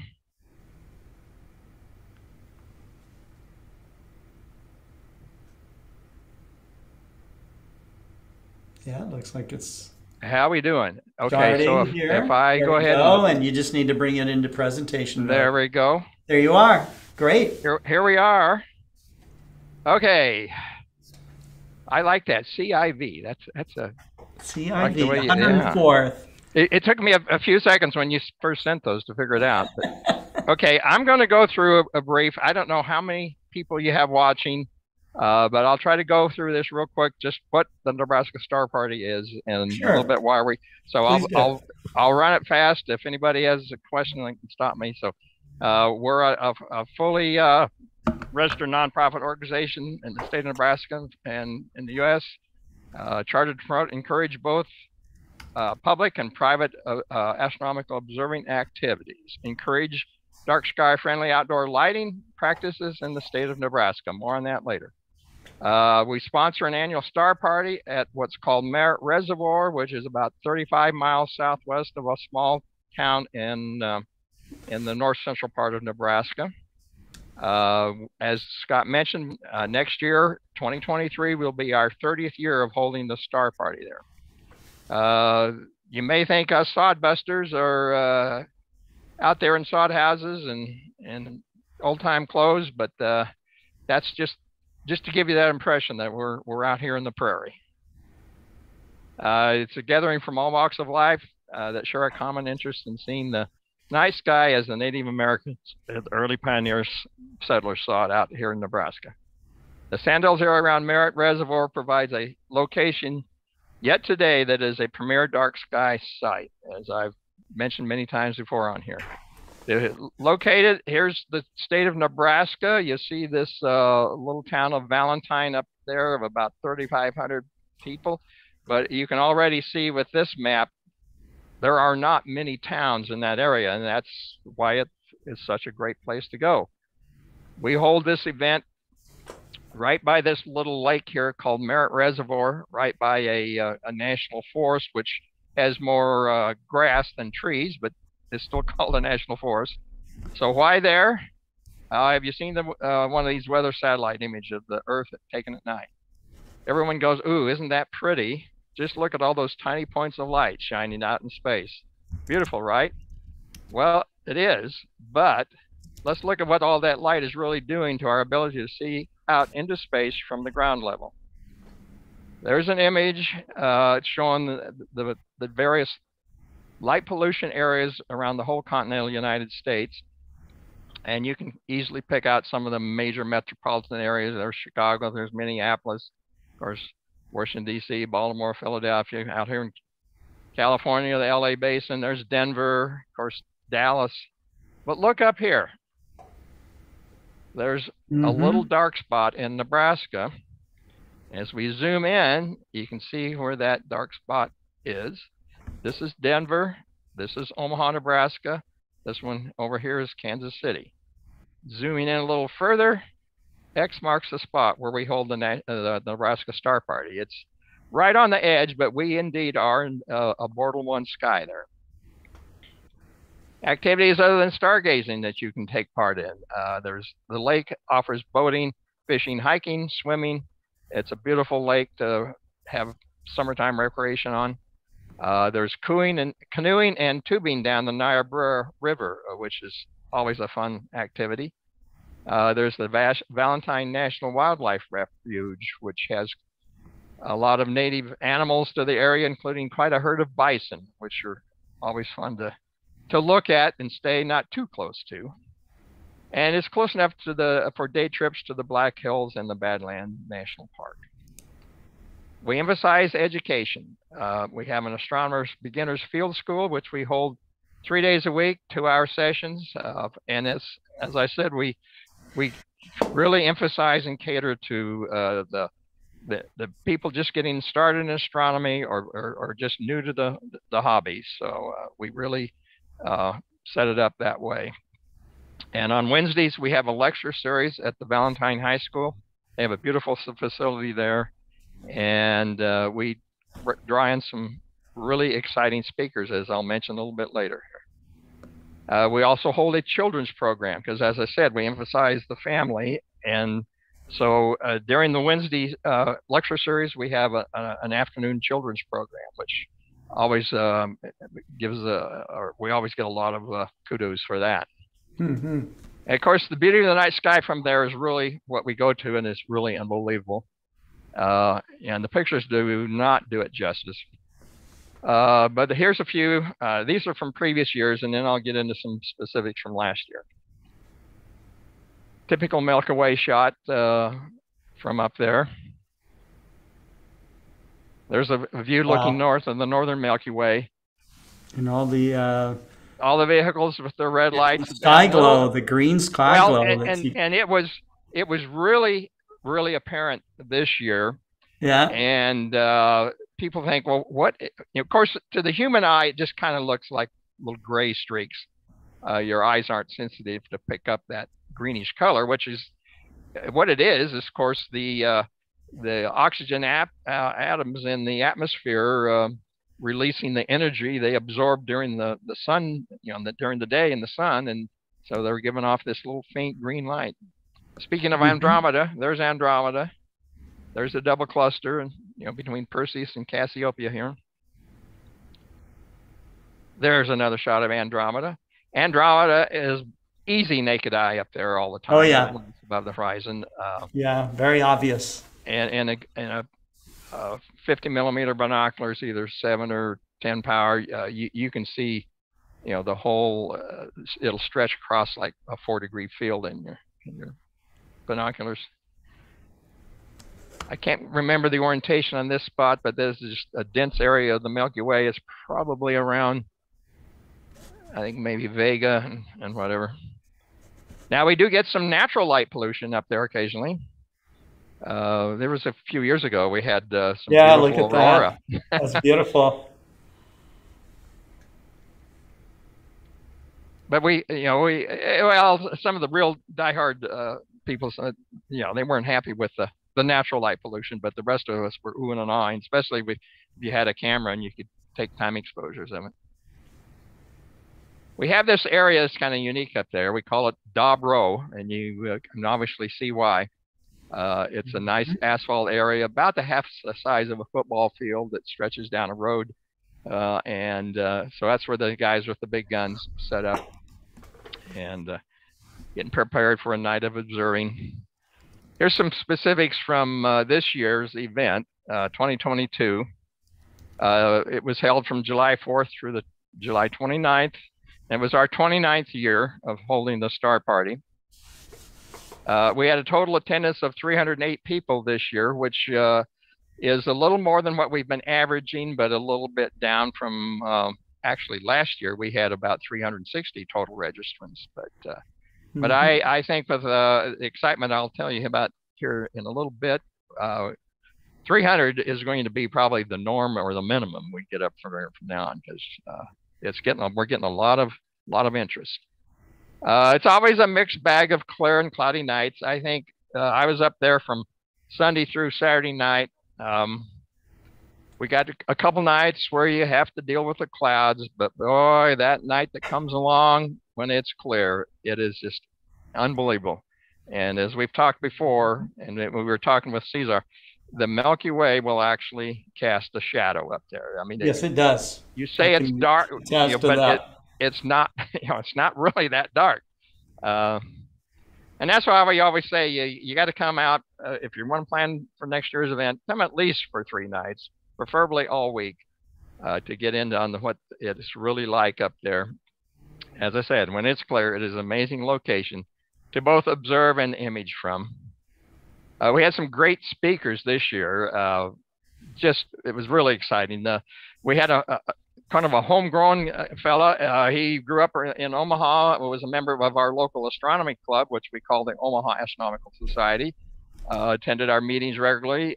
He went to his got his undergraduate right here in Omaha at the University of Nebraska at Omaha, but then. Um, uh, he is currently teaching at the University of Nebraska at Kearney, uh, physics and astronomy. but he went on to get his master's and PhD um, from University of Colorado, and his specific research is in exoplanets. So he gave us a very interesting talk on his research on how to, they've discovered exoplanets and some of the details Mhm. about them. And this next person, I'm sure if anybody has watched many of the global star parties, you'll recognize that name. Uh, Libby in the Libby in the Stars. Stars, Libby. White was there with her mom, and uh, I think this was her first official, you know, really big star party. And I think you're right. She's She been looking was- forward to it for a long time. she was just you know totally overwhelmed uh, with you know, with what we could see up there and everything and gave an absolutely delightful talk on wednesday and then we finished up with dr diana Hannikainen who is currently the observing editor for sky and telescope magazine. If you get her get the publication you'll you'll notice her byline in there quite often. Uh, she's she puts together the whole observing section but she will occasionally write an article uh, herself, uh, but she also her uh, research, her uh, education through a doctorate, uh, I think from the University of Helsinki, uh, went on and did research in microquasars, which was very interesting. Uh, Microquasar. microquasars. Hmm. it was interesting, uh, and a lot of it in uh, radio wavelength uh, uh, astronomy. And she'd worked down in Australia for um, uh, down there with radio telescopes and everything. Mhm. But an a- absolutely delightful person. Uh, had never been out to this part of the United States, Nebraska or the Sandhills, and was just uh, absolutely totally blown away with not only the uh, the, the ecos- ecosystems out here, but uh, the people and and of course the star party itself. Um, here's a quick picture. Here's a picture of Adam, not the best. Uh, when he- when he was talking at the high school on Wednesday, and of course there's Libby. Um, I, I pulled this this particular slide up. My mom took me to an Explore Scientific viewing. One of her key key points of, of getting excited and interested in astronomy. Yeah. And and of course, as she's talked about on the Global Star Party, she's been to space camp several times, and Yes. and and for I I don't think she's e- maybe she has had her birthday, but she was not even 13. She was still 12 at this point in July. Yeah. For that young person to get up and talk almost extemporaneously to you know a full audience of a couple hundred people uh, was, Right. was just amazing. Yeah, that's wonderful. She is she is something else. So you you folks down there keep encouraging her. Yeah. And of course, Diana, uh, this particular slide was she was talking about her quasars and then how she transitioned to Sky and Telescope magazine. Uh, she just kind of got burnt out on on uh, doing research, and so back in I think it was 2017 or so, uh, Mhm. she answered an ad, an, an ad in somewhere that uh, you know Sky and Telescope was looking for new observing editor, and she jumped on it and is really having a great time. Enjoys it very much. Wonderful. So if you get a chance to meet her sometime, uh, everyone, you know, please, please do. Yep. You gave a great presentation, I imagine. She gave a great presentation on both the microquasars and, of course, on what she's doing at Sky and Telescope and what they, uh, what the activities. Uh, you know, I'm, I've become, a, of course, I've been a subscriber for more years than I care to admit right at the moment, but uh, uh, I, yeah, I'm a, I guess I'm also an ambassador for Sky and Telescope magazine. I, I think they, they've really kind of turned it around in the last three or four years. You know, they were kind of in trouble financially and everything, and I, uh, I believe they, they got a, a Yeah, the American great magazine. Astronomical Society Right. the magazine. Yep, so- they're part of AAS now, and That's that right. provides some great resources. So That's right. anyway, there's the, the the three plus Jack Dunn. Uh, some of you may know Jack. Jack uh, was the planetarium director at the University of Nebraska for oh I don't know 30, 33, 34 years. Retired, moved to South Carolina. His wife now uh, runs the uh, the planetarium uh, there in uh, Columbia, South Carolina. But he still comes out to the Star Party, and he's kind of the guy that helps, you know, put the speaker program together. So. Anyway, and here's the pictures I was promising you. Okay, I Wow, can't. that's these- beautiful. uh, and they're all, of course, in in uh, uh, uh, vertical format. Um, Yeah. But and I can't claim credit for any of these. Uh, these were taken by Matt Bielski uh, from Chicago. Uh, he's become a great friend of mine. Uh, has uh, been out to several star parties, uh, and as far as I know, these were all just you know single shot, you know, 20 second images with a, a Nikon and a probably a 14 millimeter wide angle lens. Wow. So, Wow. and yeah, granted, he's That's not some- light pollution back there. That's lightning. Oh, no, that that is that we had a storm roll through that awesome? before that night. Now that Yeah. okay. Here here's another shot, wide angle shot. Right. So the it just gives you, I mean, the awesome power and and storms that move through. Yeah. This was probably a hundred miles away by the time this shot was taken. Wow. But it shows you the, you know, we, of course we have tents set up for our dinner meals and, and what have you. But Yeah. out there, What an amazing what an amazing view. it is just utterly amazing. And of course, there again, you see this green glow Yeah. um, there from the, the O2 atoms. There's a, I think it's a cool shot of there again, what we Mhm. call Dobro. And you, know, you see people with trailers, you can see people with RVs. I mean, this whole area just becomes one big party area. Sure. Hey, come look and see what I got in mine. And, you know, it, it's, yeah. And, and we, we, we keep it that way. We keep it a very friendly, uh, you know, open atmosphere. Yep. Family oriented and um, you know, totally open to totally beginners. open to the beginners. Now, if for those of you, I mean, if you want to come up there and do some serious imaging, we've set up an area over to uh, the kind of the northwest of this particular area where you can go and, and do imaging and whatever, or do serious observing and not be bothered. But uh, but this is the area where all the fun's happening. Yeah. And a couple other shots there, uh, you know, people with their red lights and their telescopes, and uh, there's another shot of the uh, the clouds.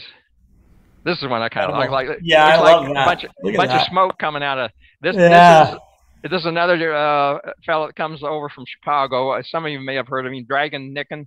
Uh, he belongs to the Chicago Club, and that How big that telescope is. that is a Huge. 25 inch uh, obsession. you know, Yeah. True obsession telescope. Yeah, he's way up there on that ladder. Oh, those those type of scopes you can we had somebody like that at Okie-Tex and we were looking at Thor's helmet and the Mhm. horse head in his Yeah. scope. Oh, yeah. I mean, it's not you know no, no th- nothing about averted vision. You can see it well in the Straight summer- on. Yeah, we were looking at this stuff straight on. One of one of the really one that always blows me away when they we and it's usually almost right overhead is the Cat's Eye Nebula up there in Sig or in Draco. It, it is just you can see colors. You can see the blues and green, yellows in, in the Cat's Eye Nebula. It's it's amazing. And of course, there was a I think a 24 inch over there in the background. Uh, uh, but yeah, there was uh, a couple 22, 20, 18s, big the big guns. As I said, we do get clouds, Mhm. a- and they can be very impressive. Uh, that was fortunately had already it was it was already way to the east of us, but uh, they can get some impressive thunderheads. But here's Matt's again. Uh, This was this was earlier in the evening. They're kind of out of sequence, but this or as far as time, but this was what it was looking like uh, there that evening, and where you see that shot of it way down to the southeast of us. A- And this is one of the most dramatic ones I've ever seen. I mean, you're Oh, wondering, okay, so so where do we go hide? Well, you Yeah.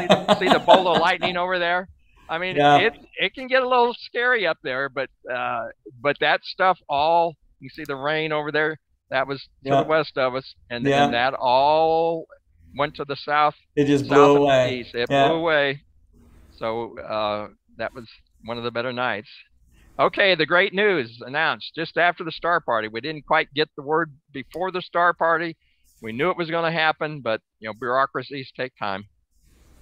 Uh, working with the International Dark Sky Association and in collaboration with the Nebraska Game and Parks Commission and the Nebraska Tourism Commission, we have received designation for the Merritt Reservoir SRA as a dark sky park. Congratulations. So it took uh, it took a while, but we yep, it's designated. You can check out the IDA website. You can find it. Merritt Reservoir State Recreation Area, Dark Sky Park, and kind of a neat thing. We we were the 200th Dark Sky Park designated in the world. So wow. So congratulations. We're uh, we're planning uh, for next year to be a, a big year, uh, and we haven't quite decided if if the whole celebration, ribbon cutting, whatever, will be at the Star Party next year or some other event. But we'll keep everybody posted. But as far as planning for next year, uh, it'll be the July 16th through the 21st, 2023. Costs we're hoping to keep the same. Uh, but you know ours are very nominal. Uh, of course, we part we yes. charge extra for meals. We'll have to get with the caterer and find out, but it's all you know very nice. And we'll have our field school. Always great food, knowledgeable, friendly astronomers willing to share their knowledge. And we'll have another lecture series. We're trying to line up lecture, you know, speakers already for next year. And we always come up with a great T-shirt design. We're we're in the process of, of having that all done. Uh, web link. There's the Nebraska Star Party.org web link. Mm-hmm. Um, we're also also on Facebook, and we will probably have early registrations opening with online registration by February 1st. We will send out. What we do is we we print up a paper brochure and we send it to everyone that has attended uh, one of the star parties. I think the last three years we go back. So we call out who's been there, and they get a personal invite in the mail. Um, you can raise register online or you can send it in mailing address. Send in your form. Okay, that's my spiel. Great. Wonderful. All right. Well, thank you very much, John. Um, uh, when will registration start for next? I think uh, around the first of February. Then we'll we'll, we'll try to get Okay. the online opening. Uh, we'll we'll be mailing out brochures. Um, oh, that same you know maybe by the end of January we'll, we'll get brochures mailed out. Yeah. All right. So- Wonderful. Always Wonderful. a great time. So look Yes. forward to maybe we'll see some of you up there this year. All right. Well, thanks again, John, for coming on. All right. Well, thank you. I appreciate everything look you forward to guys do having down you there. uh, uh, come back to uh, Global Star Party again. So yeah, I'll try to uh, you know drop in at some more just to listen in and, and, and Sure, look. sure. But uh, but uh, always very enjoyable. Uh, All right. It's well, just amazing. maybe we can uh, talk you into putting together an article about Nebraska Star Party, the 30th anniversary, and your dark sky um, designation for Merritt Reservoir uh, for Skies Up Magazine. It would be very oh, happy to run that, that, that article. okay. Yep. Very good. I'll see Awesome. what we can start work- work up for it. Great. All right. Thanks very All much. right. Thank I know you. I talk about going every year, but Hey, Adrian. Adrian, that, you uh, got to go, weekend- man. Yeah. I put that That's not that far in. away for you. I mean, if you went to Okie Yeah, you can go if to I this can thing. drive, and yeah, I made the drive to um, well, basically two Okie-Tex. Yeah. we went to pick up somebody in Denver.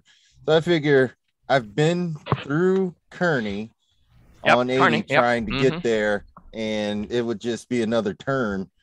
Um, so I'm turn right at consider- Kearney or turn right at North Platte, and uh, about three Yeah. hours up the road, and you're there. Yep. So that's uh I put it on that weekend at least. If I can't make the whole week. That's why I wanted to get the dates out there. Just yeah, yeah, that, yeah, that's it. You know, people, you know, actually, uh, there's people showing up the Friday before or even the Thursday, and will stay through the following weekend, just whatever their uh, their personal schedules require. But um, yeah, Right. So Anyhow. yeah, that's uh no, it's interesting. I you know, I would definitely love to come if I can if I can pull off a uh weekend and Yeah. then just head back. Um or work from there for a day and head back. There you well, go. we, we have people, it. yeah, uh, especially. Well, I, uh, the internet out there or the is a little sketchy, but uh, if you stay in town, yeah, there's you set in your hotel and uh, do your work and then yeah, come that's that's something I'll have to I'll have to look at Have to think through, about. but uh yeah, I'm definitely you know, you see the thunderhead behind me. You Yeah. have way more impressive thunderheads along Oh, with we- we your do uh, get dark some skies amazing- out there. So definitely uh something I have to look at seeing if I can pull off. It's uh I don't think it would be too bad a trip at this point because I've kind of know I kind of know what that trip is like now. I had to take it. Yeah. Um, I had to I had to do most of the driving myself on the way back. Um, a friend of mine, I'll share some of the story. I won't share the names, but um, we left Okie-Tex, um, and unfortunately, my friend had come down with a mild case of COVID, and Hmm. we chose not to stay together. He flew back that day, and I said, "I'll just drive back, no problem." and So I made the two day trip, uh, which Kearney, Nebraska is one of my stops. It's a it's a nice town, great Mexican restaurant next to the hotel I usually go to. So I would simply, instead of driving all the way through Nebraska, I would simply make that right turn. Yeah. Drive another three hours from Kearney. And if if I don't just drive from Iowa the first night, drive right on into town and set up shop Sure. and see what I can see. So Well, you know how to get a hold of me, so uh, yeah. yeah, that's Very good. That's definitely Well- something to look forward to, and All uh, right. see if I can see if I can get Make it out there. make it out All right. there. It, it sounds it sounds excellent. So, and congratulations again on getting that. Uh, oh yes, Dark thank you. I, I, that, that's that's big. That's huge. We've been working for, well, a long time, but the last three years, I mean, it, it got really, really serious. We're going to get this done. You know, higher height, you know, and, and it, Mm-hmm. it happened. And uh, I think we're going to reap a lot of benefits from that. Excellent. Great. Well, yeah. Okay. All righty. Very good. All righty, John. much. Thank you very much, and we will uh, hopefully see you uh, in a week or two. Um, and um so uh, at this point, what we're going to do is uh, we've had uh, uh, Maxi had to drop out because of a storm coming through his area in Argentina, so they were losing electricity. Um, Nico, uh, who was also supposed to be on, uh, had extended band rehearsal, so. Um, so, but I do have a treat for you. This is um, a video from Doug Struble and Chuck Ayoub. They are two astrophotographers that live actually pretty close to each other in Michigan. Uh, and I know uh, who they all are. They're, yeah, in the Detroit area. And Mhm, so, they're in the Plymouth Astrophotography Club. yeah, Struble yeah. has a unit of time named after him. 30 hours of uh, integration is a Struble. Is a So- Struble. So Okay. it's uh these are some pretty serious yeah, these are serious astrophotographers because Yeah. of the Michigan skies. They have to image all of that time. That Jason Guenzel is right along with them. Yeah, he's right you along with those guys. You saw That's his right. work. That's that's the type of work they put out all the time. They spend lots of hours and um they put together these uh amazing shots from Bortle 7, Bortle 8. Yeah, I think Doug Struble lives in like Bortle 5, but still it's it's it's pretty tough They where do. they are is. and um, so this is this is a video about how they do that astrophotography from their own backyards and how they fight light pollution and get amazing results so here we go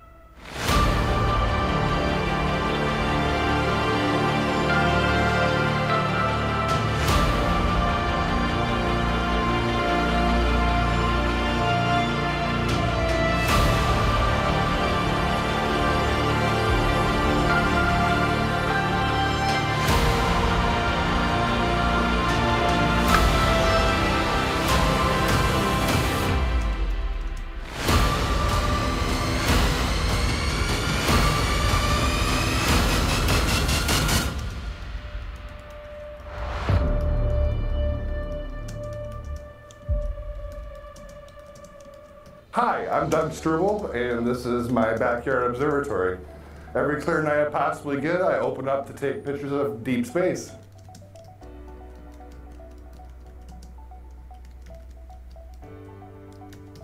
Hey, I'm Chuck Ayoub, and I live right up the road from Doug. I don't have a home observatory, but like Doug, I usually run two scopes every night. back in spring of 2016, Chuck and I got into this hobby, and back then we had a much simpler setup, trying to just get started out in this hobby, and and uh, over time we've gotten more sophisticated and automated some of our equipment to make our lives easier and to make our images that much better. That's right, and this hobby is really not difficult to get into. A lot of people make the jump with the equipment they already own, like a DSLR camera and a tripod. We actually fast-tracked some of our equipment upgrades and automation a lot earlier on than we had anticipated due to our skies, but we weren't quite sure what we were going to get. Right, we're both around 20 minutes from downtown Detroit, where the big city lights known in the astro community as light pollution can wreak havoc on deep space photos. I was even warned by the seller who sold me my camera that he wasn't sure if I'd be able to accomplish anything in my area. This is my main rig right here. It's a Mach 1 GTO made by Astro-Physics. Um, I had this pier custom made by a friend of mine who does metalworking. And on top of it sits an Explore Scientific 165 millimeter um, triplet refractor. Um, it's probably the best telescope I have in terms of getting what I get because I go after a lot of tiny objects. So I need that focal length to really get in there. Uh, on top of that rests my Orion uh, guide scope. And then my second rig is an Atlas Pro made by Orion with a StellarVue 102 millimeter on it. Um, this is a little bit wider, but on both systems I am running a ASI 183mm camera, which has very small pixels, so I can get in there really tight and get a good pixel scale of, of both of my objects. Typically, both rigs run on each two laptops, and both of these laptops are run from inside the house. Everything's automated once they get set up, aside from pickups here and there, of course. And then um, one thing I, I, really do to fight light pollution is I do a lot of what's called narrowband. Um, narrowband is exactly what it sounds like. It's a narrow sliver of the visual spectrum. So it cuts out a lot of this light pollution that we have near the city of Detroit. And allows me to wash away a lot of that light pollution so I can really focus on the nebulosity that exists in the image. Right, narrowband filters are a must, and when I'm not using them, my pictures can become overexposed very quickly. So I've become rather famous online for my short exposure approach. I take 15 second exposures and stack them all together, and you'd be surprised at what you can capture and get around light pollution. Hey Doug, I get this question all the time, and I'm sure you do too. How do you stay on target with your deep space objects if the Earth is rotating? That's a good question. So in astrophotography, we use what's called a German equatorial mount. And once we get a polar line to Polaris, the North Star here in the Northern Hemisphere, what it does is it allows the what's called the right ascension to track throughout the night. So it kind of just rotates around that North Star. And to keep it on target, you use a guide scope, which locks onto just any random star, and it will correct, send corrections to the computer, which in turn sends corrections to the mount, to keep it on target throughout the whole night. Right, along with the motorized mount and guide scopes and guide cameras, we use software to help us automatically find and center on our targets. Even our focus is automated so we can be doing other things while we're imaging. Being fully automated is great, but it doesn't necessarily mean that we don't get involved. In fact, being automated and having more complex gear means there's a lot more things to go wrong. Right, we do get the occasional head scratching and hair pulling issues when we're trying to resolve an issue before the clear night disappears. So Doug, do you have a preference with larger or smaller telescopes? That's an interesting point. I mean, obviously smaller telescopes are a lot less expensive and they do great. And most of them have like a, a very short focal length, which means they get a wide field of view. And most of my, my objects back then, I first started out with, were a wide field of view. But what my one friend Jim Bernard once said, most things in the universe are small. So over the years, I've started to realize that I need more focal length. For like, for example, in my Explore Scientific 165 millimeter, as a great focal length, I can really get in deep on planetary nebula and, and, and things of that sort. What do you prefer, Chuck? I actually like using a large and wide field telescope at the same time. A lot of people like large telescopes and they think they're better, but wide field can give you a great view on a large target. But I still like big, bright targets to capture. I'll leave the 100 hour targets to Doug. so Doug, when you're finished capturing an object, are you really finished with it? That's an interesting point. I mean, there's a lot of people out there that think that we just point our telescope up in the air take a picture, and we're done. You know, but we spend hours and hours of capturing data, and then we have to do what's called pre-processing the data, where we stack all the data, bring all the signal out from the noise floor, and actually start to see an image grow.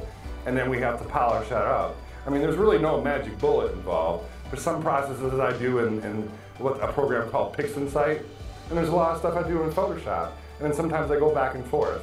So to really get that final image takes hours and hours of processing the data and really teasing out that signal to get that image that we're looking for. That's right. I think people would be surprised how much work the Hubble Space Telescope and the James Webb Telescope need before they're actually shown to the public. But there's lots of free tutorials on YouTube on how to process pictures like that. And when I'm done with my pictures, a lot of people are amazed and they actually think my pictures are from the Hubble Space Telescope. Now here's a picture of the Pillars of Creation made famous by the Hubble Space Telescope, and here's my picture. I don't have the, uh, the magnification of the Hubble Space Telescope, and I don't have the advantage of imaging above the Earth's atmosphere, but I'm pretty pleased with these results. Remember this scope, Doug? Yeah, that's the old AR-102 from Explore Scientific that I used to use for solar imaging. That's right. I took this scope off Doug's hands. Astrophotography is not just a nighttime gig. I have a lot of fun capturing the sun. But remember, never look directly at the sun with the telescope. I have a lot of protection on here, like my Daystar Quark Solar Scout, and I have an energy rejection filter. But it's a lot of fun creating time lapses of what we see on the sun. I even like live streaming it and letting my YouTube subscribers watch the action. That's right, Chuck. It's fun to watch people's reactions when we post some of our work online. So be sure to follow us on YouTube, Facebook, and Astrobin.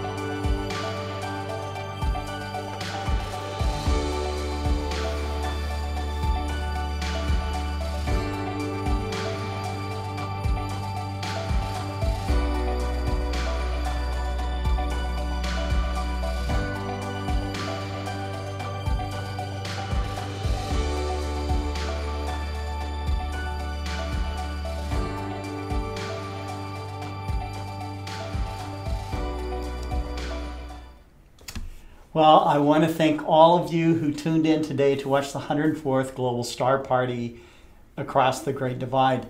Um, uh, it was uh, it was great to see so many people come on to the program. Uh, we're sorry that a couple of them had to drop out uh, due to extenuating circumstances. It does happen. Um, and uh, from what I understand, uh, we had a dropout somehow on Facebook. So uh, those of you who are watching on YouTube, uh, you got to see the whole program, and we thank you for that. Um, we will uh, be back next Tuesday for the 105th Global Star Party and with a new theme uh, to challenge our presenters. And um, but tomorrow uh, we're going to start a new program called Eclipse Experience, and our first our first episode is going to be with with uh, Michael Zeiler and Michael Bakich, who wrote this Atlas of Solar Eclipses. But these guys are real eclipse ex- uh, experts. Um, and they're going to take you. Uh, you know, they're going to guide you through uh, what you need to do to get ready for the 2023 annular eclipse and the 2024 um, total eclipse of the sun. If you go to explorescientific.com and look at the top menu, you'll see there's a new uh, featured drop down menu, which is for the uh, solar eclipses. Um, this is, uh, you know, getting ready for solar eclipses can be, you know, all engrossing, all encompassing. And so we've got, uh, you know, we're already selling eclipse glasses. We have a new uh, edition of the Galileo scope coming out, which will be a solar edition. Of course, Galileo was among the first people to look at the sun with a telescope. Um, you know, and uh, we, we suggest you only do that with uh, safe solar filtration. So safety is uh, a big deal. You'll see a safety video on there on, on what you should and shouldn't do with uh, solar filters. And um, uh, we invite you to uh, come to Texas Hill Country to go to the crossroads of the eclipses star parties.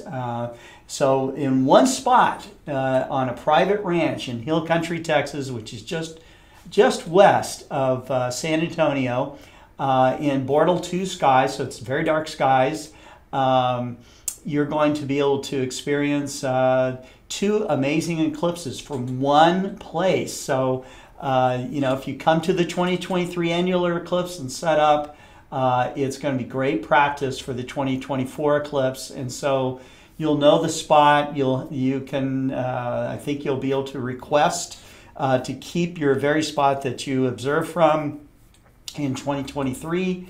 So um, there's uh, lots of time to prepare for these eclipses now, but you do need to get started. You don't want to wait uh, a few weeks before an eclipse happens. It's uh, it's uh, you know going to be very very difficult to get the right equipment that you need. Uh, it'll be difficult for you to get the practice in that you need for photographing an eclipse.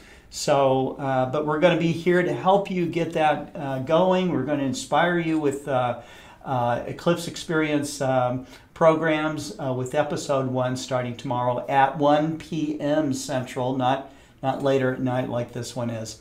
Um, and uh, I want to thank all the presenters that were on today. Um, uh, it was uh, wonderful to hear about the great news that most of the presenters shared with us today. Um, so, um, but we got more to share. There's more to talk about. There always is. And uh, thanks to the wonderful audience that watched us from around the world. And um, uh, for right now, I'm going to say good night. And uh, as my friend Jack Horkheimer always used to say, keep looking up.